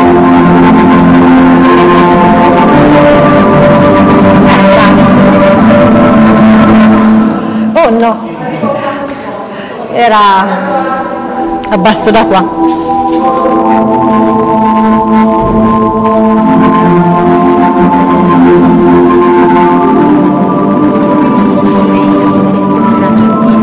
Sì, sì, e ora non più da un bel po', due anni, forse in marzo i bambini. Sì. Cioè è una pazzia perché si fa una fatica bestiale, oltre al fatto che costa anche tantissimo, però la vita è una. Cioè fa conto che sono ancora precaria adesso. non importa, cioè per dire, hai visto la tipa in, in America, ecco, cioè questo posto è troppo, però pazienza, la vita è una, va bene così. Sì, sì, cioè diciamo che piano piano ti disinnamori, perché non è facile. Insomma, la perseveranza prende. Ma l'importante è non avere intanto l'invidia e la avere sentimenti negativi, prima o poi uno deve pazientare, poi insomma mio marito c'ha un posto fisso, anche, che se no non si può, so altre, altre persone sono meno fortunate. Mi immagino come da supereroi No, magari, forse non sanno nemmeno spiegare cosa faccio esattamente. Ma io vorrei che facessero gli agricoltori. Queste sono immagini vere.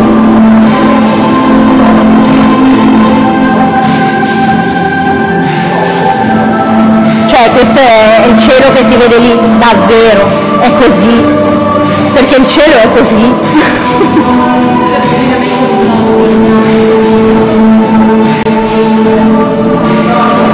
Cioè, se sono pronti poi mi interrompo. Eh.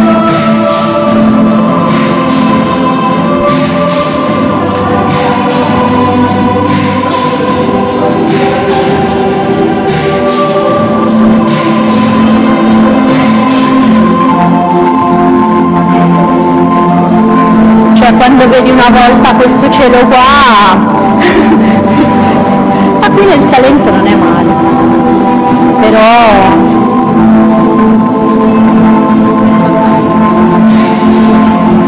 questo è quello che si vede in Argentina quando siamo lì, perché il cielo è così, è proprio così.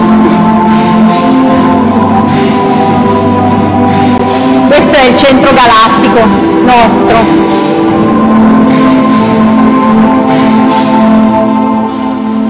Ok.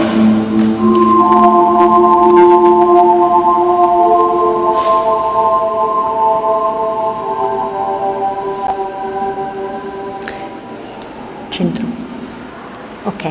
Se la regia mi dà l'ok per il collegamento da Foggia. Perfetto, benissimo. Vai.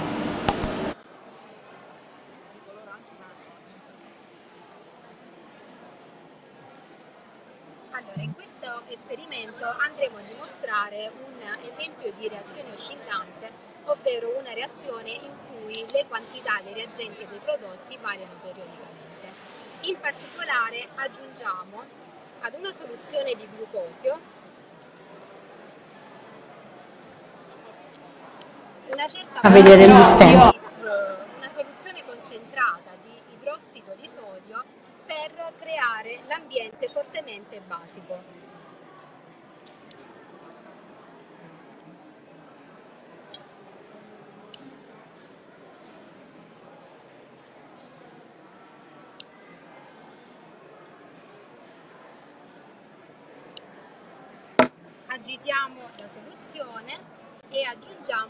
delle poche gocce di blu di metilene.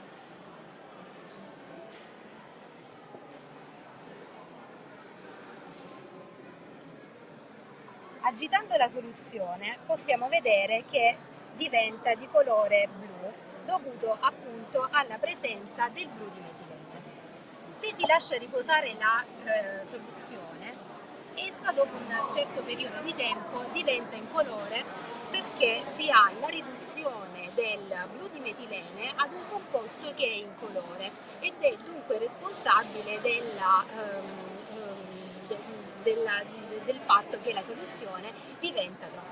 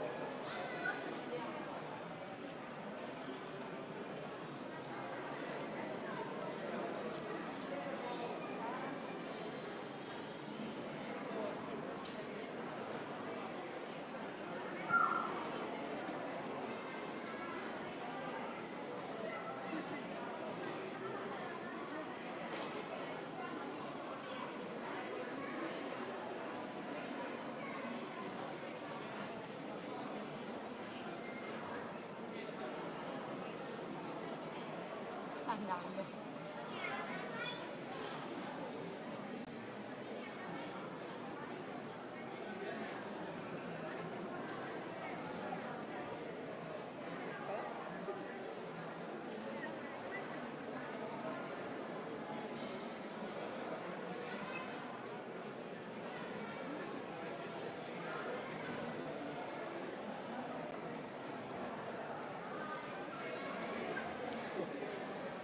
Diventata trasparente perché il blu di metilene è stato ridotto.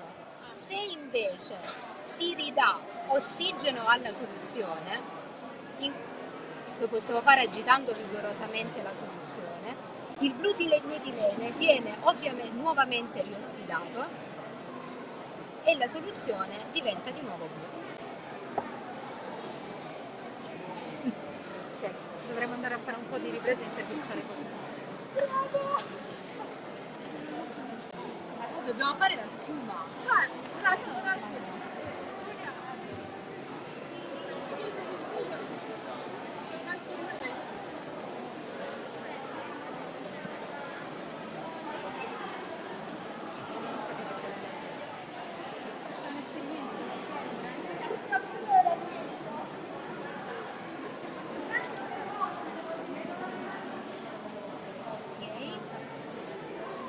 Allora sai che succede? Allora devi dire praticamente che in questo esperimento si dimostra una reazione... Siamo in diretta. Eh? Tutto in diretta. In questo esperimento andremo a dimostrare una eh, reazione di ossidoriduzione dell'acqua ossigenata, eh, che è una reazione che avviene molto lentamente e ehm, porta alla formazione di acqua e ossigeno.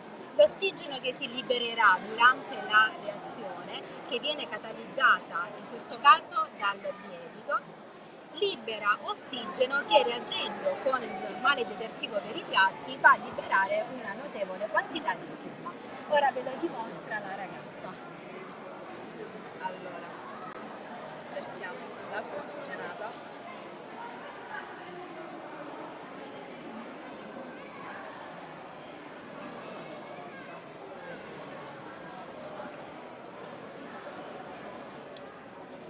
Poi il detersivo per piatti.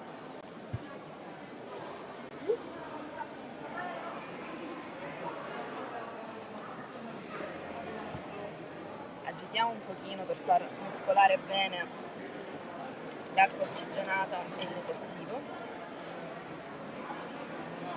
E poi mettiamo il nostro catalizzatore che è il lievito sciolto in acqua, il normale lievito di birra. E adesso togliamo questi che non si sa mai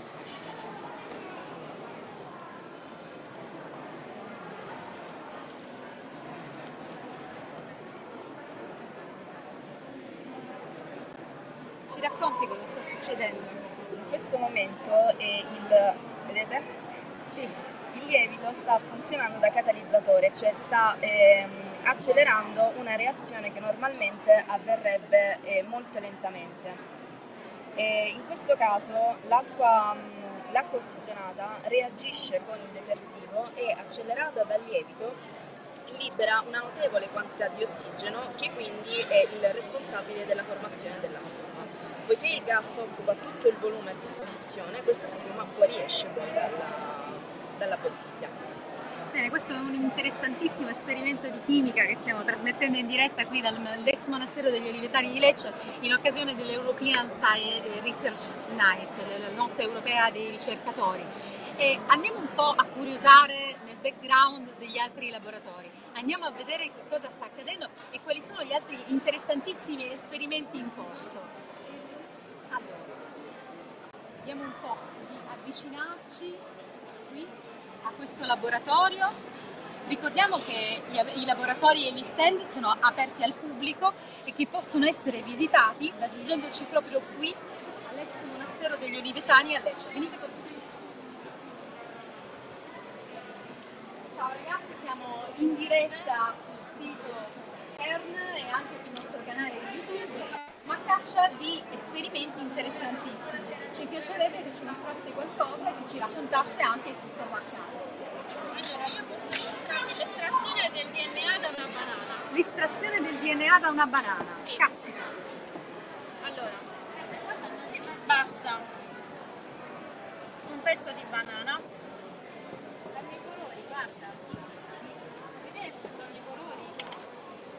Tritarla per disgregare la parete cellulare, varie membrane. Aggiungere un po' di soluzione di lisi che avevo già preparato prima, che è costituita da acqua, un po' di acqua, un po' di detersivo per i piatti, che serve per disgregare le membrane cellulari, e un po' di sale, vediamo come degli ingredienti comunissimi, come il detersivo per i piatti, possono avere davvero un Esatto, si potere può ripetere anche a casa questo esperimento. Versiamo questa soluzione e continuiamo a pestare.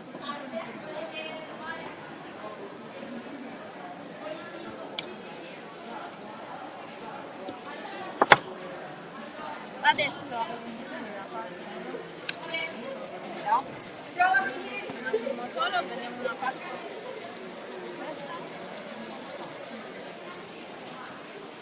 Aspettiamo i tempi tecnici di preparazione e raccontaci intanto che cosa sta succedendo. Allora, adesso si stanno disgregando le membrane del DNA grazie all'azione del detergente e invece grazie all'azione del sale le cariche negative del DNA si stanno diciamo, neutralizzando grazie all'NA e all'meno del. Quindi le molecole di DNA si stanno avvicinando in modo tale da formare un aggregato. Questa è la palpa dove trasferiamo, filtriamo la soluzione.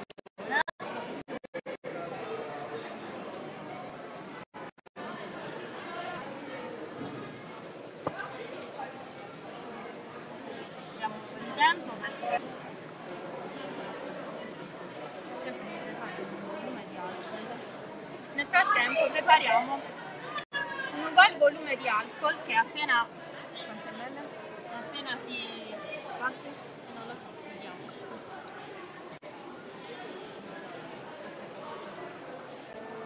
Ecco, cosa servirà l'alcol? L'alcol praticamente nell'alcol il DNA scioglie, quindi potremmo vederlo galleggiare e assumerà la forma di un gel, ehm, di una sostanza gelatinosa, in quanto il DNA è una molecola che assorbe molta acqua, quindi ecco perché avrà una consistenza gelatinosa. 15 me ne servono.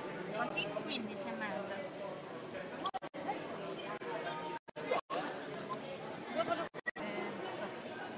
Vediamo che ci vuole precisione anche nell'età, non bisogna mettere una dose No, di alcol a caso. di alcol, sì, esatto. E adesso andremo a versare lentamente sulle pareti della valva e all'interfaccia dovremo vedere una sostanza gelatinosa. Vediamo subito cosa accade. Ci dici il tuo nome intanto? Giusy. Grazie Giusy per questa, per questa rappresentazione velocissima e per questa estrazione del DNA della banana. Vedete che all'interfaccia già si può notare una sostanza gelatinosa. Dovresti girare un po' la provetta in modo da consentirci. Ecco, grazie. Ecco qui se Piano piano potete a osservare che si forma la, la sostanza gelatinosa di cui ci parlava Giusy. Eccola. Proviamo a Sì. mescolare, giusto? Piano piano salirà adesso perché appunto non si scioglie, quindi rimane insolubile nell'alcol. Quindi, non so se si vede, ma ha una consistenza come un gel. Eccolo Fantastico. qua, eccolo. Grazie, ma qui sta succedendo qualcos'altro di ancora di, di parimenti interessante. eh. Grazie mille ragazzi. You, you can speak English if you want. Okay, can you explain what happened? Uh, this experiment is all about uh, three things supersaturation, nucleation, and then crystallization. Basically, I made the crystals. And uh, I use uh, kind of uh, salts. This is potassium, uh, uh, this is copper sulfate, this one potassium aluminium, and uh, this one potassium. Uh, I took the salt, I boiled the water, distilled water, and then step by step, slowly I dissolve upon heating all these salts. Because whenever you heat uh, the salt, it dissolves into the solution. So upon solution, uh, when they all mix, this was the point of uh, super saturation. And uh, upon room temperature, I cool down after 48 hours. I made a video, I have video after that I can show you. and uh, then uh, we got these small crystals, like these are called seeds crystals. Can I touch? Yeah, you can touch. Yes, yes. This is amazing. Yeah. Seeds crystals. Whoa. And uh, these crystals uh, you can use like uh, with the thread, you can tie a little crystal and you again put and suspend it in the solution and it grow day by day. Amazing. You can make a monocrystal like uh, this one. This is monocrystal, like single crystal I grow. Or uh, this one. Or for example, uh, you can grow polycrystal, a little crystal upon a single crystal. And uh, Clear. yeah, you can. Clear. Thank you. Queen. Saba. Thank you, Saba, for your explanation. Very welcome. Thank you.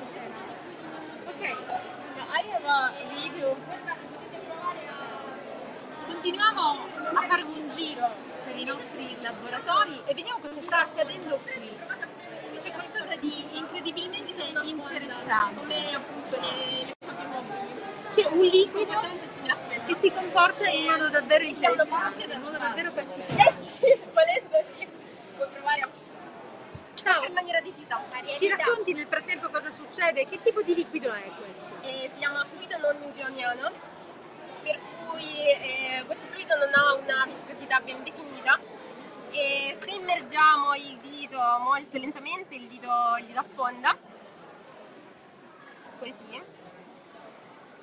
Se invece premiamo sul fluido in maniera, in maniera decisa, ha un comportamento quasi simile ad un solido e il dito non affonda più.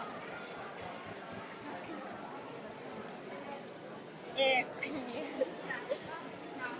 e questo Vorrei quindi è un fluido non newtoniano. Non newtoniano.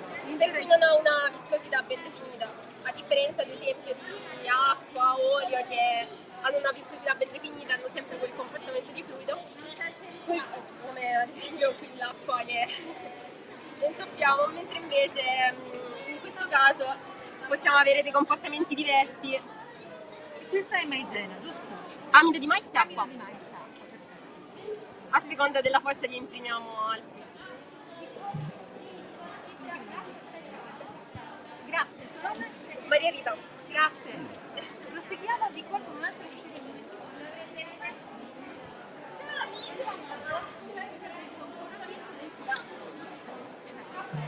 Ciao. Ciao Noemi, raccontaci po' come si comporta il pH e che cosa andremo a scoprire con questo esperimento. Se in natura artificialmente ci sono delle sostanze che sono definite acide basiche oppure non, quindi non sono né acide né. Eh, per questo motivo noi possiamo andare a classificare le sostanze in acide basiche o neutre a seconda del valore di pH, rapportando il valore di pH sia di potenziale idrogeno ad una scala di valori che varia da 0 a 14. Un pH uguale a 7 definirà una sostanza neutra, un pH minore di 7 definirà una sostanza acida e un pH maggiore di 7 definirà una sostanza basica. Come facciamo quindi a individuare il pH di una sostanza? Comunemente in laboratorio ci sono dei kit già preparati, ma sono in natura degli indicatori di pH. Questi possiamo estrarlo dal cavolo rosso, o il cavolo viola. Questo è un Basta buonissimo cavolo viola Sì, che esatto. usiamo in cucina. Esatto. Possiamo far bollire qualche foglia di cavolo per 10-15 minuti in acqua, filtriamo, lasciamo raffreddare ed estraiamo questo succo dal colore bluastro violetto. Questo colore è dato dalle molecole antocianine oltre ad avere una particolare diciamo, proprietà antiossidante nei confronti delle nostre cellule, quando ovviamente ingeriamo il cavolo, eh, ha la particolare proprietà di cambiare colore a seconda della sostanza con cui entra in contatto. Infatti le antocenine le ritroviamo nei fiori, ad esempio come nelle rose, nelle petunie, oppure nella frutta come le fragole, i frutti rossi, o ancora nella verdura, come appunto il cavolo rosso. Il nostro esperimento quindi in cosa consiste? Consiste di preparare un indicatore di pH naturale da noi ed verificare l'acidità, la neutralità o la basicità delle sostanze che comunemente abbiamo in casa.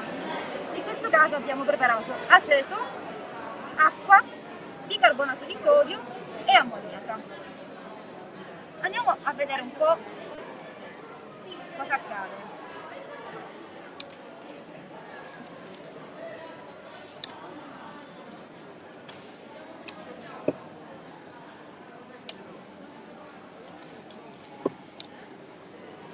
Quindi prendiamo il nostro indicatore di pH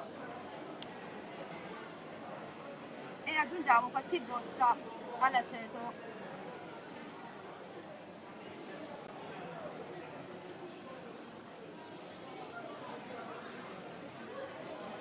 Vediamo che l'aceto cambia subito colorazione. Esatto. Questo perché l'acetona, quindi la colorazione è rossa. Confrontando il colore con la scala di valori abbiamo possiamo dedurre che l'aceto avrà un pH all'incirca di 2. Vediamo cosa accade invece con l'acqua.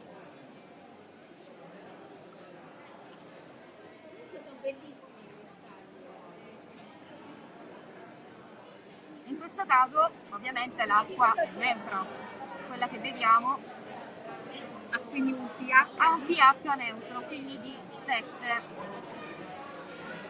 Il bicarbonato di sodio invece è una sostanza basica, avrà un pH di 8, leggermente basico. E qui vediamo che secondo la leggenda quindi vira un po' di più verso le sostanze alcaline, giusto? Esatto. Infine abbiamo l'idrossido di ammonio o ammoniaca, Anche questa è la comunissima ammoniaca che utilizziamo Esatto. nel detergente domestico. La quale ha un pH di 11 e infatti questo ci indica che, come ben sappiamo, l'ammoniaca è una sostanza basica. Grazie, interessantissima spiegazione, grazie mille. Noi proseguiamo il nostro viaggio attraverso i laboratori interattivi della Notte Europea dei Ricercatori. Siamo sempre in collegamento da Lecce un vero e proprio tour attraverso i laboratori. Qui tantissimi esperimenti molto interessanti e qui pensate c'è addirittura un esperimento che riproduce un geyser. Non lo vediamo ancora attivo, ma ci prodigheremo per farvi vedere anche questo. E intanto proseguiamo perché ci succede qualcosa di insolito. Un fenomeno legato alla risonanza acustica. Adesso vediamo se qualcuno dei nostri spettatori ha voglia di spiegarci nel dettaglio che cosa accade.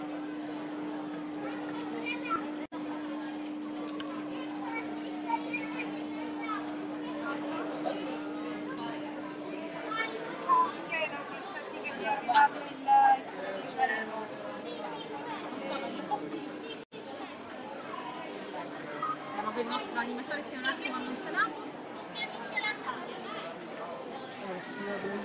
Certo, grazie. Raccontaci cosa succede. Praticamente accade che ogni materiale, eh, in particolare anche le strutture, hanno dei modi di oscillare fondamentali. Eh, in questo caso noi, eh, attraverso il suono proveniente dalla cassa che sta alla base di questa piastra, eh, imprimiamo eh, delle frequenze di oscillazione. Questo qui il materiale è No, questo è che sabbia. vediamo. È della Semplice- sabbia. Semplice sabbia. Quindi che- quello che succede è che eh, questa piastra, che di- è fatta di un determinato materiale ha una determinata forma, oscilla in una determinata maniera in funzione delle frequenze che gli, che gli imprimiamo. Pertanto,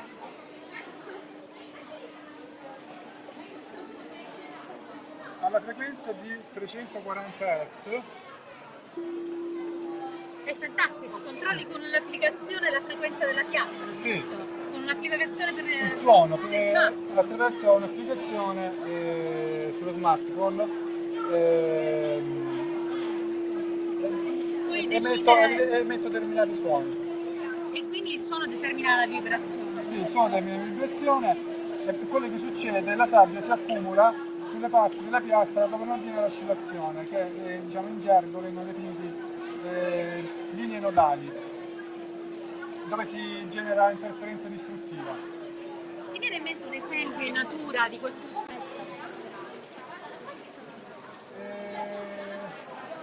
Dove possiamo ritrovarlo? In natura le onde del mare, però no, le- al momento non mi viene niente in mente. Però è sicuramente un, es- cioè un esperimento molto interessante perché ci dà la dimensione di come le particelle subiscano un impatto rispetto a queste vibrazioni e di come si possano muovere. Proseguiamo allora, non so se ci puoi aiutare sempre tu per questo esperimento. Che cosa accade qui?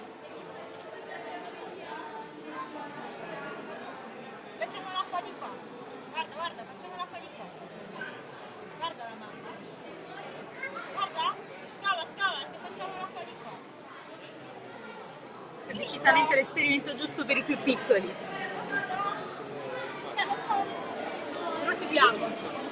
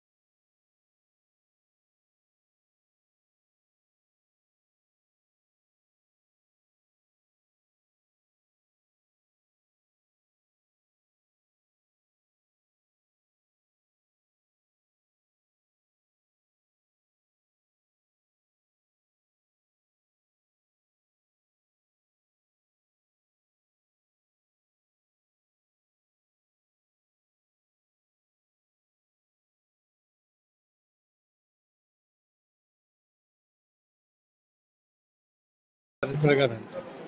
Ok, siamo, siamo in diretta sempre dall'ex monastero degli Olivetani durante la notte dei ricercatori e siamo qui con, con Francesca. Ciao Francesca, ci stavi illustrando questo esperimento davvero insolito, di cosa si tratta? Sì, allora, è un treno elettrico.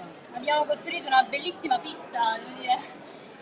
E, è un solenoide. Un solenoide è una turbina cilindrica con le spine molto vicine tra di loro ed è di rame, un materiale conduttore.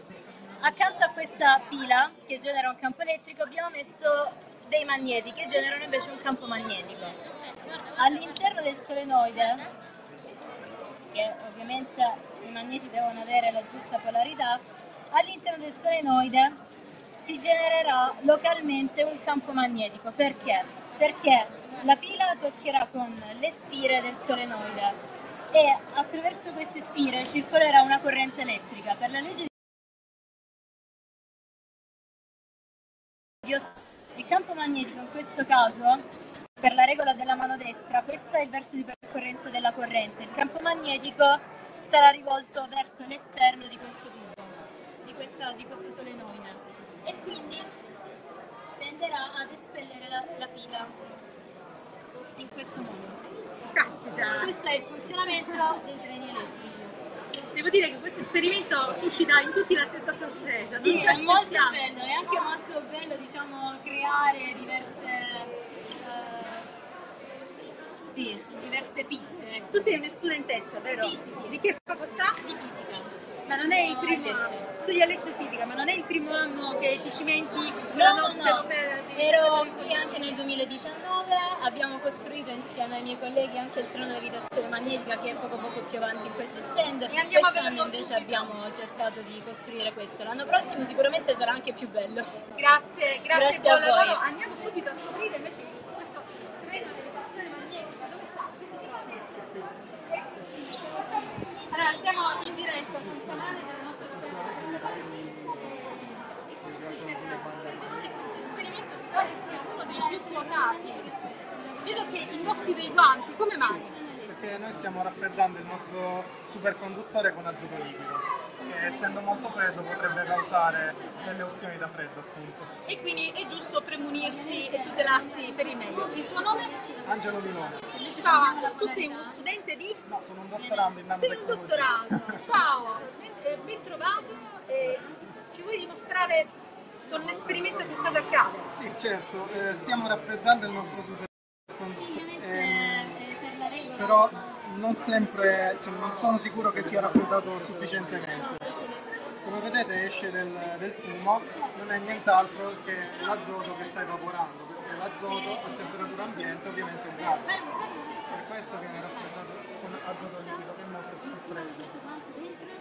Come potete vedere, questo superconduttore fa eh, quello che succede in questo esperimento è il fatto che si genera un campo magnetico tale che il nostro superconduttore non è né in contatto con i nostri binari magnetici, ma nemmeno scappa via rispetto ai nostri binari magnetici, rimanendo in uno stato di equilibrio tale che eh, fluttui al di sopra dei nostri binari e si arriva appunto in una situazione in cui non vi è attrito con la nostra superficie. Questo è il principio di funzionamento che si ha appunto nei treni a, levi- a levitazione magnetica giapponesi Esatto, che quindi funzionano. una delle tecnologie oggi più eh, utilizzate per questo Esatto. tipo di treni e è, è incredibile come riusciamo a dimostrarlo da qui su quella che è proprio, sembra quasi una pista quella che è stata costruita in questo, in questo esperimento.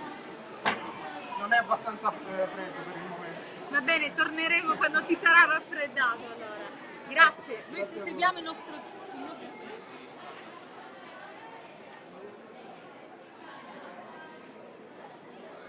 Abbiamo ancora un po' di tempo per mostrarvi alcuni dei nostri esperimenti e poi saremo in collegamento con il magnifico rettore dell'Università di Lecce Fabio Pollice.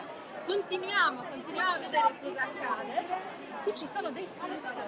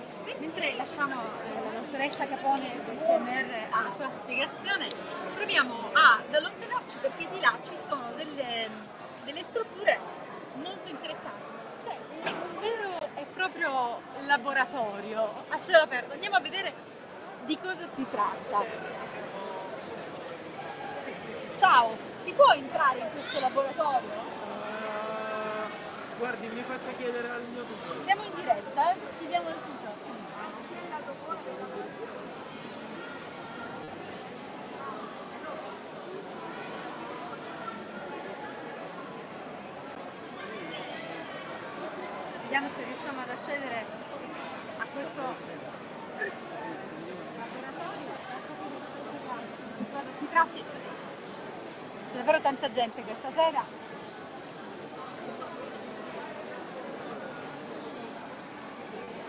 Potremmo dare giusto sbirciatina. Ciao. Ci racconti, di cosa si tratta? È un planetario dove è proiettata la volta celeste di questa, di questa sera. Dopo ci sarà un filmato che spiegherà delle caratteristiche del sistema solare, dei pianeti del sistema solare e di altri corpi. È fantastico, non so, riusciamo ad entrare a dare uno sguardo a questo, a questo planetario? Prego, vi dovete sbrigare perché altrimenti si sgonfia. Sì, è abbastanza difficile. Dopo, dopo.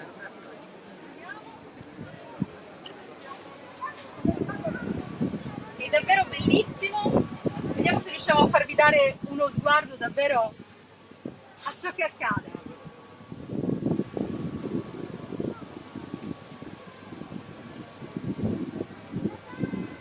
E adesso mi sa che dobbiamo già scappare via perché vedo che qui si sgonfia.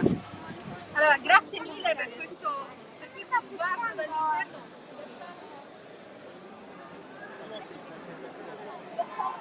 E lasciamo spazio anche ai ragazzi. Allora, direi che per ora ci fermiamo e proseguiamo più tardi sia nel darvi qualche altro input sia nel farvi vedere anche i laboratori che si tengono in un'altra location qui a Lecce e che è lo Studium 2000 quindi andremo a dare uno sguardo anche di là e esplorare questo complessissimo e meraviglioso sistema della notte europea dei ricercatori. Grazie e a tra pochissimo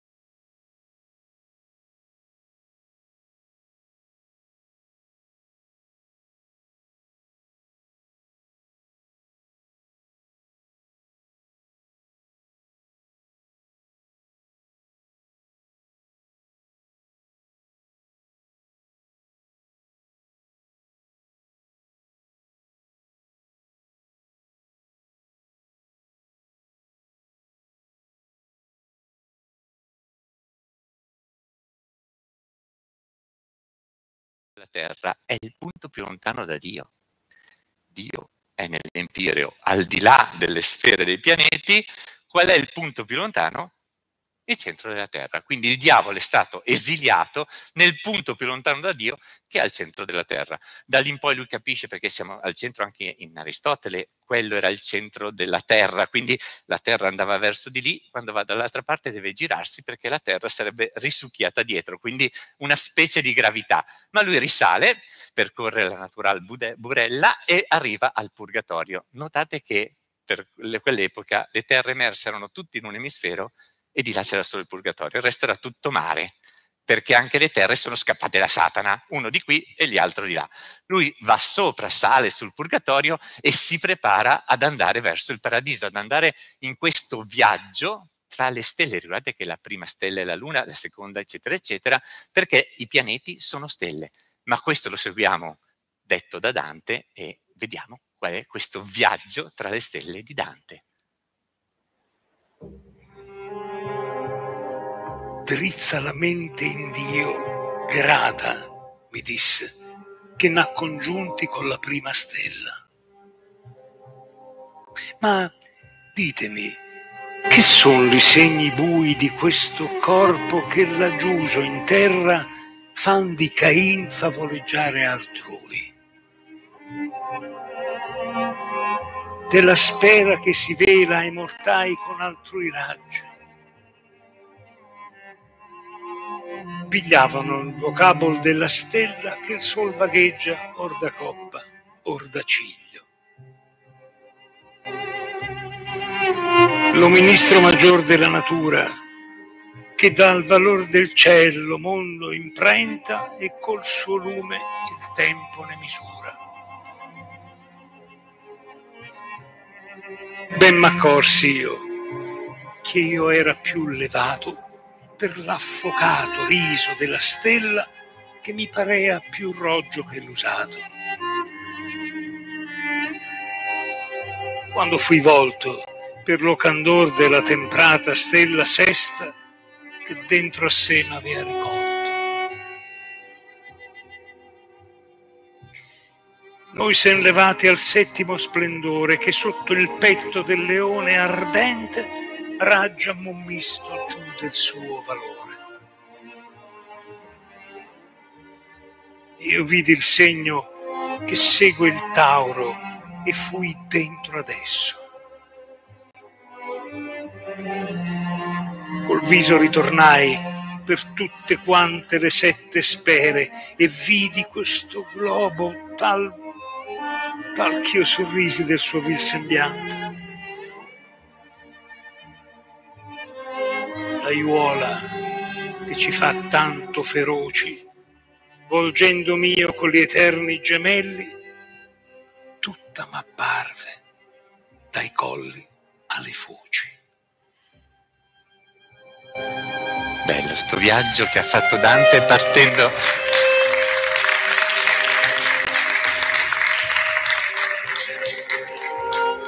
partendo dalla prima stella, la Luna, e salendo man mano verso tutte le altre, Mercurio, Venere, Sole, ministro maggiore della natura, Marte, Giove, Saturno, che abbiamo già commentato, ma lui va oltre, arriva al segno che viene dopo il Tauro, quindi i gemelli, che erano il suo segno, quindi lui era dei gemelli, quindi passa alle stelle attraverso i gemelli. Ma cosa fa da là?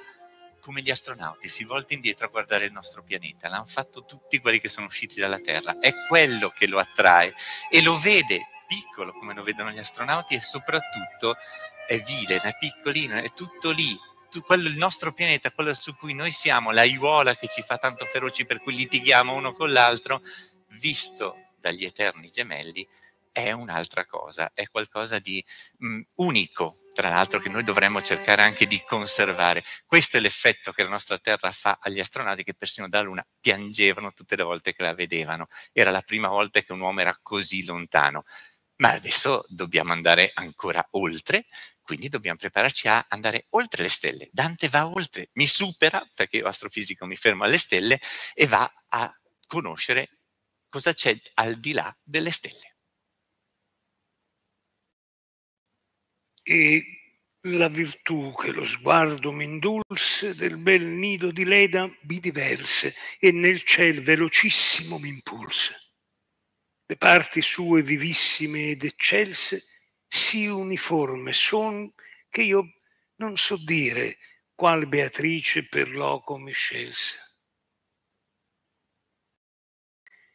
Distante, intorno al punto, un cerchio digne si girava, sì ratto che aveva vinto quel moto che piuttosto il mondo cigne, e questo era d'un altro circoncinto, e quel dal terzo, e il terzo poi dal quarto, dal quinto il quarto, e poi dal sesto il quinto. Sopra seguiva il settimo, sì sparto già di larghezza, che il messo di uno intero a contenerlo sarebbe arto.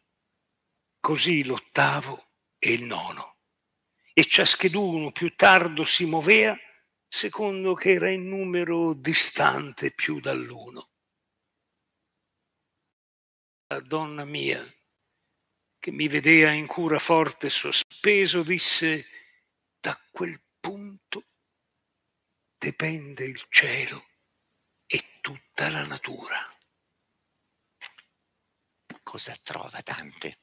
Beh, passa da un qualcosa che non, non sa dire dov'è, quindi è tutto uguale, ma arriva a trovare i cori angelici, quindi tanti cerchi uno dentro l'altro e all'interno di tutti questi nove cerchi, vedi quel dove passa dall'Empireo è uniforme e lui non sa dire da che parte Beatrice l'ha portato perché era tutto uguale e poi trova il punto da cui dipende il, il cielo e tutta la natura, quindi Dio.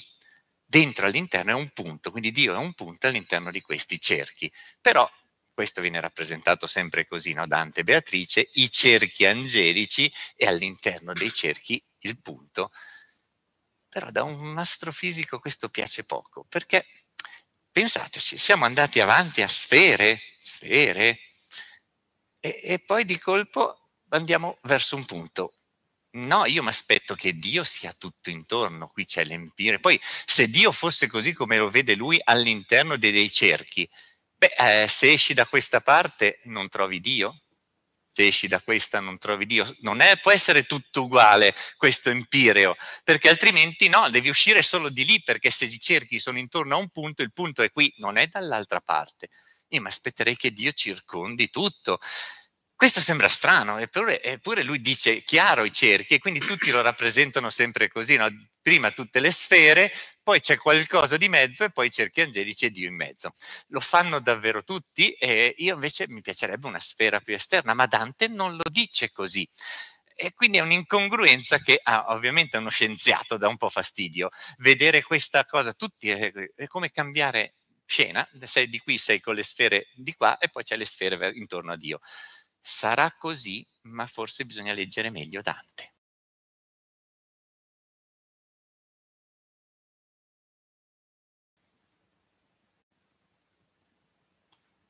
Non altrimenti il trionfo che lude sempre d'intorno al punto che mi vinse, parendo inchiuso da quel che li inchiude, a poco a poco al mio veder si stinse quell'uno e due e tre che sempre vive e regna sempre in tre e in due e in uno, non circonscritto e tutto circonscrive. Luce e amor d'un cerchio lui comprende, sì come questo gli altri, e quel precinto colui che il cinge solamente intende. Se ci avete fatto caso, sembra che Dante si contraddica, perché questo punto sembra rinchiuso da ciò che lui include. Cioè, questo punto è, sembra inchiuso, ma in realtà è lui che racchiude tutto, va verso la, la, mia tesi, che dovrebbe essere tutto fuori, ma è un punto. Come fa un punto a inchiudere tutto quello che, eh, che di cui è inchiuso? Ma anche questa non circoscritto e tutto circoscritto. Ma scherziamo, è un punto. No, gli altri circoscrivono il punto, il punto non può circoscrivere tutti gli altri, però lo scrive Dante e si contraddice, peggio che mai, luce e amor, quindi Dio, di un cerchio, lui, cioè, lui comprende tutto con un cerchio e come questo tutti gli altri, cioè sembrerebbe che è una sfera al di fuori, però è un punto è vero, potremmo dire, eh, tanto lo dice Dante, no? colui, solo colui che lo cinge solamente lo capisce come fa a fare così. È Dio, è inutile, non puoi comprendere Dio, quindi fermati perché lui capisce come fa un punto a circoscrivere tutto, tu, essere umano, no. Però un ricercatore questo non puoi dirlo e allora uno si impegna a vedere ma come potrebbe essere, come potrebbe essere un punto che circoscrive ed è circoscritto. Beh, questa è un'idea interessante che si è sviluppata soprattutto nel secolo quando sono state scoperte e studiate meglio le geometrie non euclidee. Dante non le conosceva, ma forse quello che adesso noi moderni chiamiamo geometria non euclidea, l'intuizione poteva averla avuta. Guardate, quando voi fate una mappa su un Atlante, ovviamente la sfera non ci sta, eh, siamo abituati alle proiezioni. E come si fanno le proiezioni? Prendi un punto e raggi giù, e vedi che i nostri, so, prendiamo ad esempio i paralleli, vengono uno intorno all'altro e va bene, arrivi fino all'equatore, di solito poi fai l'altro emisfero e punti dalla parte opposta. Ma provate ad andare avanti, qui ci sarebbe l'altro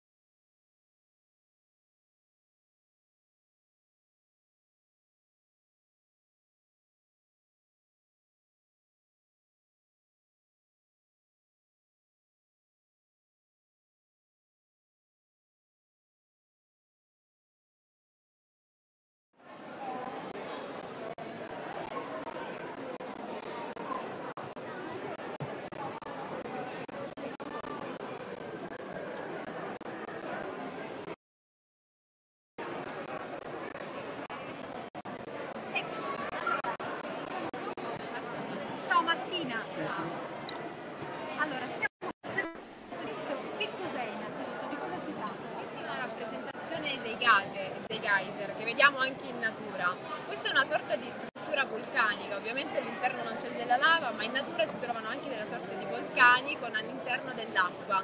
In questo caso c'è un canale eh, che noi abbiamo rappresentato con un tubo circondato da delle, delle rocce che riescono a far filtrare all'interno dell'acqua fino a far raggiungere l'acqua a profondità altissima, al tal punto da toccare camera, la camera magmatica. Quindi cosa succede? L'acqua inizia a assumere sempre una temperatura maggiore, quindi ad assumere sempre una, una, una pressione maggiore.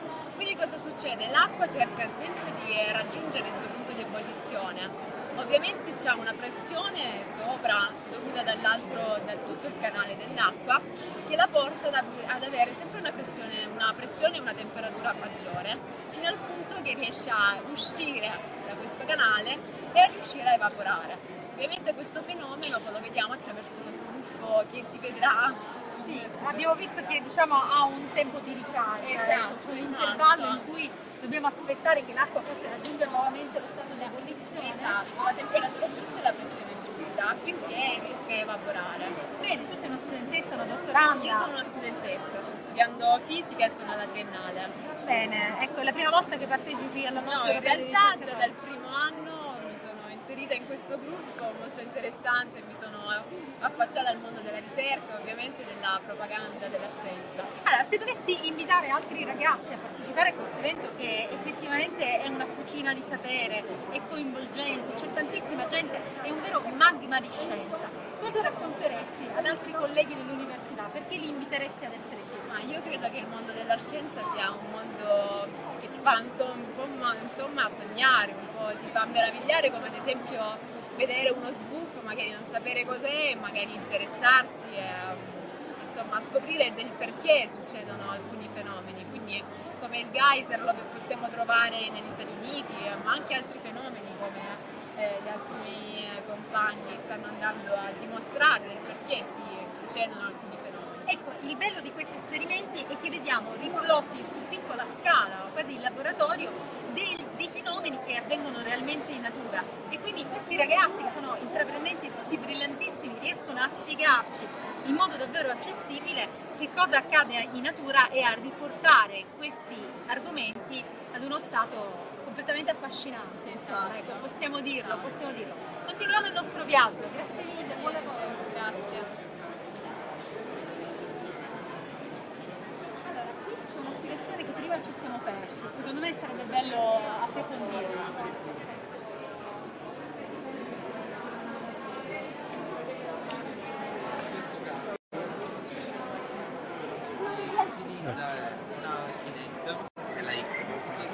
qua, quella che si utilizza per la Xbox oppure per la Wii il sensore di movimento è un proiettore Ciao, vedo che sei impegnato in questa eh, interessantissima spiegazione. Noi siamo in diretta sul canale ufficiale della Notte Europea dei Ricercatori e salutiamo tutti questi ospiti che sono qui. Non vogliamo interrompervi, vorremmo però assistere anche noi alla spiegazione. Sì. Siamo con Angelo Leo Ciao Angelo, ci racconti un po' di questo esperimento, magari qualcosa in più su di te, uno studente, no no sono un assegnista un assegnista di ricerca. Che cosa accade qui? allora eh, questo è un dimostratore appunto che fa riferimento alla realtà aumentata Eh, per cui ad un determinato stimolo chiaramente ne corrisponde un altro piuttosto simile Eh, quindi sostanzialmente si tratta di utilizzare, o meglio, di far variare il livello della sabbia, o meglio, di avere una corrispondenza tra il livello della sabbia e il colore della sabbia stesso, ripercorrendo quindi le varie curve di livello. Per cui è possibile ottenere quindi delle montagne nel caso in cui l'altezza sia maggiore oppure il- si può visualizzare fondamentalmente il mare nel caso in cui si scavi abbastanza. Come si utilizzano una Kinect e un proiettore. Ecco, vediamo che questa bimba come ti chiami? Rufina, che cosa stavi facendo? Spiegami un po'. Quando si muove la sabbia eh, percepisce e cambia E colore. cambia colore. Perché? Che cosa accade? Quello che accade è che appunto viene acquisito ogni singolo livello, ogni singola altezza della sabbia, e quindi viene fondamentalmente come se questa, questa distanza di sabbia sia una matrice, per cui ad ogni singolo quadratino, ad ogni singolo elemento di questa matrice corrisponde un determinato livello. Questa altezza viene acquisita dalla Kinect e- viene associata Ok, quindi se adesso io tuffo la mano, come stavo facendo Rufina prima, e sposto questa sabbia, vedo che cambiano i colori. Sì. Forte. E questo è grazie alla percezione che ha, diciamo, il sensore Sì. su rispetto anche al livello della sabbia. Grazie. È bello questo esperimento, ci piace, vero? Sì, già. Proseguiamo con il nostro.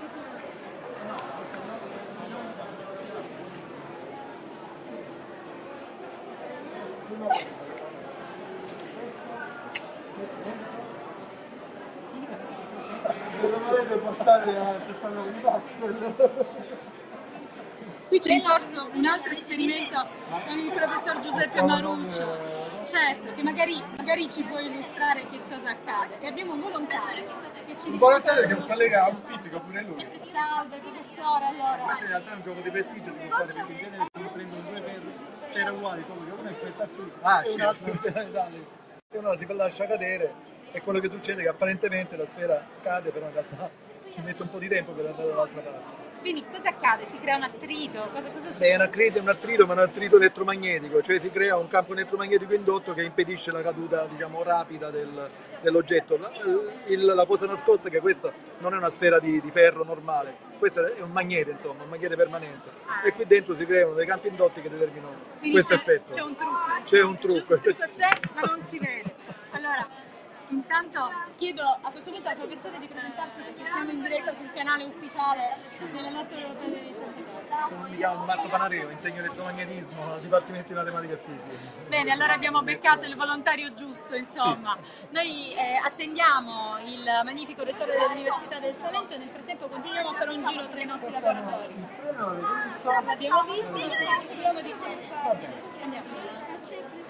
Il treno quello è a motore pure.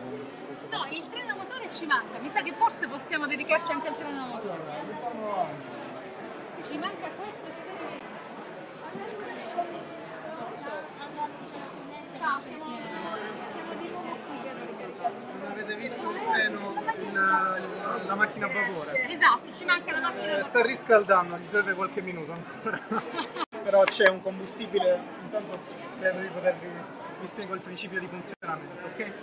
C'è ehm, una barretta combustibile al di sotto della nostra cisterna piena di acqua. Questa barretta combustibile sta ovviamente riscaldando quest'acqua, la cui pressione aumenta.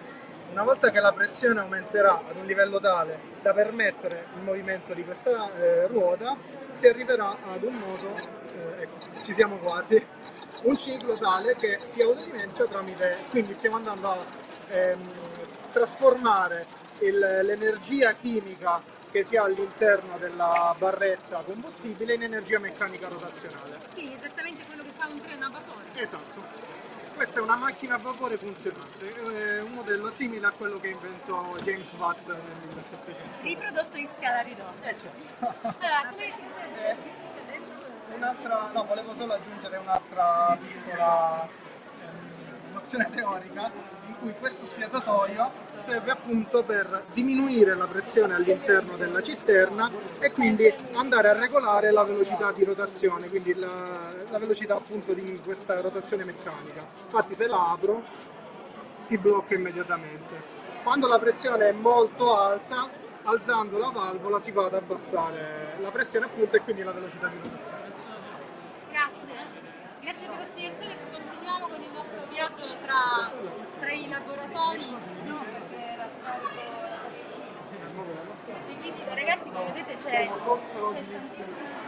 Devo dire sono tutti davvero presi dagli esperimenti. Abbiamo dei ragazzi preparatissimi che illustrano tantissimi. Qui per esempio abbiamo un esperimento in corso cerchiamo di capire di cosa si tratta. Ciao, siamo in diretta sul canale ufficiale della Notte Europea dei Ricercatori. Ok, noi stiamo facendo un banchetto per i bambini in cui stiamo proponendo vari esperimenti, diciamo, eh, che vanno dai bambini della scuola elementare, scuola media,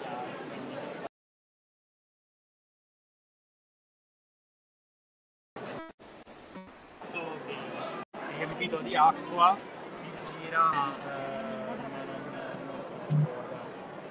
E, oppure qui stavamo facendo vedere la, la capi- le proprietà della, Ah, quindi l'acqua non, non, non fuoriesce. esatto, sfida la legge della fatelo gravità. E come mai? Questo perché No, praticamente adesso la, cadrà. La pellicola che viene messa semplice carta bagnata crea una sorta di vuoto all'interno del barattolo e quindi questo in un certo senso la mantiene incollata al barattolo stesso e impedendo quindi all'acqua di, all'acqua di uscire.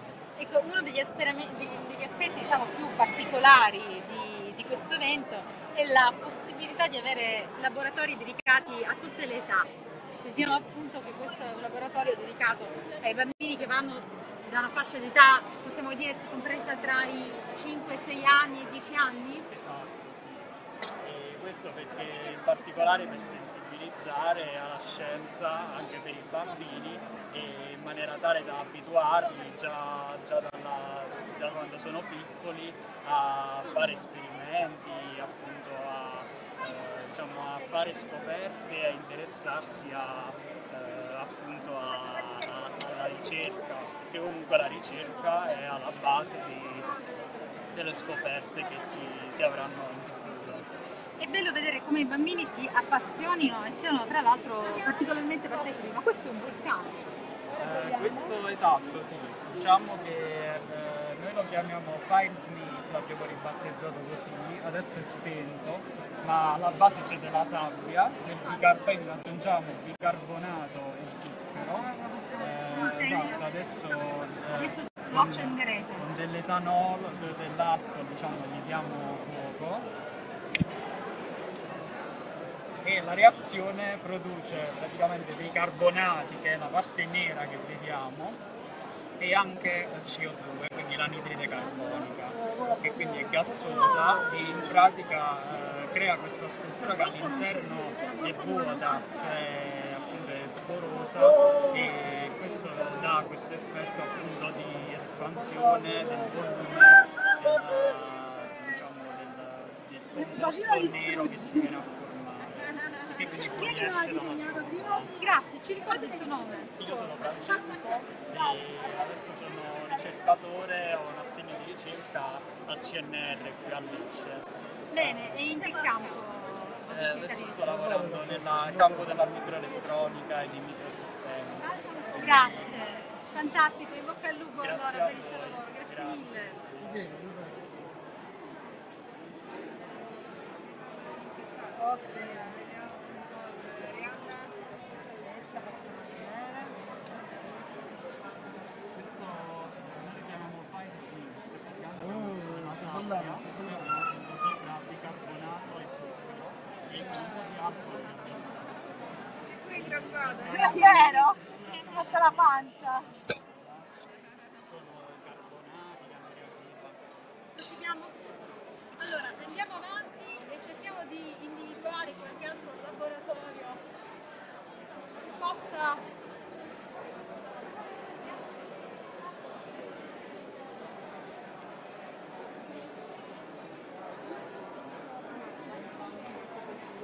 Davvero pieno di attività. Laboratorio sensori. Ah, del Consiglio Nazionale di Ricerca. Istituto di Microelettronica e Microsistemi. Ciao, tu sei? Antonio, buonasera. Buonasera, ti occupi di? Sono eh, progettista di interfacce elettroniche per sensori. Caspita, sembra interessantissimo. Facendo qui? C'è tanta gente eh, molto, molto appassionata a questa... Essenzialmente questo è quello che faccio io, questo è quello che faccio ogni giorno. Eh, vedere diciamo, le competenze che abbiamo di sviluppo di circuiti fatti con sistemi embedded, essenzialmente guardate sono queste schede, queste si chiamano circuiti stampati e mm, in pratica sono come microcomputer che eh, super attivi- acquisiscono segnali molto velocemente. Eh, noi riusciamo addirittura a progettare date, per esempio qui dietro eh, quello che è un circuito intero eh, in cui ci sono eh, tutti i dispositivi, tutti compressi all'interno di un'area molto Dove, dove li ritroviamo solitamente nella vita quotidiana, utilizzati? Questi li usiamo dappertutto. Noi usiamo continuamente chip, iconi, tv, eh, auto, dappertutto. Sono presenti veramente dappertutto. Quindi è molto importante studiare il funzionamento, studiare il modo con cui li progettiamo. E noi a Lecce eh, facciamo anche questo. Quindi utilizziamo tecnologie molto avanzate e complesse per la realizzazione di questi circuiti. Bene, sembra davvero, davvero interessante, grazie per averci anche dato l'opportunità di, di avere un insight vero e proprio, cioè di entrare dentro. Full insight. Ecco. Ehm, di entrare dentro, diciamo, e di guardare, di avere una prospettiva diversa da quella che abbiamo solitamente.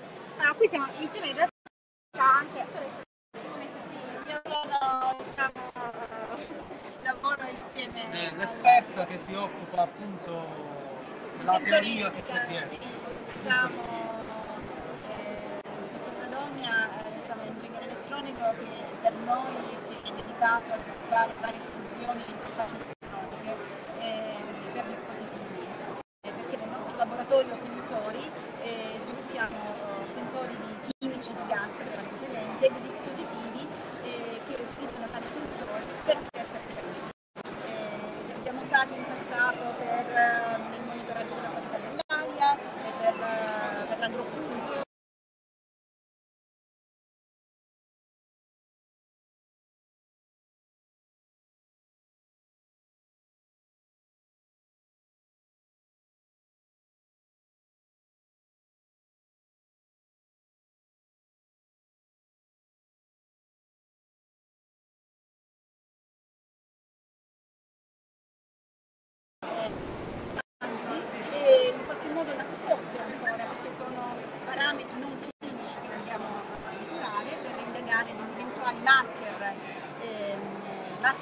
marker molecolari, in questo caso nello stato volatile, di patologie.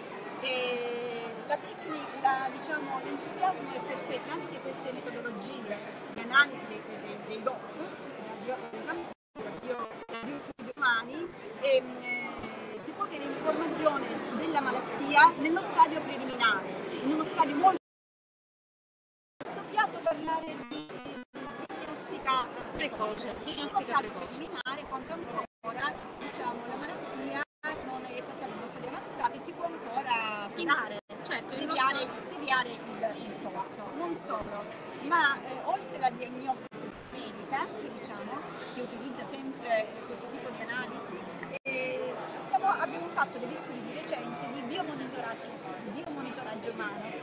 Andati eh, a eh, monitorare eh, dei soggetti sani che vivono in aree fortemente contaminate. Terra del Fuoco, Valle del Sacco, sono no- zone note eh, dove c'è una forte incidenza. Abbiamo anche in un futuro un progetto che speriamo che venga appro- approvato l'intenzione di analizzare ad esempio la, la zona di Torino ehm, e anche una zona a Torino, quindi per monitorare eh, aree a, a diverso tipo di inquinamento.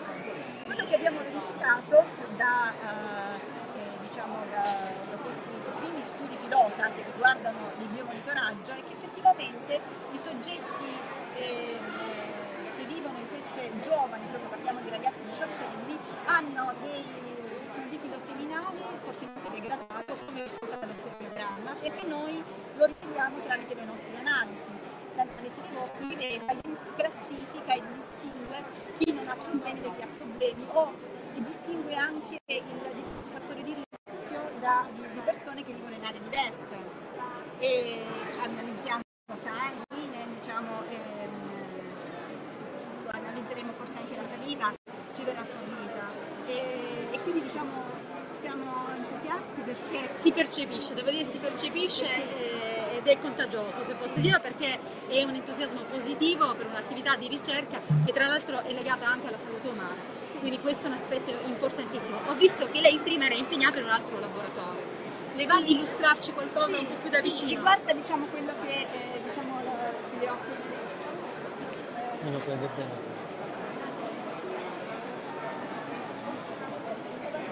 Salve, siamo in diretta sul canale ufficiale Notte dei ricercatori, solo per avere un overview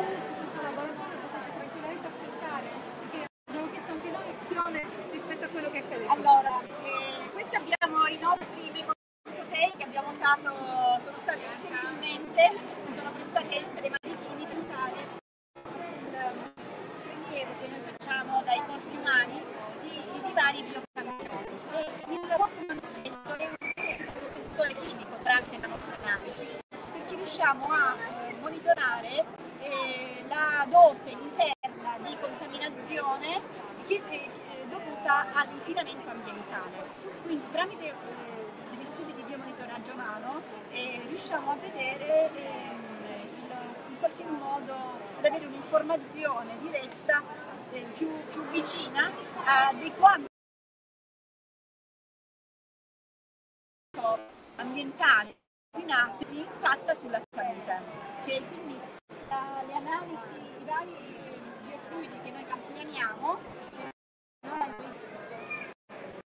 eh, sono di individuare dei marcatori volatili, in questo caso particolare, eh, dell'inquinamento ambientale, in questo senso il corpo umano un senso chimico, ma anche di stadi precoci della malattia, come dicevamo prima. Il dispositivo, eh, le metodologie che noi siamo appunto, che utilizziamo presso il laboratorio sensori, sono eh, sia eh, la nuove tecnologie che riguardano il naso, eh, che coinvolgono il naso elettronico, e che metodologie classiche, diciamo, che però eh, permettono un'analisi analitica. Abbiamo un gas cromatografo di massa che ci dice e quindi il nostro naso elettronico analizza. Quindi abbiamo sia diciamo, due metodologie complementari che, si- ehm, eh, che permettono di creare un sistema intelligente a distratto per una diagnostica eh, preventiva e- oppure per il monitoraggio umano per vedere prevenzione l'inquinamento dell'ambiente. E, mm, diciamo, il dispositivo ha il vantaggio di essere portatile, compatto,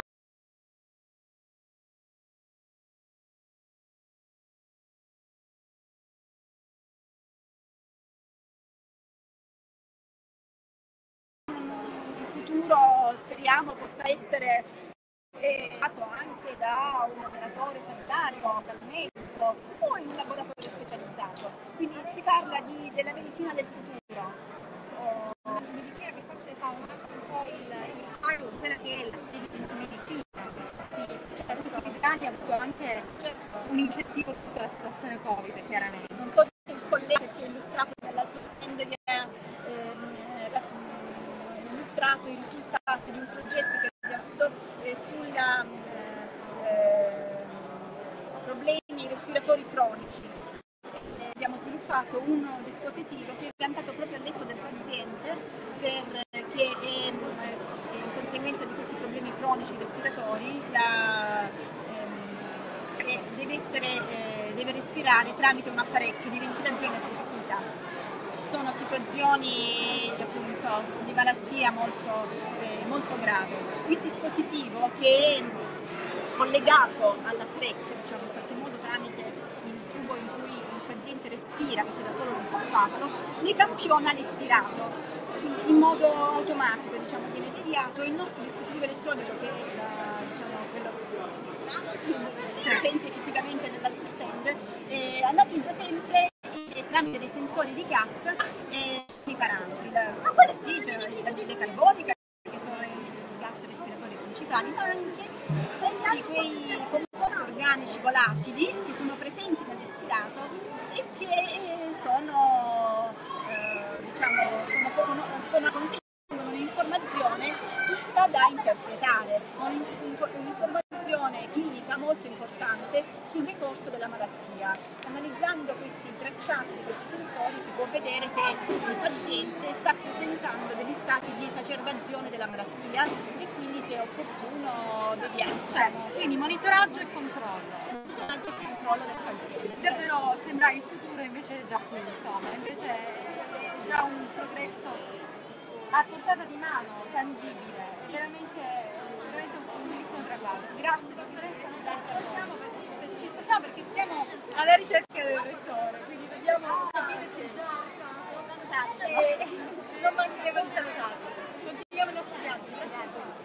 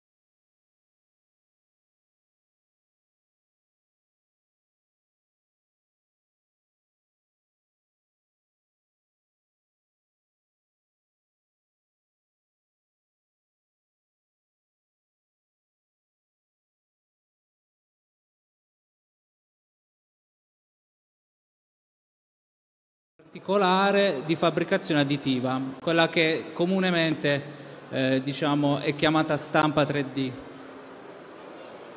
Che cos'è l'industria 4.0? Ultimamente mh, ne sentiamo parlare parecchio, ci sono anche parecchi investimenti e la quarta evoluzione del, diciamo, ehm, dire, delle, dell'evoluzione no?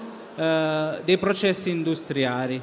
E in particolare la, la quarta rivoluzione industriale è caratterizzata dalla fusione dello spazio eh, fisico con lo spazio digitale, con lo spazio eh, pervaso da internet, no?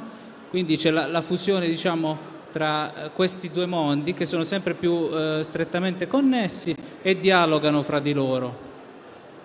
Eh, l'industria 4.0 eh, ha tra i suoi elementi chiave appunto i sistemi cyberfisici, eh, l'internet delle cose, l'internet dei servizi e la fabbrica intelligente. Sono eh, le tecnologie di base che la caratterizzano.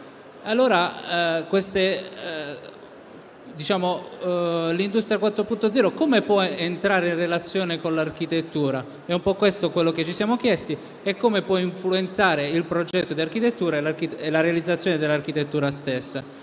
E allora eh, questi principi in realtà si possono sposare molto bene con quella che è eh, diciamo, la rivoluzione digitale che è avvenuta negli ultimi anni in architettura. E, e quindi abbiamo una serie di processi come la virtualizzazione e la personalizzazione di massa, cioè la possibilità di produrre eh, pezzi non più basati sulla produzione di massa, quindi sempre uguali, ma pezzi sempre diversi e calibrati secondo delle esigenze specifiche eh, dell'utente, del committente.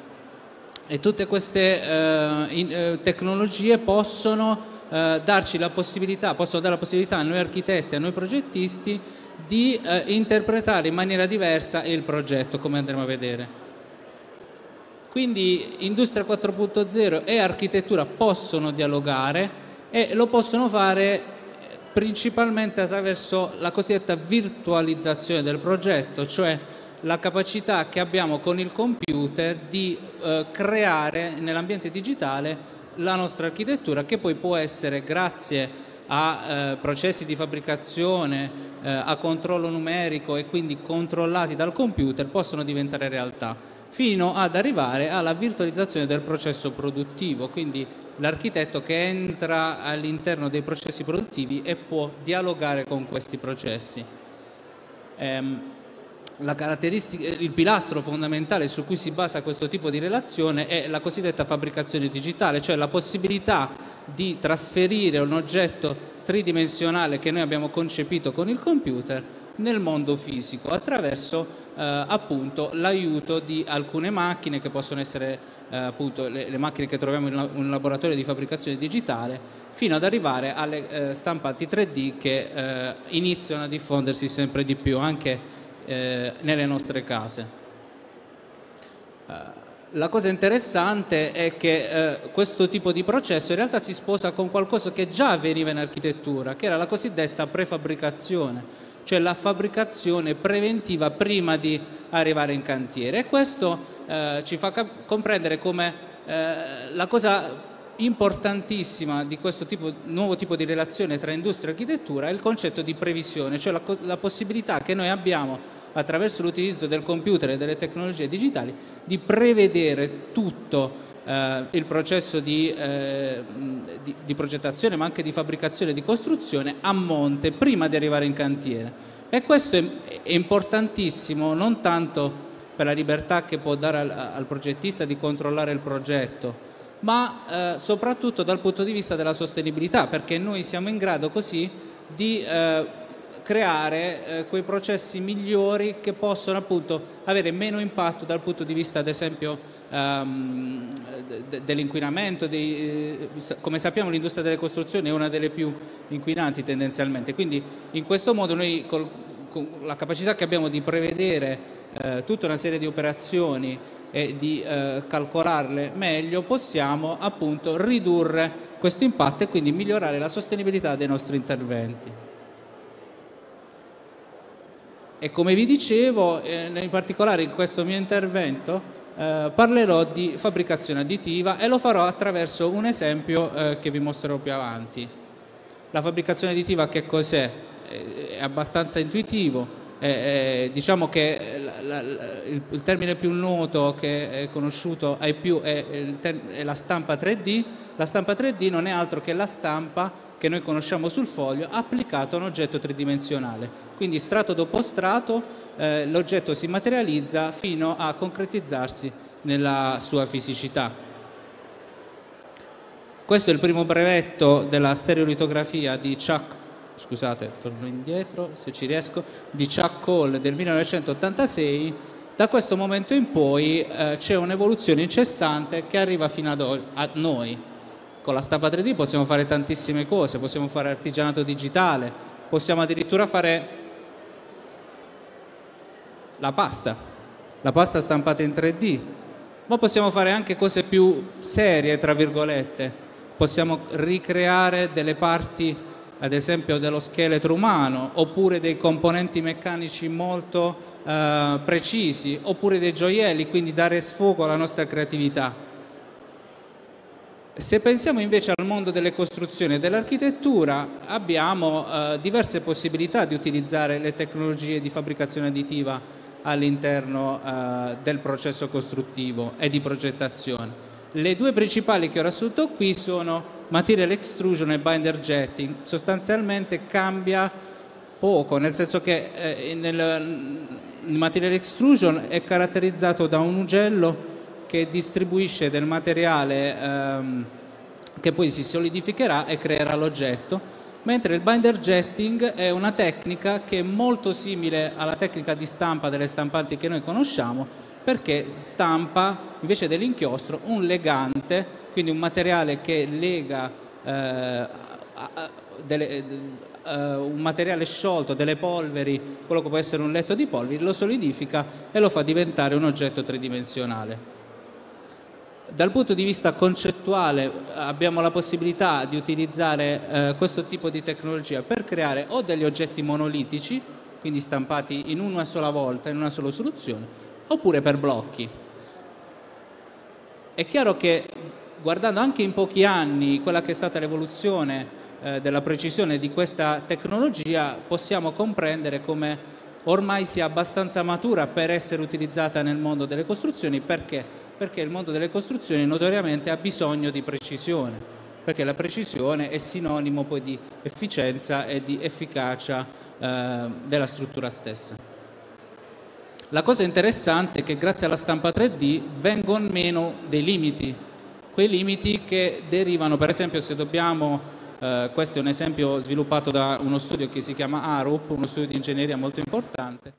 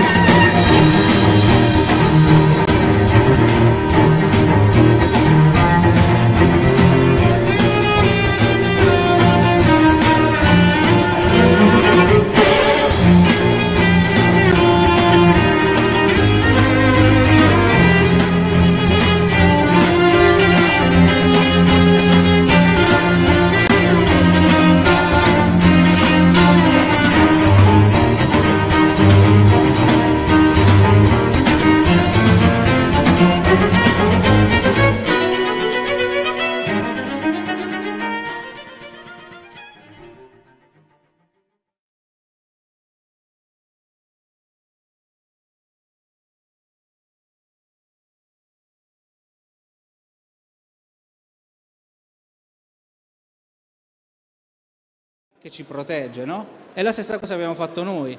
Abbiamo creato questo spessore, questo manto di sabbia solidificato che ci protegge. Poi abbiamo fatto anche altre cose, abbiamo cercato di raffrescare eh, l'ambiente con dei sistemi a tecnologia molto ehm, bassa, nel senso eh, di, che utilizzano pochissima energia o per niente, magari ne parleremo dopo, e, però fondamentalmente quello che abbiamo fatto è un po' quello che fanno i bambini, no?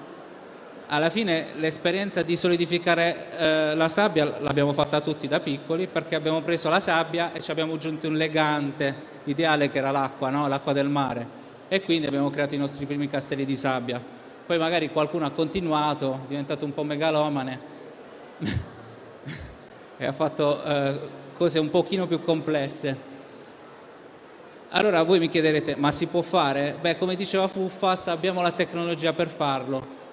Effettivamente la tecnologia c'è perché um, de, poche, poche, company però uh, hanno sviluppato delle stampati 3D che effettivamente sono in grado di prendere un materiale come quello che può essere la sabbia o quelle che possono essere delle polveri, polvere di legno, ultimamente polvere di pietra, quindi questo può essere interessante anche per il nostro contesto, e attraverso eh, l'utilizzo di un legante possiamo stampare dei blocchi di dimensione eh, anche considerevole e ricollegandoci all'industria 4.0 questo tipo di, eh, di, di, macchinari è interessante perché può essere eh, adattata al contesto locale, quindi possiamo immaginare appunto che, siano, eh, che, che queste fabbriche siano eh, molto leggere, smart, si parla di smart factory, perché si parla di smart factory?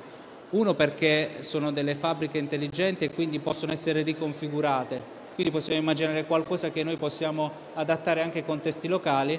E poi eh, pensando al tema dello spazio cyberfisico possono essere anche fortemente eh, automatizzate.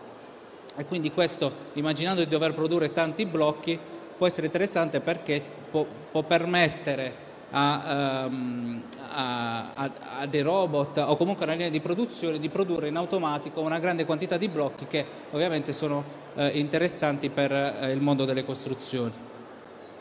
Eh, questa è, lo, la cito perché eh, se qualcuno vuole un riferimento più specifico è una startup olandese che eh, è in grado di che si è concentrata proprio per la produzione di di eh, componenti stampate in 3D per l'architettura, quindi per chi fosse interessato può approfondire.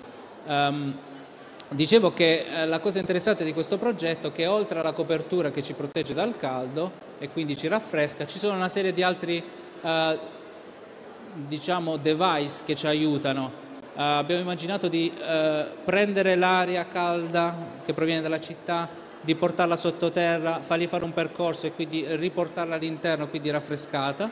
Abbiamo immaginato di utilizzare un cosiddetto impianto di brumizzazione che non è altro che vapore nebulizzato che una volta sparato ad alta pressione ci, eh, evaporando dona una sensazione di, di, di fresco all'interno dello spazio e, e, poi abbiamo immaginato di utilizzare l'acqua che è un elemento molto prezioso ovviamente in questi contesti ma in realtà lo è anche da noi e, che dal punto di vista psicologico ma anche dal punto di vista eh, proprio del, della, della, fisica tecnica ci permette in combinazione con il vento di eh, creare dei fenomeni di raffrescamento locali che in uno spazio urbano sono molto importanti.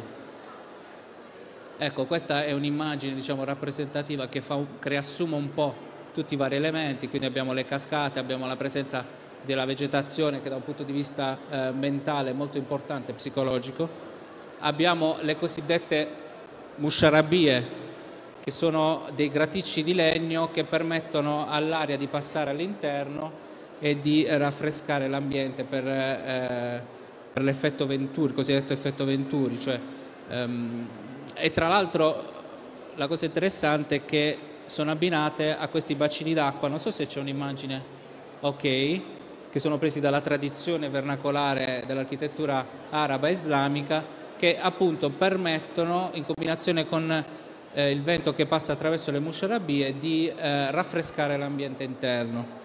Quindi semplicemente utilizzando le risorse naturali del luogo quindi senza andare effettivamente a utilizzare un impianto di climatizzazione che dal punto di vista energetico sarebbe molto oneroso. È chiaro che tutto ciò è possibile grazie alla progettazione digitale, cioè con la progettazione digitale noi abbiamo la possibilità di eh, prevedere tutta la forma, di studiare e di eh, creare tutti i componenti edilizi che poi noi andremo, tutti i blocchi che poi andremo a installare, quindi fare delle analisi anche dal punto di vista climatico o dal punto di vista strutturale, quindi il concetto di previsione e di virtualizzazione del progetto, è chiaro che eh, quella che è la progettazione computazionale ci aiuta a capire se effettivamente il progetto funziona.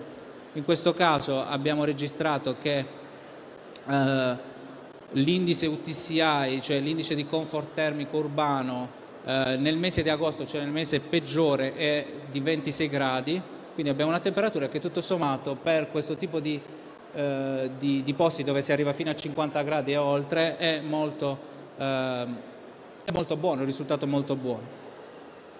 Ovviamente diciamo, eh, il sistema poi può essere eh, adattato a diverse esigenze urbane, questa è una vista diciamo, di notte abbastanza evocativa. Io dovrei avere un video se parte ok, che poi diciamo, chiude la presentazione.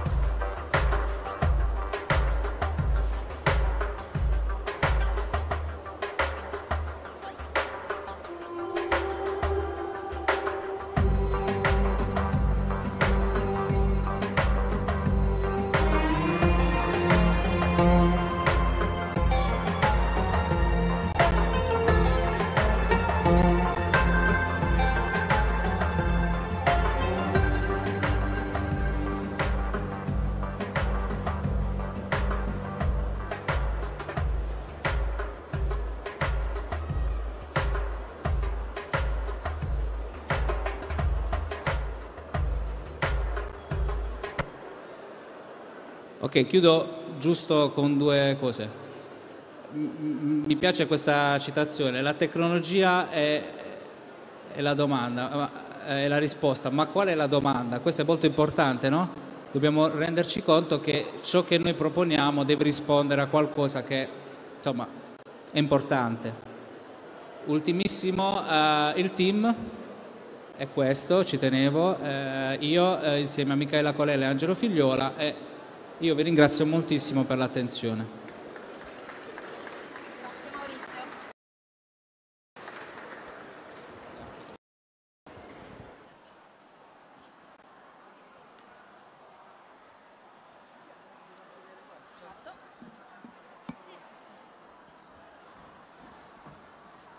Allora, uh, stiamo praticamente arrivati all'inizio di quella che sarà la trasmissione a livello regionale dei nostri, dei nostri interventi divulgativi e quindi vorrei, per i saluti istituzionali, vorrei chiamare sul palco eh, diciamo, i nostri invitati.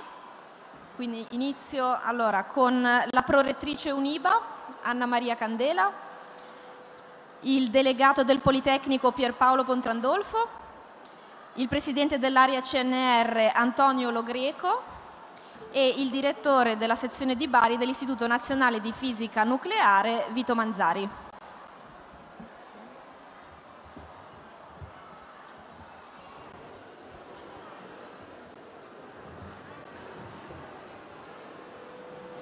dopo la, la presidenza.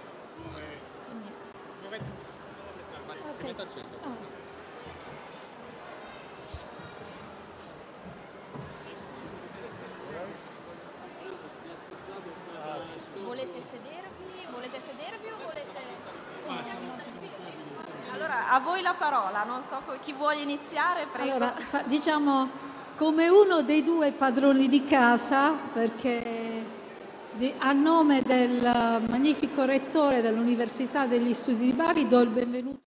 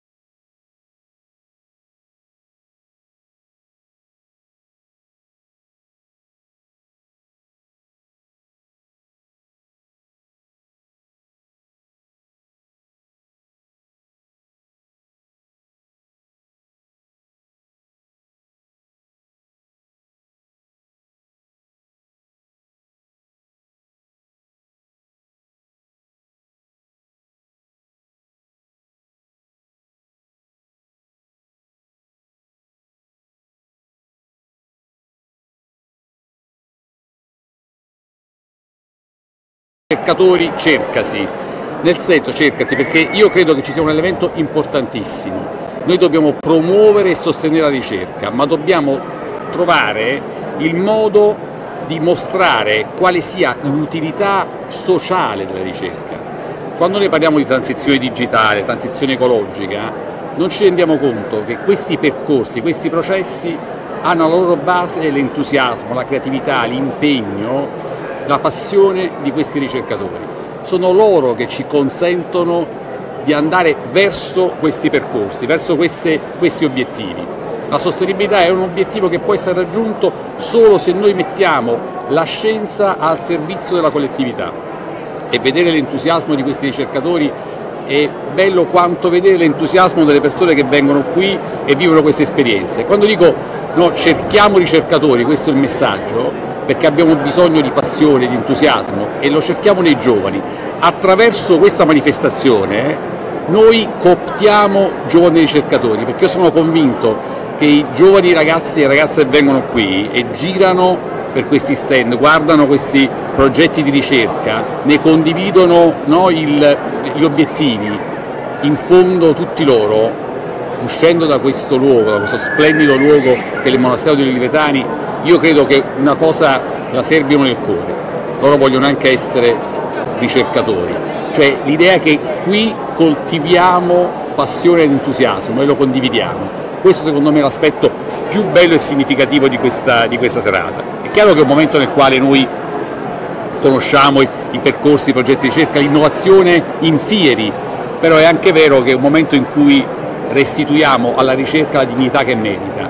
La ricerca è il nostro futuro, costruisce il nostro futuro, ecco perché dobbiamo essere a fianco alla ricerca. E questo è un momento in cui la comunità, e lo potete vedere qui intorno, si stringe attorno ai loro ricercatori. Quando una squadra di calcio, lo dico sempre, vince, tutti quanti noi siamo pronti a festeggiarla. In realtà in questo momento noi stiamo festeggiando la ricerca ed è una cosa credo un po' più importante. Ecco, eh, questo è un aspetto veramente interessante e fondamentale. C'è anche un altro aspetto che riguarda il valore sociale di questa manifestazione e la capacità di condividere il sapere scientifico e di divulgarlo. Un'attività in cui sono impegnati tantissimi ricercatori, come appunto diceva il Rettore, e che sono in prima linea e lo fanno con entusiasmo. C'è però un attore fondamentale che ha catalizzato diciamo, questo evento e l'ha permesso e che è sicuramente la Marie Curie Actions. E qui abbiamo un rappresentante con noi, Isabella Saini, officer della Commissione UE e del programma appunto Marie Curie Actions, alla quale vogliamo chiedere come ha contribuito alla realizzazione di questo evento e in che modo diciamo, fa da propulsore a questo evento straordinario.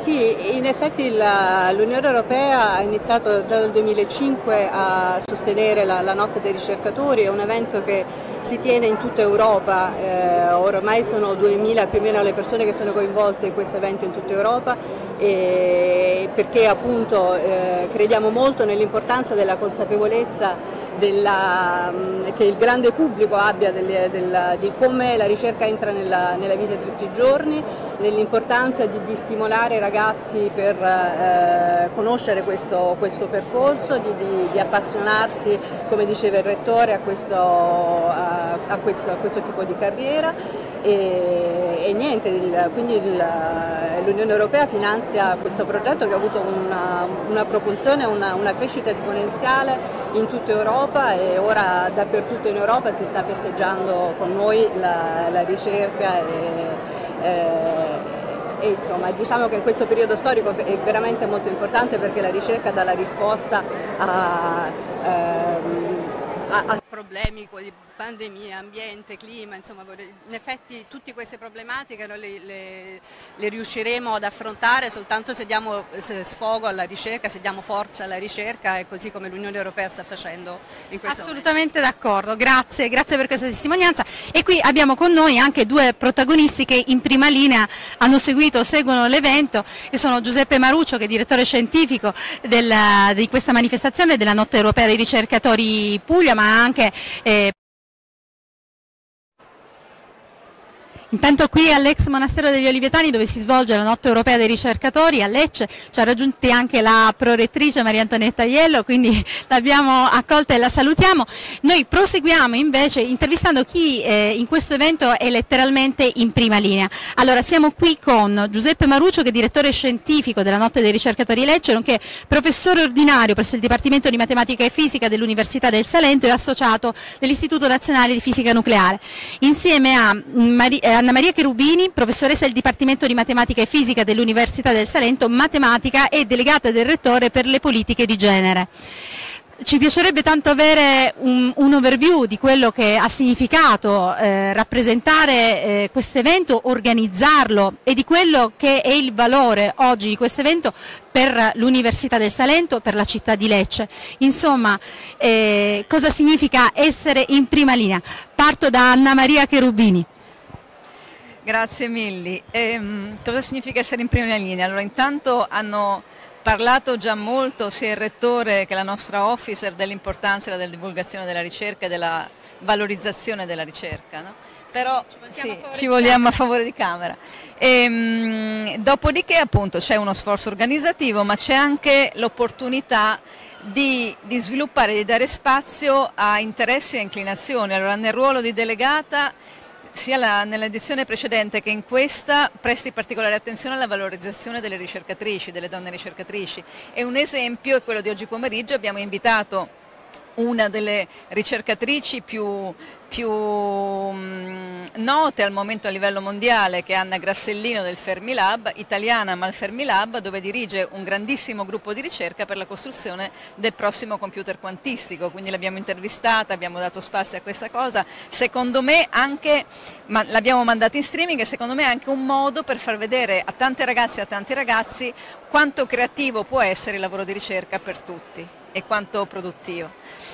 L'altra cosa, per esempio per me personalmente una delle mie passioni è il teatro e abbiamo coniugato sia l'anno scorso che quest'anno la divulgazione scientifica con il teatro, quindi l'anno scorso abbiamo messo in scena un testo famosissimo di teatro scientifico che è Copenaghen di Michael Frayn e quest'anno di nuovo come Università del Salento produciamo un altro spettacolo ma questa volta è originale e su un tema già più difficile da raccontare, quindi la matematica, quindi noi domenica racconteremo in uno spettacolo nuovo la vita e le opere di due matematici diversissimi bravissimi ma notevolissimi, uno il salentino Ennio De Giorgi e l'altro il russo Perelman che ha risolto la congettura di Poincaré, per cui c'è anche questa soddisfazione di poter coniugare passioni coniugare passioni, sapere scientifico, sapere umanistico, insomma è veramente un evento pieno di sorprese. Parliamo con Giuseppe Maruccio ora che è il direttore scientifico di questo evento e che eh, devo, devo, dirvi l'ho osservato in questa giornata, non si risparmia nessuna fatica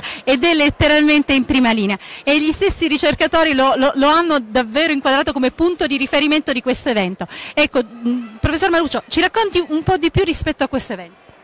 No, è un evento che è una festa per tutta la comunità della ricerca salentina e pugliese, perché è un evento eh, coordinato su tutta la Puglia da ben quattro anni grazie al finanziamento dell'Unione Europea eh, ed è bello comunque interagire e confrontarsi con, con, gli altri attori che si occupano di, di, di ricerca nella, nostro, nella, nostra regione.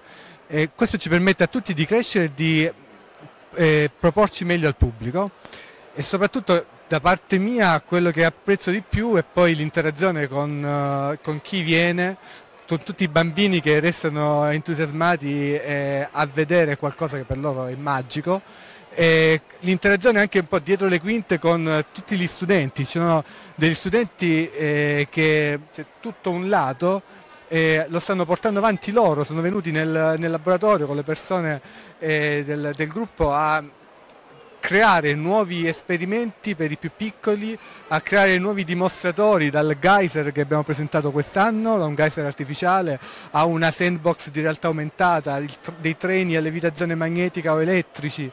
C'è il planetario che hanno portato i colleghi di astrofisica, una, un simulatore di, eh, del Salento Racing Team e tanti, tanti eventi in cui veramente si può toccare con mano quello che significa per noi fare ricerca e quello che è l'entusiasmo che ci mettiamo e che cerchiamo di trasmettere anche agli studenti che come vedete sono fortemente al nostro fianco in questo. Bene, quindi ringraziamo la professoressa Anna Maria Cherubini, il professor Giuseppe Maruccio, la prorettrice Aiello, il rettore che nel frattempo vediamo impegnato, eccolo. Eh, giustissimo investire, investire investire sui giovani. Ringraziamo eh, l'officer UE, la dottoressa Saini, ringrazio tutti voi per essere qui con noi adesso diamo la linea a Bari dove è in corso uno spettacolo e ci rivediamo a tra poco da un'altra sede sempre qui a Lecce. Grazie per essere con noi. Voglio soltanto raccontarvi brevemente la storia di meglio ricercatori che ricercati. E, come dire, ho avuto l'ispirazione